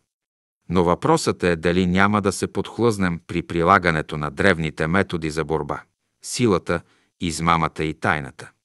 Нима не е очевидно, че когато ги прилагаме, ние заставаме на едно равнище с онези, от които искаме да спасяваме хората, а когато стоим на същото равнище, какво право имаме да съдим, щом като загубваме знанието? Така и аз направих една крачка по този път и самите вие ме опреквате, че съм извършила недопустима постъпка. Файроди седна до масата, подпря по навик брадичката си с ръка и огледа въпросително с мълчаните хора. Тя не намери сред присъстващите Чидидаан, разбра причината и очите й станаха още по-печални. Нима е възможно изцяло да се отрича на месата, попита Грифрифт, когато от детските години и през целия им социален живот обществото води хората по пътя на дисциплината и самоусъвършенствуването. Без това човек няма да е човек. Една крачка по-горе и стигаме до народа, до усъвършенствуването на неговия социален живот, а след това и до съвкупността от народи, до цялата страна или планета. Какво друго представляват стъпалата към социализма и комунизма, ако не намеса на знанието в организацията на човешките отношения? Да, това е вярно, но ако се създава отвътре, а не отвън, възрази му Торлик, а тук ние сме чужди, пришелци от съвсем друг свят. Не сме чужди. И ние, и те сме деца на земята. Възкликна нея Холи. Близо две хилядолетия те са вървели сами, без нас. И ние нямаме нито честа, нито правото да разглеждаме сега турмансияните като свои, рязко възрази Тивиса. Бива ли един биолог и антрополог да разсъждават толкова повърхностно? Намръщи се Евиза. Две хиляди години без нас, а милиони с нас, включително и целият последен, най-труден път от варварството и феодализма до Есо. Всички жертви, кръв, сълзи и мъки по великия път, заедно с нас. Как може да са ни чужди? Нима сте забравили, че човекът е кулминацията на 3 милиарда години естествен подбор, на сляпата игра на оцеляването и инферното, завесата над което пръв вдигна Дарвин. Посредством нашите гени историческата приемственост ни свързва с целия животински живот на нашата планета, а следователно това въжи и за турмансяните. Нима ние можем да се отречем от нашите корени, както, по неизвестни за нас причини, са направили прадедите на съвременните обитатели на Янях. Те отдавна също като нас са знаели, че човекът е потопен в неосезаемия океан на мисълта, на натрупаната информация, който бил наречен от великия учен от Ерс, Вернадски, ноосфера. В ноосферата са събрани всички мечти, догадки и вдъхновени идеали на онези, които отдавна са изчезнали от лицето на Земята, разработените от науката методи за опознаване, творческото въображение на художниците, писателите и поетите на всички народи и векове. Ние знаем, че човекът на Земята е почерпил в психиката си огромна сила, която се реализирала в построяването на комунистическото общество. Възхищението и преклонението пред красотата, уважението, гордостта, творческата вяра в нравствеността, да не говорим за основата на всички основи – любовта. Това, че турмансяните са прекъснали тази приемственост, е ненормално. Не виждаме ли тук нарушение на първия закон на Великия пръстен за свободата на информацията? Ако е така, вие знаете, че имаме пълномощие за най-сурова намеса. Убедително, каза Сол Сейн. И все пак това не е оправдание на методите на древността, каза Торлик. Аз вече казах, че не е оправдание, отвърна му Файродис. Но нека си представим блюдата на везните. Нека хвърлим на едното възможността да помогнем на цялата планета, а на другото – разиграната от мен лъжлива комедия. Кое ще натежи повече? Излишно е да спорим, съгласи се Ментакор, но същината на въпроса не е в съотношението между доброто и злото, между мъката и радостта, които, както знаем, са абсолютни само по мяра, а не при сравняване. Доколкото разбирам, зърното на опасността тук се крие в нивото на постъпката, защото, ако тръгнем по пътя на лъжата и сплашването, къде да определим мярката и онази граница, която не можем да прекрачим, без да паднем. Мента, вие много точно изразихте общото мнение, каза внезапно появилата се в залата Чеди Деан. Лъжата ще предизвика съответно лъжа, сплашването, опити да бъдем сплашени ние, за чието преодоляване ще са необходими нови лъжи и заплахи, и всичко ще се срути като неудържима лавина от ужас и мъки. Обедена съм, че вие правилно формулирате същината на противоречието, но последните споменати стъпала за сега са далечна абстракция, каза Файродис. Синьото око угасна. Планетата Янях викаше тъмен пламък. Светнаха екраните на кораба и в обителта на съвета на четиримата. Чой от седеше неестествено изправен, с кръстени на гърдите ръце и гледаше земляните право в очите. Разрешавам ви да посетите планетата и ви каня да бъдете мои гости. След едно денонощие ще бъде подготвено и посочено мястото за кацане на кораба. Файроди стана и се поклони, като вложи в това движение едва доловимо кокетство и женска подигравателност. Благодаря ви от името на Земята и на моите спътници. Излишно е да бързаме с кацането. Ние трябва да преминем през иммунизация, за да не ви донесем такива болестотворни начала, срещу които вие нямате противотела, и да създадем имунитет за себе си. Сега, след като получихме разрешение, ние ще вземем проби от земята – водата и въздуха. Без да кацате. Да, за тази цел съществуват апарати. Ние ги наричаме драскащи ракети. Мислят, че след десетина дена ще бъдем готови да кацнем. Освен това. Фай Родис се запъна за секунда. Освен това, остро светнаха очите на Чойо Чагас. Ще повикам втори звездолет. Той ще се върти на висока орбита около Ян Ях и ще ни чака в случай, че стане авария с нашия звездолет. Нима онези, които управляват корабите на Земята, са толкова неопитни. Ядосано попита Чойо Чагас, докато останалите членове на съвета на четиримата си размениха обезкуражени погледи. Пътешествениците из космоса или скитниците по Вселената, както ни нарекоха стражите на небето, трябва да са готови за всякакви случайности. Подчерта последната дума Файродис. Владетелят на Торманс кимна неохотно и телеаудиенцията приключи. Глава четвърта. Отзвукът на инферното. Корпусът на тъмен пламък наближи повърхността на планетата. Скоростта на обиколките нарастваше и разреденият на височина стотици километри въздух ревеше оглушително зад неуязвимите стени на кораба, които бяха сигурно защитени и от прегряване, и от всякаква радиация. Този звук с чудовищна сила улавяха звукосондите на Торманс. Оказа се, че и тук са известни приборите, записващи звуковата хроника на небето.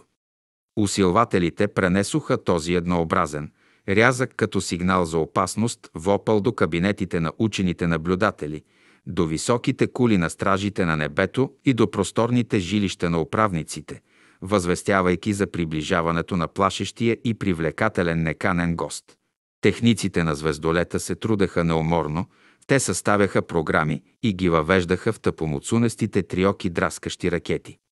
Скоро пакетите от спирални тръбички, затворени в петметровите рибообразни носители, се откъснаха от кораба, описаха грамадни параболи и се докоснаха до повърхността на планетата на предварително определените места.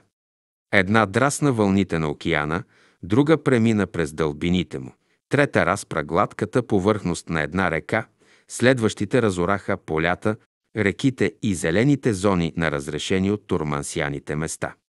И когато пак се издигнаха на височината, на която летеше тъмен пламък, ракетите полепнаха по бордовете му и донесоха за неговите лаборатории биологични проби от водата, земята и въздуха на чуждата планета.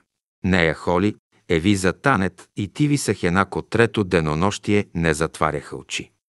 Под унилия съпровод на ултрацентрофугите те не се откъсваха от протонните микроскопи и термостатите с безброй серии бактериални и вирусни култури. Аналитичните компаратори сравняваха токсините на вредните микроби на Земята и Торманс и извеждаха дългите формули на имунологичните реакции, за да бъдат неутрализирани незнайните до сега болестотворни начала. Имунизацията беше задължителна както за определените за слизане, така и за оставащите на кораба.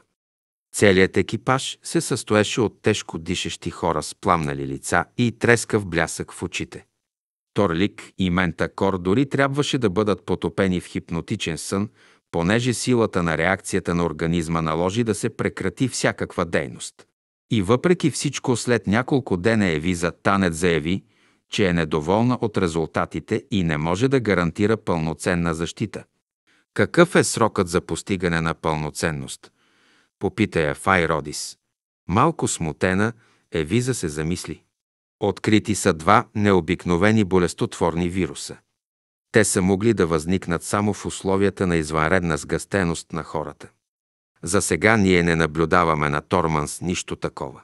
Това е косвено потвърждение на някогашната пренаселеност на планетата, каза Файродис, но ние трябва да кацнем на Торманс час по-скоро. Необходимата пренагласа на нашите защитни реакции ще настъпи в най-добрия случай след два месеца заяви Евиза Танет с такъв тон, сякаш тя беше виновна за невъзможността да се извърши по-скоро иммунизацията. Роди си се усмихна. Какво да правим? Иска ти се да бъдеш пълноправен гостенин на новата земя и това почти никога не ти се отдава. Винаги ще се намерят обстоятелства, които те карат да бързаш, не ти дават да чакаш. Мнозина са ми разказвали за незабравимото чувство на срещата с нова и безопасна планета. Излизаш от кораба на изключително чист въздух под ново слънце и също като дете тичаш по ласкавата девствена почва. Обзема те буйно желание да хвърлиш дрехите и да се потопиш с цялото си същество в свежеста на кристално чистия свят. Ще ти се да стъпваш бос по мократа трева – вятърът и слънцето да докосват оголената ти кожа и да й предават всички ноти на капризното дишане на природата. И такава малка част от стотиците хиляди пътешественици до други светове са могли да изпитат това. Значи скафандри, Попита нея Холи. Да, колкото и да ми е жал. После, когато имунизацията привърши, ще ги свалим. Без шлемовете, само с биофилтри и това трябва да ни радва. Но поне ще бъдем готови за 3-4 дена. Може би това е за добро, каза нея Холи. Анализът на водата на Торманс показа някои структурни разлики от земната. На първо време всички ще се чувстват отпаднали, докато свикнат с новата вода. Нима е важно каква е водата? Попита Фай Родис. Извинете ме, че знам толкова малко. Но щом водата е чиста и лишена от вредни примеси. Нека простим на историчката тази древна заблуда, усмихна се Виза. Нашите прадеди дълго са смятали водата просто за вода, за съединение на водорода и кислорода и изобщо не умеели да я анализират. Оказало се, че водата има сложна физико-химическа структура с участието на много елементи. В изворите, рекичките и езерата на Земята се срещат хиляди видове вода, полезна, вредна и неутрална, макар че при прост анализ тя е еднаква и съвсем чиста. Торманс е друга планета с различен характер на общия кръговрат на водата, на ерозията и минералното насищане. Ние открихме, че тази вода, общо взето, може да ни окаже влияние, изразено в лека потиснатост на нервната система. Срещу нея аз подбрах таблетките Инк 102. Само не дейте забравя да ги пущате във всяка течност за пиене или ядене. И така, скафандри. Намеси се мълчалят до тогава Грифрифт. Ние ще имаме едно предимство. В случай на опасност ли? Евиза наведе глава и хвърли кос поглед на Чеди Даан. Познахте. Скафандърът не може да бъде пробит нито с нож, нито с куршум, нито с пиролъч, потвърди Рифт. Но главата, най-ценната част на тялото, без шлем се пробива, весело му възрази Фай Родис. Чеди Деан изгледа втренчено Родис, сякаш се очудваше на нейното оживление. И наистина сега, в навечерието на изпитанието, сдържаната, малко сурова предводителка на експедицията, сякаш се беше променила. Но какво ще стане с плана на Чеди? Попита Генатал. Ще трябва да го осъществим после, след аклиматизацията, отговори Файродис. Чеди само стисна още по-здраво устните си и се обърна към голямата карта на Торманс, опъната над входа на кръглата зала. Чеди, сега ми дойде на ум, обади се виза Танет. Вие възприехте тежко разиграната от Файродис и Ола Дес комедия. Но не мислите ли, че намерението ви да се слеете с народа на Ян Ях, маскирана като момиче от Торманс, също съдържа елемент на измама? Да гледате с чужди очи онова, което ви се открива като на тормансянка по рождение. Това не ви ли прилича на надзъртане през ключалка? Аз. Да. Не, аз си представях всичко това от друга страна. Просто да се приближа повече до тях, като живея същия живот, като изпитвам същите трудности и радости, беди и опасности. Но разполагайки с възможността всеки момент да се завърнете при своите, нали? притежавайки могъществото на човек от Ес.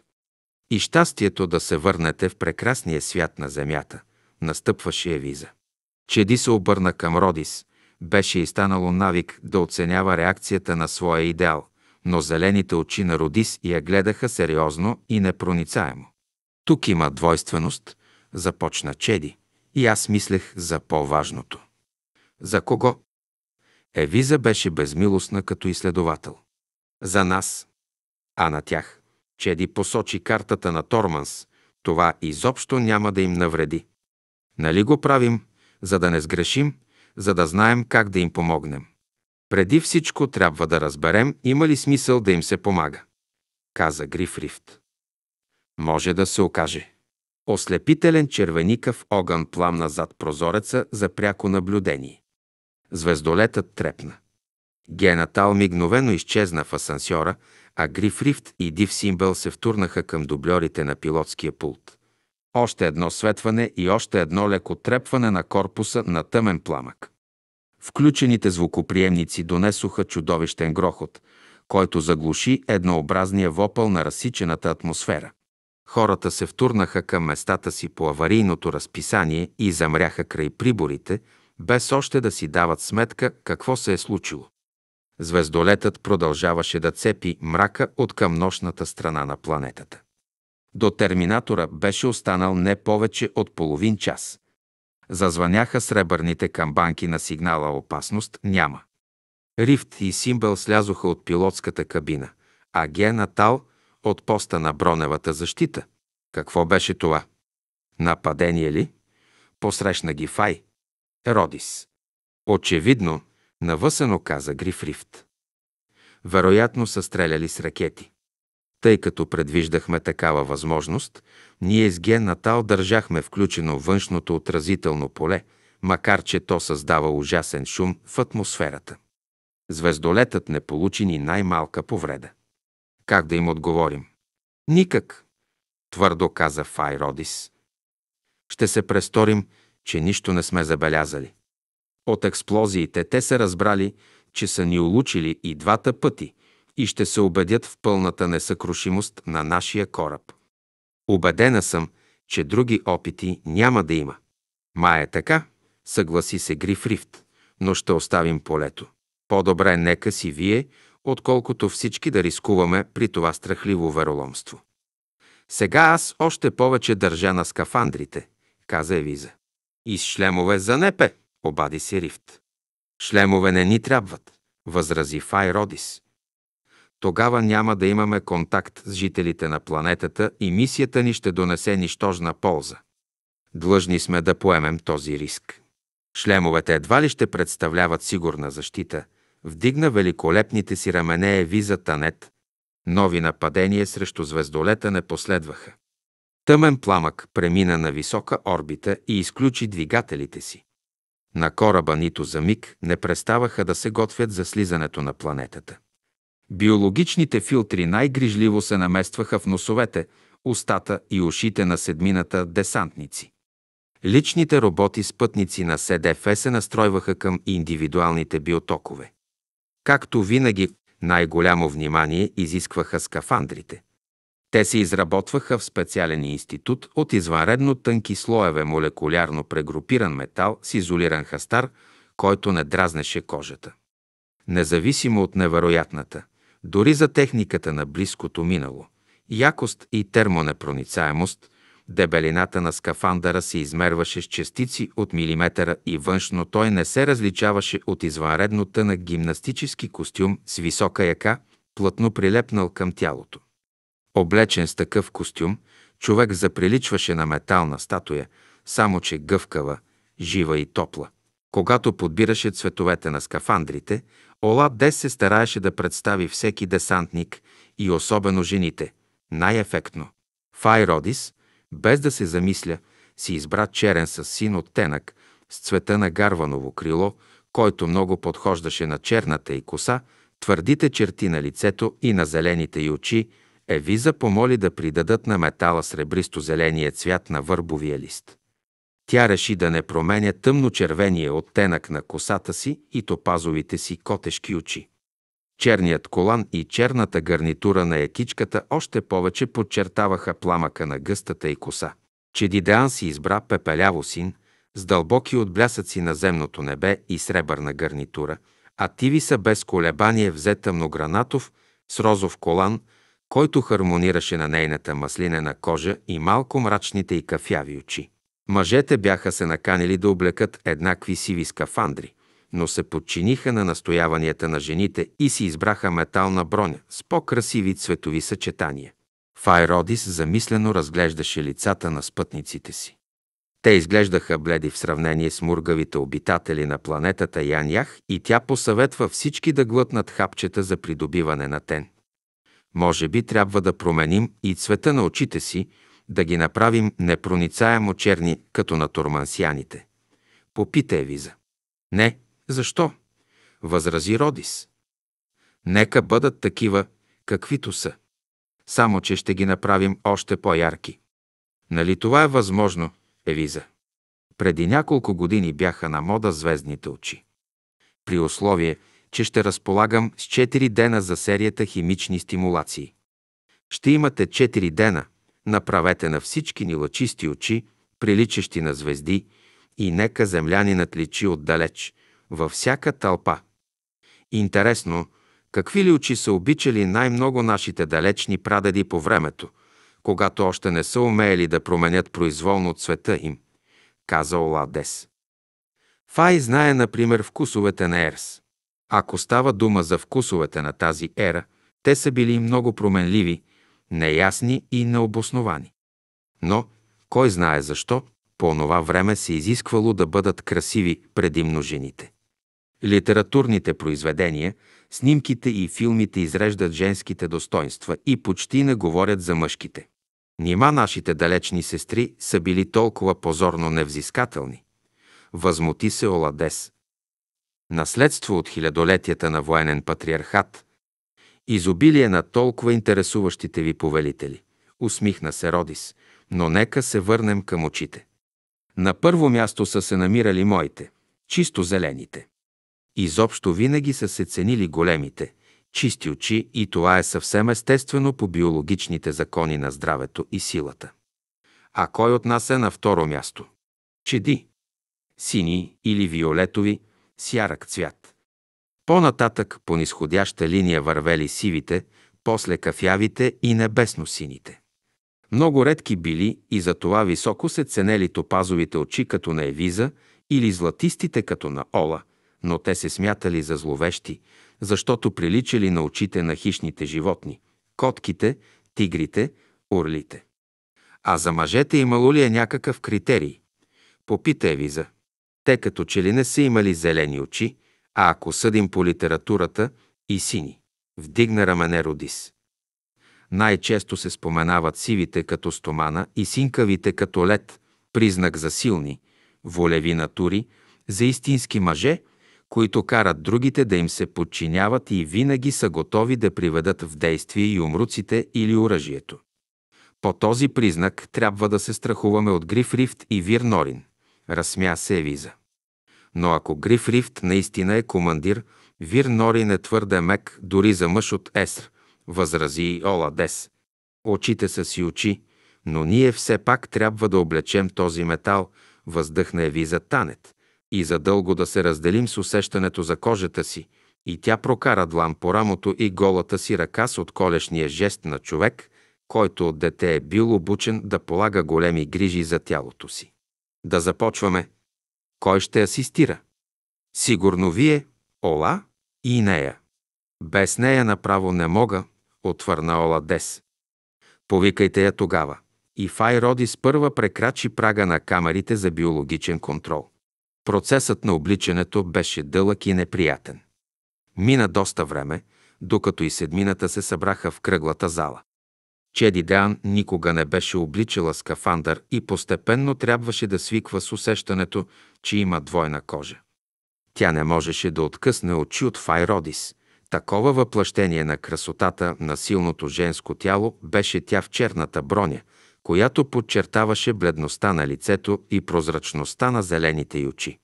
За колана на всеки бе прикрепена овална кутийка за деструкция на продуктите на метаболизма, на рамената им лъщяха лентичките на приборите за видеозапис и триъгълните огледалца за кръгов обзор. На десните си ръце сложиха втора сигнална гривна за връзка с кораба чрез индивидуалния робот, а в длъбнатинката между ключиците монтираха цилиндъра за въздушното продухване. От време на време между тялото и скафандъра от рамената до ходилата преминаваше въздушна вълна и създаваше приятното усещане за лек масаж. Въздухът излизаше през клапите на петите, а отстрани човек можеше да си помисли, че по металното тяло играят могъщи мускули. Файродис оглеждаше другарите си, които така странно се промениха. Сякаш бяха станали далечни и недостъпни в студения блясък на обгърналия ги метал. В такъв вид ли смятате да се покажете на тормансияните? Раздаде се отзад гласът на Грифрифт. Родис внезапно осъзна какво я е тревожило. В никакъв случай. Обърна се тя към Рифт. Ние, жените, ще облечем обикновени къси поли за тропическата зона, ще се наметнем с пелеринки. Не е ли по-добре ризи като на тормансянките? Попита Тивиса, която се стесняваше от външната разголеност на скафандъра. Ще се опитаме, може те да се окажат по-удобни, съгласи се Родис. А аз мисля, че мъжете трябва да са с тропически костюми, каза Вирнорин. Шортите стават, но ризата без ръкави ще привлече вниманието върху металните ръце, възрази Грифрифт. Тормансянските ризи са по-удобни и за мъжете. Колко странно е, че на Торманс по улиците и вкъщи хората се покриват с дрехи. Но на сцените, в грамадните зали за обществени зрелища или в телевизионните предавания те са почти разсъблечени, отбеляза Оладес. Наистина тук има глупаво противоречие. Едно от многото, които ни предстои да разгадаем, каза Родис. Може би зрелищата от този род са привлекателни за тях тъкмо, защото турмансяните обикновено са облечени от главата до петите. Досети се чеди. Това просто и вероятно обяснение сто на сто е погрешно. Ако съдим по законите на психиката, всичко е много по-сложно. Сложи край на дискусията Родис.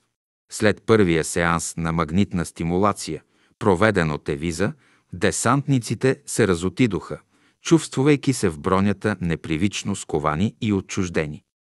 Те трябваше да свикнат с нея през дните, които им оставаха до кацането.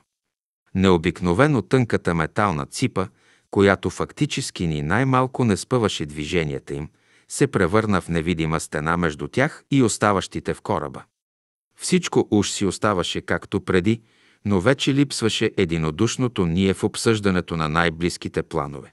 Бяха се появили те и ние. В отговор на сигнала за готовност на звездолета от главната обсерватория на стражите на небето бе посочено мястото за кацане. Тъмен пламък трябваше да кацне на един широк полегат нос на южния бряг на екваториалното море, приблизително на 300 км от столицата. Увеличените снимки на това място показаха Унил, обрасъл с високи тъмни храсти клин, забит в сиво-зеленото море. И местността, и морето изглеждаха безлюдни, което породи опасение сред оставащите в звездолета. Безлюдността беше главното условие за кацането на ЗПЛ. Ние предупредихме за това съвета на четиримата, напомни на другарите си Гриф Рифт. Те можеха да изберат някое място по-близо до града, каза Оладес. Все едно, те не разрешиха на всички ни да слезем. Вие забравяте, Ола, мрачно каза Родис, че близо до града би било много трудно да се удържат любопитните.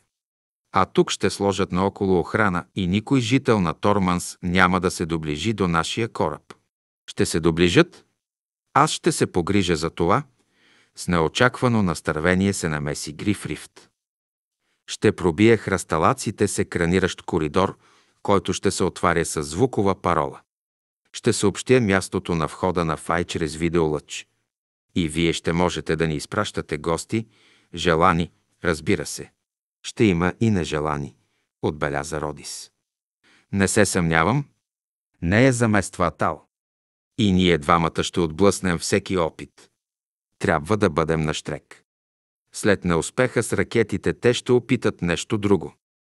Но не преди да се убедят, че вторият звездолет, за който им споменах, няма да дойде.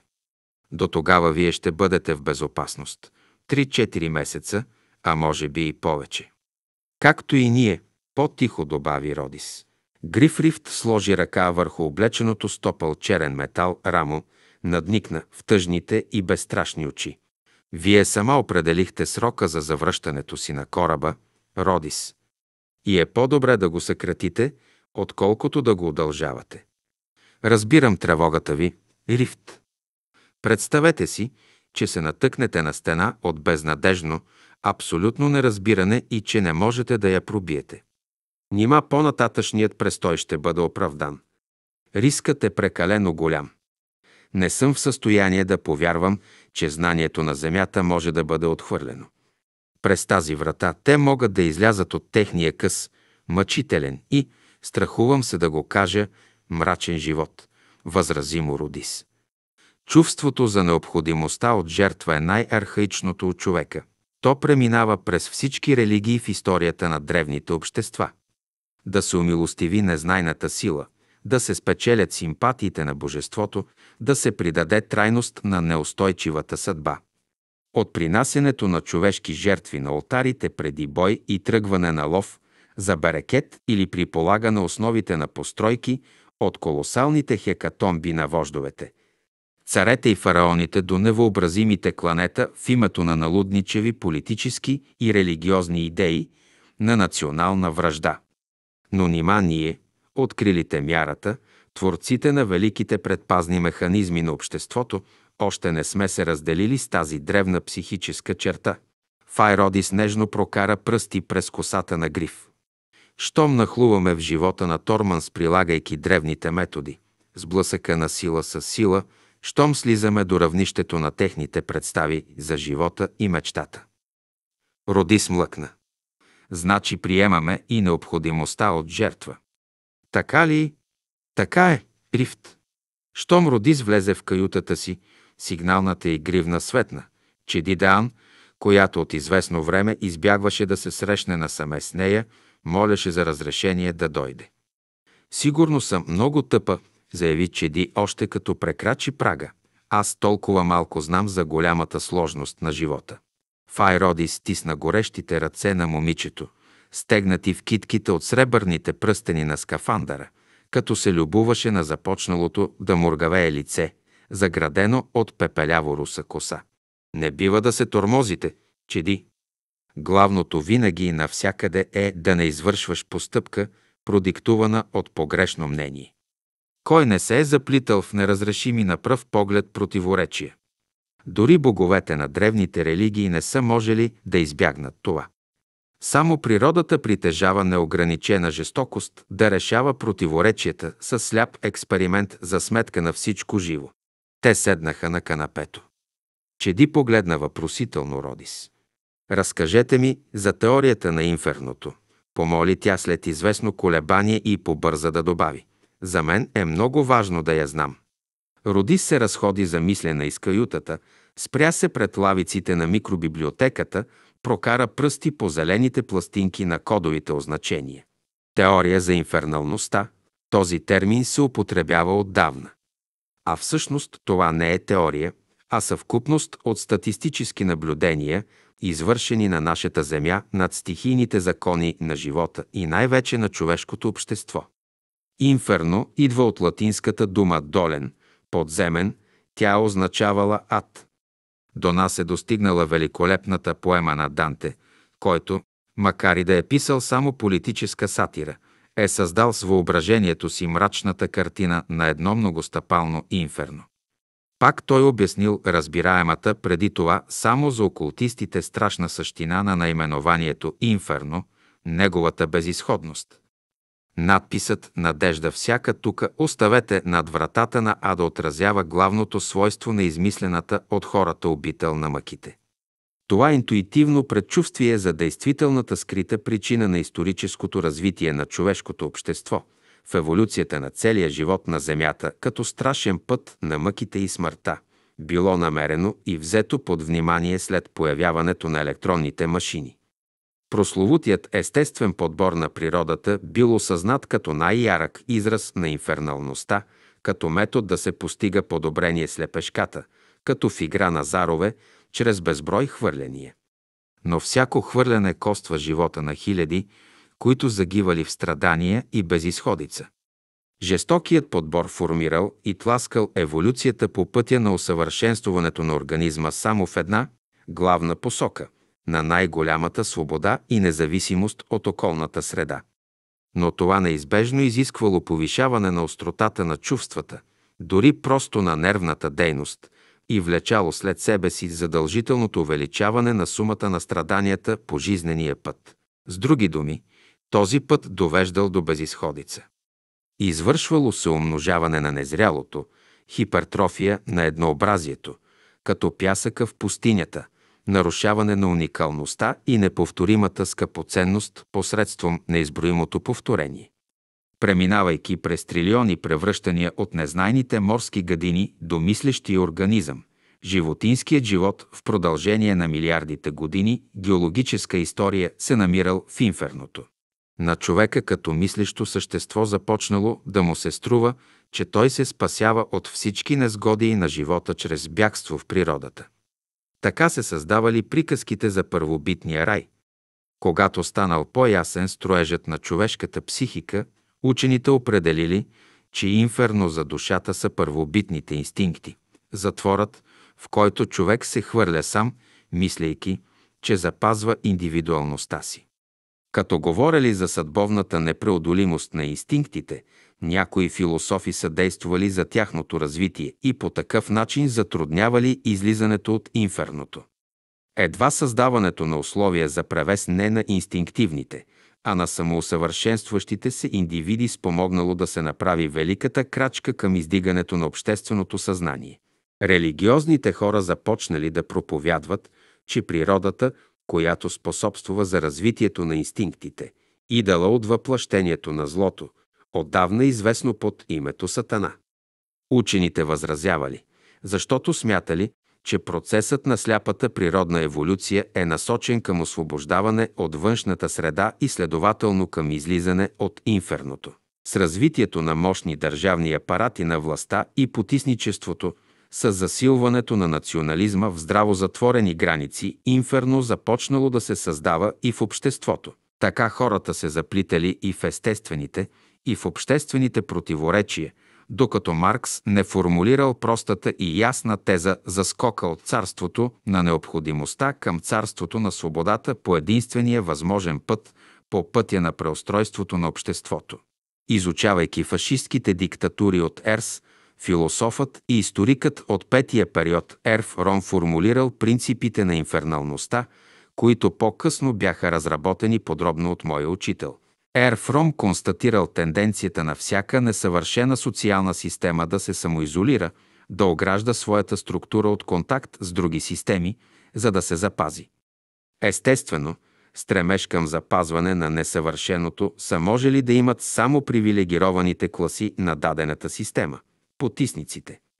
Затова инферналността неизбежно била тяхна рожба – така неочаквано се реализирало наивно религиозното учение на Мани за съществуването на целенасочено зло в света – манихейството.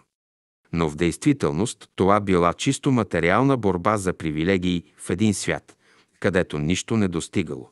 Ерфром предупреждавал човечеството да не допуща световното господство на олигархията, фашизма или държавния капитализъм. Тогава над нашата планета би се захлопнал ковчежният капак на пълната безисходица на инферналното съществуване под петата на абсолютната власт, въоръжена с цялата мощ на страшното оръжие на онези времена и на не по-малко убийствената наука. Според Кинрух, произведенията на Ерф Ром са спомогнали за изграждането на новия свят при преминаването към ерата на световното обединяване. Между другото, именно Ерф Ром пръв забелязал – че цялата природна еволюция на живота на Земята е инфернална. По-късно тази тема бе разработена толкова ярко от Кинрух. Роди сръчно набра шифъра и малкият квадрат на библиотечния екран светна. Познатият образ на Кинрух се появи в жълтата дълбочина и впери в зрителките поразително острите си и белезникави очи. Ученият вдигна ръка за поздрав и се скри, продължавайки да говори зад кадъра а на екрана се появи измореното, печално и вдъхновено лице на един стар мъж с квадратно чело и сресана назад побеляла лека коса. Кинрух поясни, че това е древният Алдис, който до едно време бил отъждествяван с изобретателя на морския сигнален фенер. Човек трудно се ориентира в имената на народите, при които фонетиката не съвпада с правописа, а произношението било загубено през по-късните векове – което се е отразило най-вече на разпространение през ерс английски език. Доста развълнуван и задъхвайки се от явна сърдечна болест, Алдис каза «Вземам за пример един млад човек, загубил любимата си жена, която току-що е починала от рак. Той още не е почувствал, че представлява жертва на особена несправедливост на всеобщия биологичен закон, който е не по-малко безмилостен, чудовищен и циничен от зверските фашистски закони. Този непоносим закон гласи, че човекът трябва да страда, да загубва младостта и силите си и да умира. Той е позволил да бъде отнето на този млад човек всичко най-скъпо и не му е осигурил нито безопасност, нито закрила, оставяйки го завинаги изложен на всякакви удари на съдбата от сянката на бъдещето. Човекът винаги е мечтал до полуда да измени този закон, отказвайки се да бъде биологичен несретник в играта на съдбата по правила, които са били установени преди милиарди години. Защо трябва да приемаме съдбата си без борба? Хилядите Айнштайновци в биологията ще помогнат да бъдем измъкнати от тази игра. Ние отказваме да сведем глава пред несправедливостта на природата, да сключим примирие с нея. Кинрух каза, трудно е да се формулира по-ясно понятието инферно за човека. Виждате ли колко отдавна хората са разбрали неговите принципи? А сега на екрана се появи модел на земното кълбо, многослоен прозрачен сфероид, осветен отвътре. Всеки участък от неговата повърхност представляваше мъничка диорама, която изпращаше стереоскопично изображение право към зрителя съвсем като от неизмерима далечина. Отначало светваха долните слоеве на кълбото, оставяйки горните прозрачни и неми. Постепенно проекцията се изкачваше все по-нагоре и по-нагоре към повърхността. Пред зрителите нагледно преминаваше историята на Земята така, както е записана в геологичните пластове. Този обикновен демонстрационен модел беше наситен със съдържание, каквото Чеди не бе виждала досега. Ким Рух обясни, че е изградил схема на еволюцията на животните по данни на Ерфром. Всеки животински вид беше приспособен към определени условия на живот, екологична ниша, както бяха я нарекли биолозите още в древността. Приспособяването затваряше изхода от нишата, създавайки отделно огнище на инферното, докато видът не се размножаваше до толкова, че повече не можеше да съществува в пренаселената ниша. Колкото по-съвършено беше приспособяването, колкото повече преуспяваха отделните видове, толкова по-страшна разплата ги чакаше. На различни участъци от глобуса светваха и угасваха като в калейдоскоп картини на страшната еволюция на животинския свят. Многохилядни стада от крокодилоподобни земноводни, които гъмжаха в лепкавата тиня на блатата и лагуните, езерца, препълнени с саламандри, с змиеподобни и гущероподобни гадини, които измираха с милиони в безсмислена борба за съществуване. Костенурки, изполински динозаври и морски чудовища, които се гърчеха в отровени от разложението заливи издъхваха на изтощените от недостиг на храна брегове. По-нагоре по земните слоеве на геологическото време се появяваха милиони птици, след това гигантски животински стада.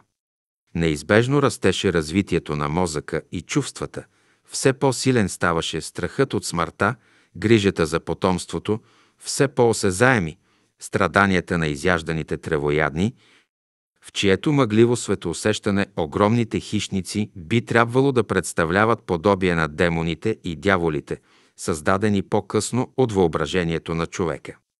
И царствената мощ, великолепните зъби и ногти, които будаха възхищение с първобитната си красота, имаха едно единствено предназначение – да късат, да раздират живата плът, да трошат костите. И никой и нищо не можеше да помогне, не можеше да се излезе от оня затворен кръг на инферналността, от блатото, степта или гората, където животното се е появило на бял свят в слепия инстинкт за размножаване и запазване на вида. А човекът, с неговите силни чувства и памет, с умението му да разбира бъдещето, скоро осъзнал, че също като всички други земни създания, и той е осъден още от раждането си на смърт. Въпросът е само кога ще умре и какво количество страдания ще изтърпи определен индивид. И колкото по-издигнат, по-чист и по-благороден е човекът, с толкова повече страдание ще го дари щедрата природа или общественото битие, до времето, когато мъдростта на хората, обединили се в титанични усилия, не ще сложи край на тази игра на слепите стихийни сили – продължаваща вече милиарди години в гигантското общо инферно на планетата. Ето защо първото осъзнаване на инферналността на живота едно време водело до толкова много психически травми и самоубийства в най-прекрасната възраст 18-20 години. Аз съпоставих два откъса от лекцията на моя учител, каза Файродис, и сега ви е вече ясна прословутата теория за инферналността. О, да! възкликна Чеди. Но ще може ли да чуя за изпитанията, на които са се подлагали някои историци? Вие, изглежда, знаете за мен повече, отколкото предполагах, каза Родис, четейки мислите й. Тогава научете още нещо. С тези думи тя извади един звездообразен кристал с мнемозапис, наричан в разговорния език звездичка, и го подаде на Чеди. Инферналността засилвала стократно неизбежните страдания на живота, каза тя. Създавала хора с слаба нервна система, които живеели още по-тежко. Това е първият порочен кръг. През периодите на относително подобряване на условията страданието отслабвало и пораждало равнодушни егоисти. С преминаването на съзнанието на най-горното обществено стъпало ние престанахме да се затваряме в личното страдание, но за сметка на това безкрайно се разшири страданието за другите, т.е. състраданието, грижите за всички, за изкореняването на мъките и бедите в целия свят. Онова, което ангажира мислите ни и тревожи всеки от нас. Що ми така и така се намираме в инферно, що му съзнаваме както него, така и невъзможността за отделния човек да го избегне поради продължителността на процеса, тогава това има смисъл единствено за да помагаме за неговото унищожаване, следователно да помагаме на другите, като правим добро, като създаваме красота и разпространяваме знание. Иначе какъв ще е смисълът на живота? Проста истина, разбрана така очудващо късно. Затова истинските революционери на духа отначало били такава рядкост през онези древни времена. За да си представим степента на личното страдание през древните епохи, ние, историците, измислихме система от изпитания, които условно наричаме стъпала на инферналността. Това е серия не само от физически, но и от психически мъчения, имащи за цел да доближат нас, изучаващите историята на Ерс, до усещанията на прадедите ни.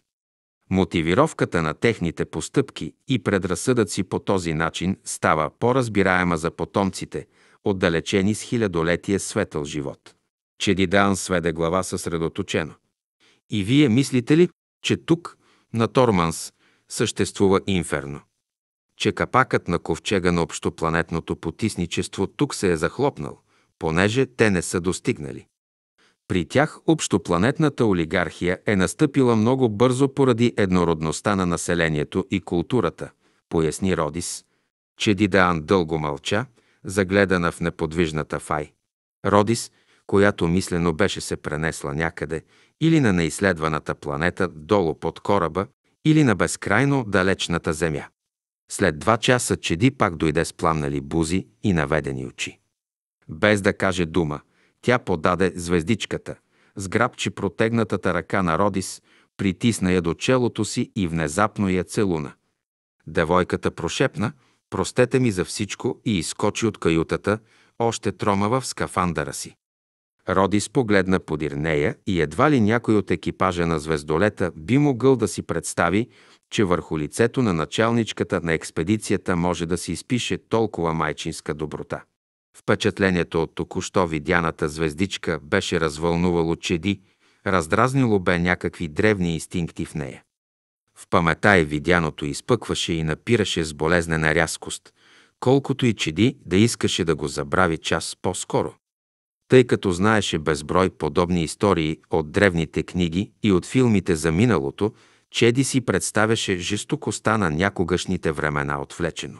Съпротивата на героите я въодушевяваше, а самото описание на техните страдания дори оставяше в нея смътното приятно чувство за безопасност, за невъзможността да се случи подобен произвол на съдбата нито на самата Чеди, нито на когото и да било от огромното множество хора на Земята. Учителят по психология в училището беше им обяснил, че в древността когато имало много гладни и нещастни хора, ситите и заможните обичали да четат книги и да гледат филми за бедните, умиращите от глад, потиснатите и унижените, за да изпитат с още по-голяма дълбочина задоволството от своя сигурен и спокоен живот. Най-много сантиментални книги за непълноценни и нещастни хора и, като тяхна антитеза, зарадващи се на невероятен шанс герои и красавици били създадени през неустойчивото, тревожно време на Ерс. Тогава хората, предчувствувайки неизбежността на страшни трусове в живота на човечеството, се радвали на всяко произведение на изкуството, което можело да им даде скъпоценно чувство за макар и временна безопасност. Нека това се случи на другите, но не и на мен. Като всички други, Чеди бе закалявана посредством физически трудности, бе работила в болници за тежки заболявания, рецидиви на разстроена наследственост или много сериозни травми с чести случаи на ефтаназия, осъждане на лека смърт, независимо от извънредно високото ниво, на което се намираше обществото. Но всичко това беше естествена необходимост на живота, на разбираемия, превъзмогнат с помощта на мъдростта и психическата закалка живот, който ежеминутно чувстваше единството си с общия духовен поток на човечеството и се стремеше към още по-възвишено бъдеще. Не бе нужно да се вярва в него, както през отдавна отминалите времена. Толкова реално и зримо се очертаваше то пред погледа на отиващите в миналото. Но онова, което Чеди видя в звездичката на Родис, съвсем не приличаше на мъките в живота на Ерс. Самотата и безпомощността на човека, на сила откъснат от всичко интересно, светло и скъпо, бяха толкова явни, че чувство на безкрайна болка настойчиво нахлуваше в душата на чеди против волята й. Униженията и мъченията, на които биваше подлагано това самотно, отритнато същество, връщаха човека от Ерс в състояние на първобитна ярост, смесена с болката на безсилието, което изглеждаше немислимо за земния човек. Посредством изпитанията на Файродис, чеди един вид се потопи в атмосферата на задушната безсмислена жестокост и връжда на отдавна отминалите векове. Гордото, стоманено достоинство на жената от Есър не бе сломено от силното психологическо въздействие, може би за това, защото пред нея беше Файродис, олицетворение на всичко, към което се стремеше самата Чеди. Младата изследователка на човека и обществото се засрами, като си спомни как на далечната земя тя неведнъж бе подлагала на съмнение необходимостта от сложните предпазни системи на комунистическото общество. Поколение след поколение хората на земята изразходваха за тях огромни материални средства и сили.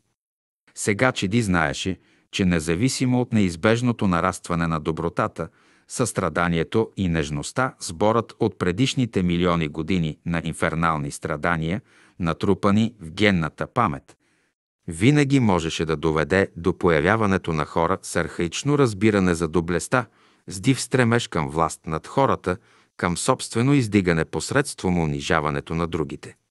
Едно бясно куче може да охапе и да изложи на смъртна опасност стотици хора. По същия начин и човек с деформирана психика е способен да причини в едно добро, нищо не подозиращо обкръжение ужасни бедствия, докато светът, отдавна забравил предишните социални опасности, не се умее да го изолира и трансформира. Ето защо е толкова сложна организацията на ПНОИ за психологическия надзор, работеща заедно с РТИ, решетчестата трансформация на индивида и непрекъснато усъвършенствувана от съвета на честа и правото. Пълна аналогия с ОФ, охраната на електронните връзки на космическия кораб, само че още по-сложна и още по-богата. След като за пръв път разбра както трябва ролята на Пной, Чеди се успокои и ободри. Сякаш майчинската постоянна грижа на земното човечество бе протегнала до тук могъщата си ръка – през спиралите на Шакти и Тамас. Момичето въздъхна дълбоко, престана да чувства металната броня и заспа така спокойно, както не беше спало от момента на приближаването до Торманс. Глава 5. В градините на Цуам.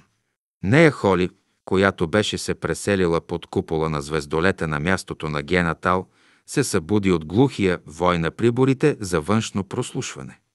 Тя се досети, че тъмен пламък е преминал на ниска орбита, без да изключва защитното поле. На екрана на вътрешния ТВФ тя видя пилотите на звездолета, които оживено разговаряха с Файродис. Снижаването на тъмен пламък неизбежно щеше да стресне цялата планета. Възможно беше повторно нападение тъкмо в момента, когато земляните щяха да изключат защитното си поле. Файродис, която настояваше за изключване на полето над Деля. Тя убеди пилотите на кораба, че в една олигархическа държава обратната връзка неминуемо е слаба. Докато съобщението, че полето е премахнато и нападението може да бъде повторено, стигне до главния управник, тъмен пламък ще успее да кацне. Звездолетът се въртеше над планетата Ян-Ях и се нагаждаше към определеното за кацане място. Този издаден в морето нос беше твърде малък за грамадния, трома взе пел. Бяха отворени още две наблюдателни шахти и земляните не можеха да се откъснат от тях, защото за пръв път разглеждаха планетата от толкова близко разстояние. Тъмен пламък правеше последните обиколки на височина около 250 км. Атмосферата, която беше малко по-плътна, отколкото на Земята, вече започваше да загрява порещия я кораб. Планетата Ян Ях не изглеждаше синя като Земята. Преобладаващ цвят беше виолетовият, големите езера сред планините изглеждаха почти черни, с златист оттенък, а океаните мътно-аметистови. Там, където през тънкия слой вода прозираха плитчините, морето се зеленееше мрачно. Земляните с тъжно чувство си спомняха радостния зелен цвят на Тибет, какъвто го бяха видели последния път от същата височина. Успоредните ребра на разсечените ниски гребени, редиците от пирамиди, наблъскани една до друга, и лабиринтите на сухите долини по безкрайните плата на Ян Ях изглеждаха светло кафяви с виолетов оттенък. На места тънката растителна покривка хвърляше върху изровената и безплодна почва шоколадово на метало. Колосалните пространства, залети с набръчкани тъмно-сиви лави, бележеха областите на екваториалните разседи. Около тези мрачни зони почвата бе придобила тухлен цвят, а колкото повече се отдалечаваше от лавовите планини, толкова по-жълта ставаше тя. Симетричните бръзди на пясъчните дюни набръчкваха пустинното крайбрежие и планетата приличаше на необитаема. Едва след като се погледаха, земляните видяха, че по край големите реки и в дълбоките котловини, където почвата се синееше от влажните изпарения, големи площи бяха разделени на правилни квадрати. След това започнаха да се очертават пътищата, зелените острови на градовете и огромните кафяви петна на подводните гасталаци на морските плитчини.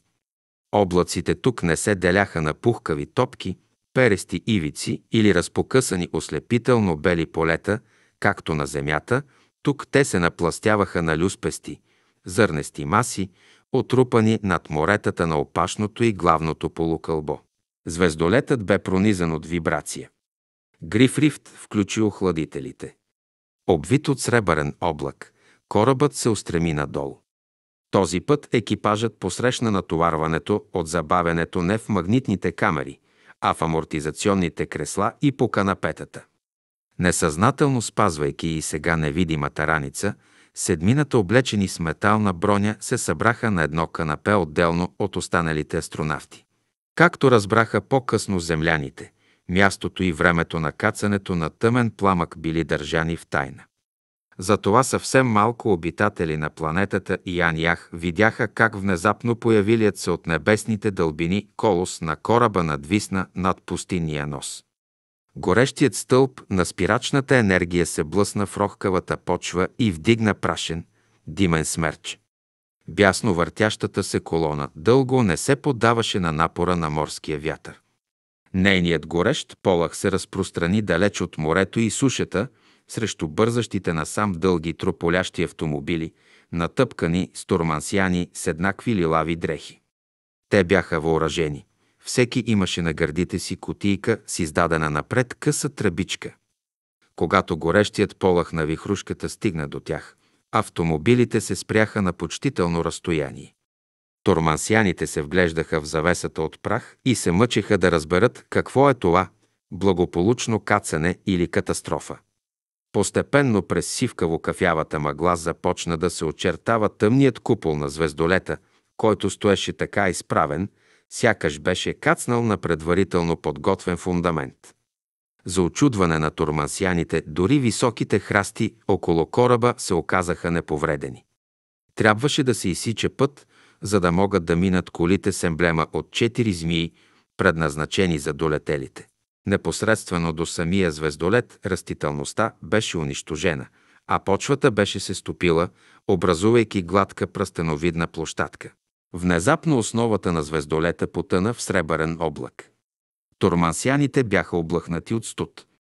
След няколко минути почвата истина. На кораба се отвориха два кръгли люка, които приличаха на грамадни раздалечени очи. Изпъкналите полирани повърхности на техните лещи заплъмтяха с зловещ отблясък в лъчите на червеното светило, които пробиваха облаците от редещ прах. Тормансяните с лилави дрехи, които се промъкваха в полукръг през храстите, се спряха и започнаха да се обръщат към останалите назад коли. Оттам по варигата предадоха нареждане никой да не се приближава повече. Нечовешки мощна въздишка се разнесе над носа. Спирално движение на въздуха завъртя листата, къщетата овъглени клонки и падналия прах, издигна ги високо към виолетовия небосвод. Веднага след това дебелите плочи на бронята над пръстеновидната издатина в основата на купола на кораба се отместиха настрани. Напред излезе масивна тръба с диаметър, по-голям от човешки ръст. Накрая изящно и безшумно се разгъна ветрило от метални подпори, под които на земята се спусна прозрачната кабина на асансьора. Жителите на Торманс гледаха тази блестяща като кристал котия с затаен дъх. Файродис, която вървеше най-отпред по тръбната галерия, се сбогуваше с поглед с оставащите членове на екипажа. Те бяха се строили в редица и стремейки се да скрият тревогата си, изпращаха излизащите с усмивки и снежни ръкостискания. Зад лостовете на асансьора беше застанал Гриф Рифт. Той хвана металния лакът на Родис и прошепна с непривична за него мекост. Фай, помнете, че съм готов да предприема всичко. Аз ще изтрия града им от лицето на планетата и ще го разкопая на дълбочина един километър, за да ви спася. Фай Родис прегърна командира за яката шия, привлече го към себе си и го целуна. Не, Гриф, вие никога няма да сторите това. В това никога имаше толкова сила, че суровият астронавт покорно наведе глава. Пред жителите на планетата Ян Ях се появи жена с черен костюм, подобен на онези, каквито имаха право да носят само висшите сановници в град средище на мъдростта. Металните стойки на яката държаха пред лицето на гостенката прозрачно щитче.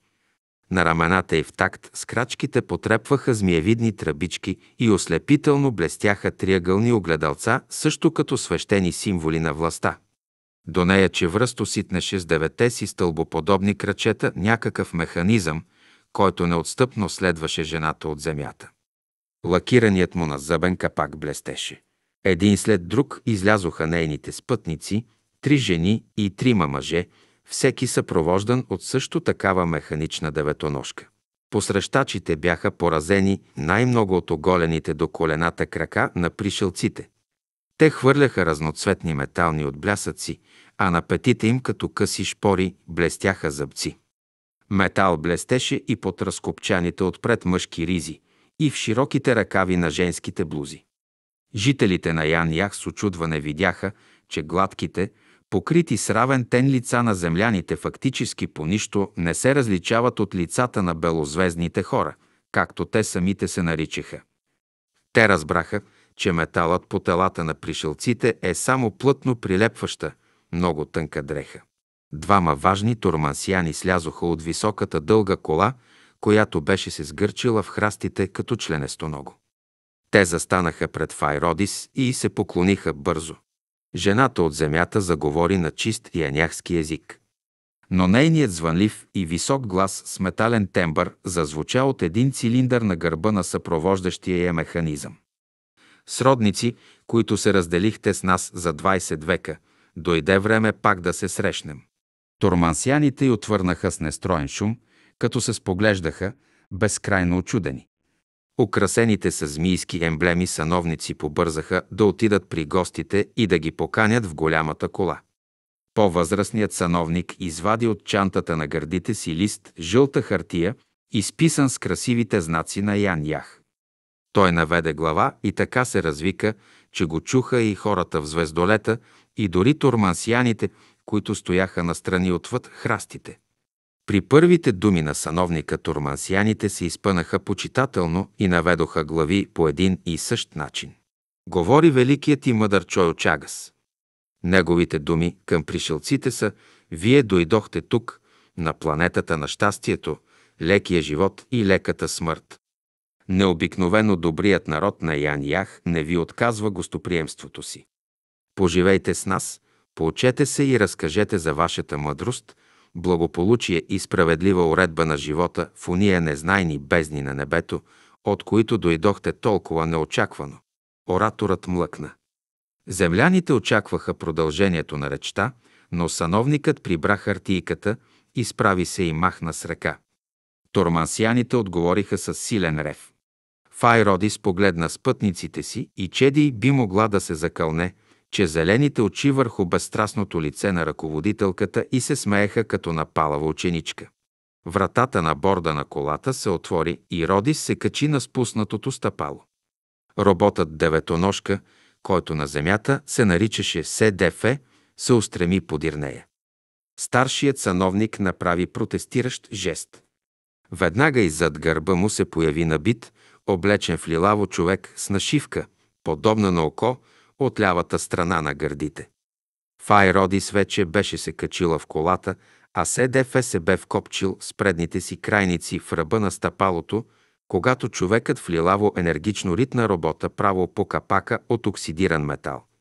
Предупредителният вик замръзна на устните на Родис, която се обърна твърде късно. Тормансянинът излетя във въздуха, описа дъга и падна в гъстия бодлив хръсталак. Лицата на стражите се изкривиха от ярост. Те бяха готови да се нахвърлят върху СДФ и насочваха към него долата на нагръдните си апарати.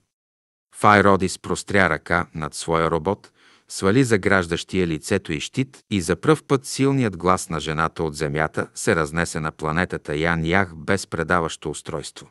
По-внимателно. Това е обикновена машина, която се използва като съндъче за вещи, носач, секретар и пазач. Машината е напълно безвредна, но е устроена така, че изстреляният в робота куршум ще отлети назад със същата сила, а ударът може да възбуди поле на отблъскване, както се случи сега. Помогнете на вашия слуга да се измъкне от храстите и не обръщайте внимание на нашите механични слуги. Запратеният в тръните тормансянин се мяташе и виеше от злоба. Стражите и двамата сановници отстъпиха заднишката. Те повече не се опитаха да пречат на роботите и седемте СДФ се покатериха в колата. Земляните за последен път хвърлиха поглед към тъмен пламък. Уютното и защитено къщче от родната им планета стоеше като изоставено сред прашната поляна на ярко осветената от чуждото светило равнина. Хората от земята знаеха, че шестимата останали в кораба непрекъснато ги наблюдават, но тъмнината в дълбините на люка и галерията изглеждаше непроницаема. Подчинявайки се на знака на сановника, змиеносеца, както го кръсти Евиза, астронавтите се отпуснаха на дълбоките меки седалки и колата, бавно люлейки се и подскачайки, се понесе по неравния път. Някъде под тях бучаха моторите.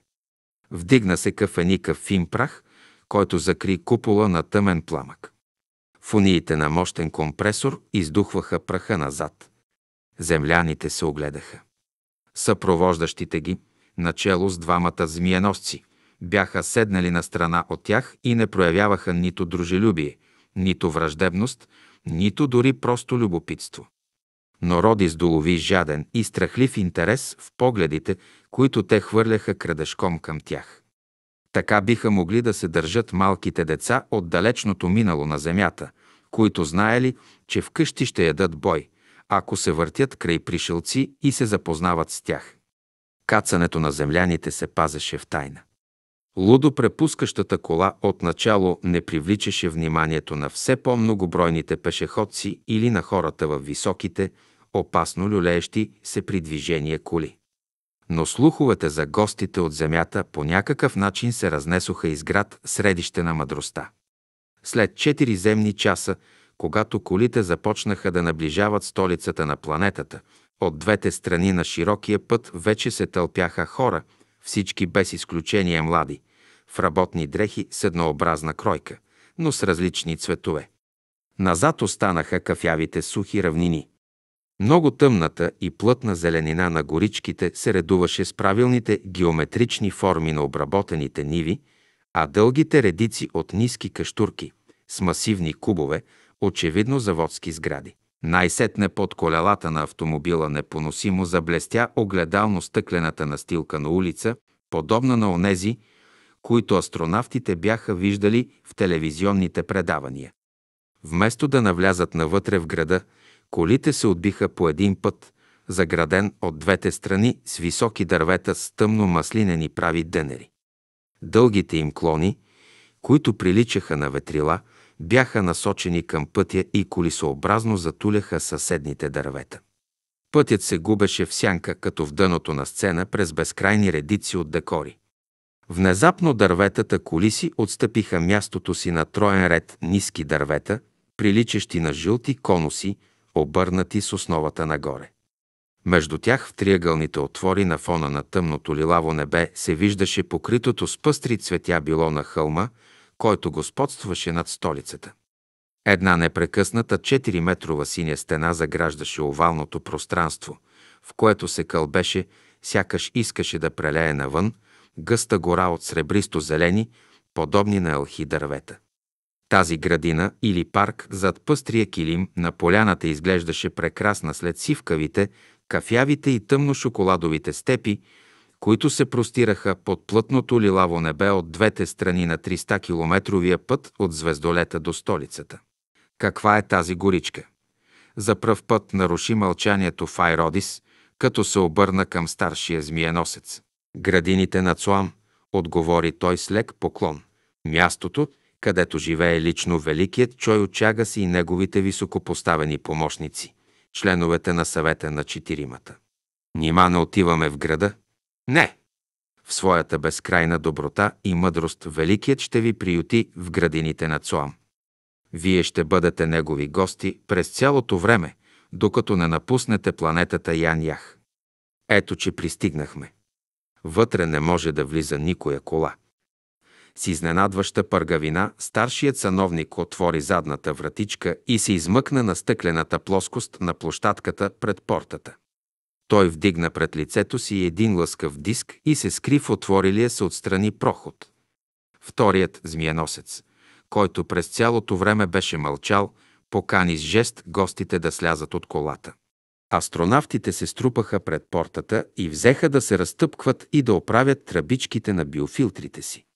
Вирнорин и Чеди Дан се върнаха малко назад, за да обхванат с поглед многоетажната кула с вътрешни издатини и позлатени гребени, която служеше за вход на градините на Цуам.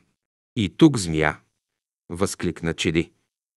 Забелязахте ли и на гърдите на сановниците, и на вратите на колите, и сега тук, на портата на двореца на владетеля? Няма нищо чудно, възрази астронавигаторът. Нали са от земята, където този символ толкова често се е срещал в древните цивилизации. Не случайно змията е била избрана за символ на сатаната и властта. Тя притежава способността да хипнотизира, прониква навсякъде и е отровна. Не мога да си представя как се избавят те от праха при такива фини и сложни архитектурни форми, каза, приближавайки се, Евиза Танет. Без човешки ръце едва ли минават, но това е опасно занимание, отговори Вирнорин. Следователно не се ценят нито ръцете, нито животът, заключи, може би, твърде прибързано Чеди. Думите й потънаха в грамогласния рев, който се разнесе от малката куличка в центъра на арката над портата. Приветствувам ви, чужденци! Влезте без страх, защото тук вие се намирате под високата закрила на съвета на четиримата, върховните избраници на народа на Ян Ях и лично на мен, техния глава. При последните думи огромните половинки на портата се разтвориха широко. Земляните се усмихнаха. Уверенията на владетеля на Торманс бяха излишни. Никой от тях не изпитваше дори и сянка от страх. Астронавтите тръгнаха по еластичните плочи, които поглъщаха звука на крачките им. Пътят описваше резки зигзаги, напомнящи знаците на мълнията, които от край време се употребяваха на Земята. Не са ли твърде много думите? Полувъпросително каза Чеди с едва доловим оттенък на нетърпение. И завойте, добави Евиза. През гъстите дървета се забелязваха тромавите линии на архитектурата на двореца, проснал се тежко и злобно зад килима от жълти цветя, чието остри, конически съцветия стърчаха твърдо и не се полюшваха от вятъра. Грамадните, високи четири човешки боя врати изглеждаха тесни. Тъмните плоскости на вратите бяха покрити с лъскави метални пирамидки. Роботите СДФ и седемте едновременно неочаквано избързаха напред, издавайки пресеклив тревожен звън. Те се строиха пред вратите и преградиха пътя на астронавтите, но след няколко секунди млъкнаха и се отдръпнаха. По пирамидките на вратите тече ток, отговори на въпросителния поглед на Фай Родис, излезлият напред Генатал. Да, но вече изключиха заряда, потвърди Торлик, който стоеше на страна и с явна неприязан изучаваше архитектурата на градините на Цуам. Внезапно тъмната висока пролука на входа се разтвори безшумно и земляните влязоха в една зала с колосална височина, рязко разграничена на две части. Предната, спод от шестоъгълни огледални плочи, беше с 2 метра по-ниска от задната, постлана с дебел черно-жълт килим. Лъчите на високото светило проникваха през червенозлатни стъкла и затова издигнатата част от залата беше пронизана от някакво вълшебно сияние. Там бяха насядали в познатия вече ред неизменните четири фигури, едната отпред в центъра, трите други отляво и малко по-назад. В ниската част на залата цареше мътна светлина, която се процеждаше от тавана между гигантските метални змии – закрепени по издатините и разинали забатите си останат гостите от земята. Огледалните плочки хвърляха неясни разливащи се сенки, засилвайки тревожния смут, който обземаше всеки, осмелил се да застане лице срещу лице с съвета на четиримата. Очевидно властниците на Торманс вече бяха осведомени за всичко, засягащо земляните. Те не изразиха очудване, когато видяха забавните деветоножки – които ситнаха край лъщящите от метала крака на астронавтите. Подчинявайки се на знака на Файродис, и седемте СДФ се строиха в една линия на тъмния огледален пот. Земляните спокойно се изкачиха по страничната стълба до възвишението и се спряха, мълчаливи и сериозни, без да свалят очи от властелина на планетата. Чой очага си изчака малко, изправи се и подаде ръка на Файродис. Същото, само че малко по-бързо направиха и останалите трима. Само една секунда беше достатъчна на Родис, за да си спомни забравените на земята древни форми на приветствие. Тя стисна ръката на властелина, както бяха правили преди хиляди години нейните прадеди, за да покажат, че нямат оръжие и лоши намерения. Впрочем, оръжието едва ли наистина липсваше тук. Във всяка ниша в стената между блестящите прозорци се криеше едва видима фигура. Един, двама, трима, осем неподвижни човека на броиторлик. Техните лица не изразяваха нищо друго, освен заплашителна готовност. Не можеше да има съмнение, че при един единствен знак тези вкаменени фигури ще се превърнат в механически изпълнители на всяка заповед. Да, на всяка, това личеше по тъпите им лица с масивни черепни кости, изпъкващи под гладката мургава кожа. Евиза не се сдържа и закачливо изпрати на стражите най-чаровните погледи, на които беше способна. Понеже не забеляза никаква реакция, тя смени тактиката и изразът на лицето и стана трогнато възхитен. Това подействува. По лицата на двамата застанали най-близо до нея стражи се плъзнали лава червенина.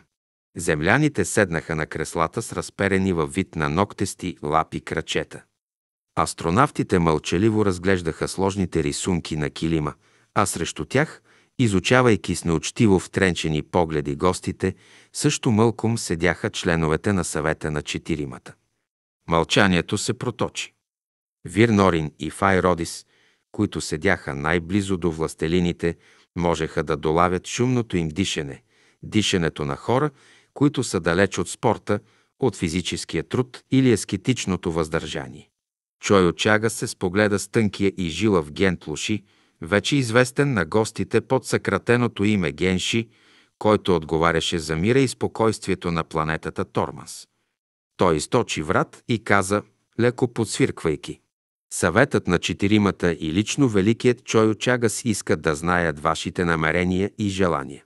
Чеди се взря внимателно във властелина на планетата, защото не разбираше как може един човек, който положително е умен, да слуша това явно ласкателство. Но лицето на Чойо Чагас не издаваше никакви чувства. Съветът на четиримата знае всичките ни желания, отговори Файродис. Ние нямаме какво да добавим към онова, за което ви помолихме по ТВФ. Добре, а намеренията ви? Подпита я Генши.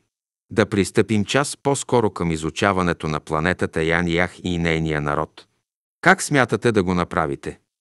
Давате ли си сметка за непосилността на задачата да изучите в толкова къс срок една огромна планета? Всичко зависи от два фактора, спокойно отговори Родис, от сътрудничеството на вашите хранилища на знание, паметни машини, академии и библиотеки и от скоростта на вашите превозни средства. Смешно е да се мисли, че ние сами можем да научим всичко онова, което се е натрупало в резултат от хилядолетния труд на вашите учени. Но е по силите ни да отберем главното и да вникнем в същината на живота на народа на Ян Ях чрез историята, литературата и изкуството му. Много неща можем да запишем с паметните машини на звездолета. Бихме искали да отнесем на Земята колкото може по-голямо количество информация. Нима вие поддържате пряка връзка с звездолета. Бързо попита Зет Ук, неотдавнашният опонент на Родис по телевизията. Разбира се, и ние разчитаме да ви покажем много от записите на паметните машини на звездолета. За съжаление, нашите СДФ не могат да дават прожекция на голям екран. Всеки робот е изчислен за аудитория, не по-голяма от хиляда души. Седемте СДФ ще покажат едновременно филмите на 7000 души. Генши се надигна с зле прикривано безпокойство. Мисля, че това ще е излишно. Защо? Народът на Ян Ях не е подготвен за такива зрелища. Не ви разбирам, усмихна се с едва забележимо смущение Родис.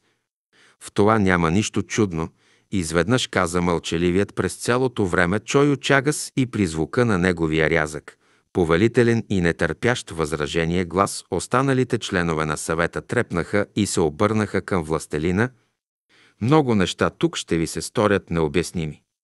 А онова, което вие ще ни съобщите, може да бъде изтълкувано погрешно. Ето защо моят приятел Генши се опасява от прожекциите на вашите филми. Но нали всяко недоумение може да се премахне единствено от познанието, следователно особено важно е да ви покажем колкото може повече, възрази Родис. Чой очага смързеливо вдигна ръка с длан към земляните Нека не обсъждаме стигналото само до прага на разбирането. Аз ще заповядам на институтите, библиотеките и хранилищата на изкуството да подготвят за вас сведения и филми. Ние, изглежда, нямаме такива паметни машини, за каквито говорите вие, но разполагаме с информация, кодирана в най-малки единици по два потока, думи и изображения. Всичко това вие ще получите тук, без да напущате градините на Цуам. При скоростта на нашите газови самолети. Чой очага се позабави. Близо хиляда километра в земен час, вие бързо ще стигнете до което и да е място на нашата планета. Дойде ред земляните да си разменят очудени погледи. Властелинът на Торманс знаеше земните мерки. Обаче, продължи Чой Очагас, Вие предварително трябва да ни кажете какви места искате да посетите. Нашите самолети не могат да кацат навсякъде, а и не всички области на планетата Ян-Ях са безопасни. Може би първоначално ние ще трябва да се запознаем с общата география на Ян-Ях и после да набележим план на посещенията. Предложи Родис. Това е правилно. Съгласи се Чойо Чагас. Стана и каза неочаквано приветливо. А сега нека отидем в определените за вас стаи в двореца. И тръгна напред стъпвайки безшумно по меките килими през страничния изход по един коридор, чието стени имаха мътен метален блясък. Нима тази маска винаги ще прикрива лицето ви? Той докосна леко прозрачния щит на Файродис. Не винаги, усмихна се тя, щом аз стана безопасна за вас и... Ние за вас, властелинът кимна с разбиране. Затова аз не ви и каня на нашата трапеза. Тук, той посочи с ръце обширната зала с големи прозорци, чието стъкла бяха затъмнени в долния край, можете да се чувствате в пълна безопасност. До утре Файроди се поклони в знак на благодарност. Земляните огледаха стаите, техните врати се намираха срещу прозорците, от лявата страна. После те пак се събраха в залата. Странна архитектура, у нас така се строят психолечебниците – каза Евиза. Защо върховният властелин толкова натрапчиво ни уверява, че сме в безопасност? Попита Тивиса. Следователно, тя не съществува, сериозно каза Родис. Изберете си стаи и нека обсъдим кой къде ще ходи, за да мога да съобщя нашите желания на Чойо Чагас. Когато забеляза очудването по лицата на спътниците си, тя поясни. Сигурна съм, че Чойо Чагас ще побърза да разговаря с мен тайно. Според техните представи аз съм вашата владетелка, а владетелите трябва да си говорят насаме.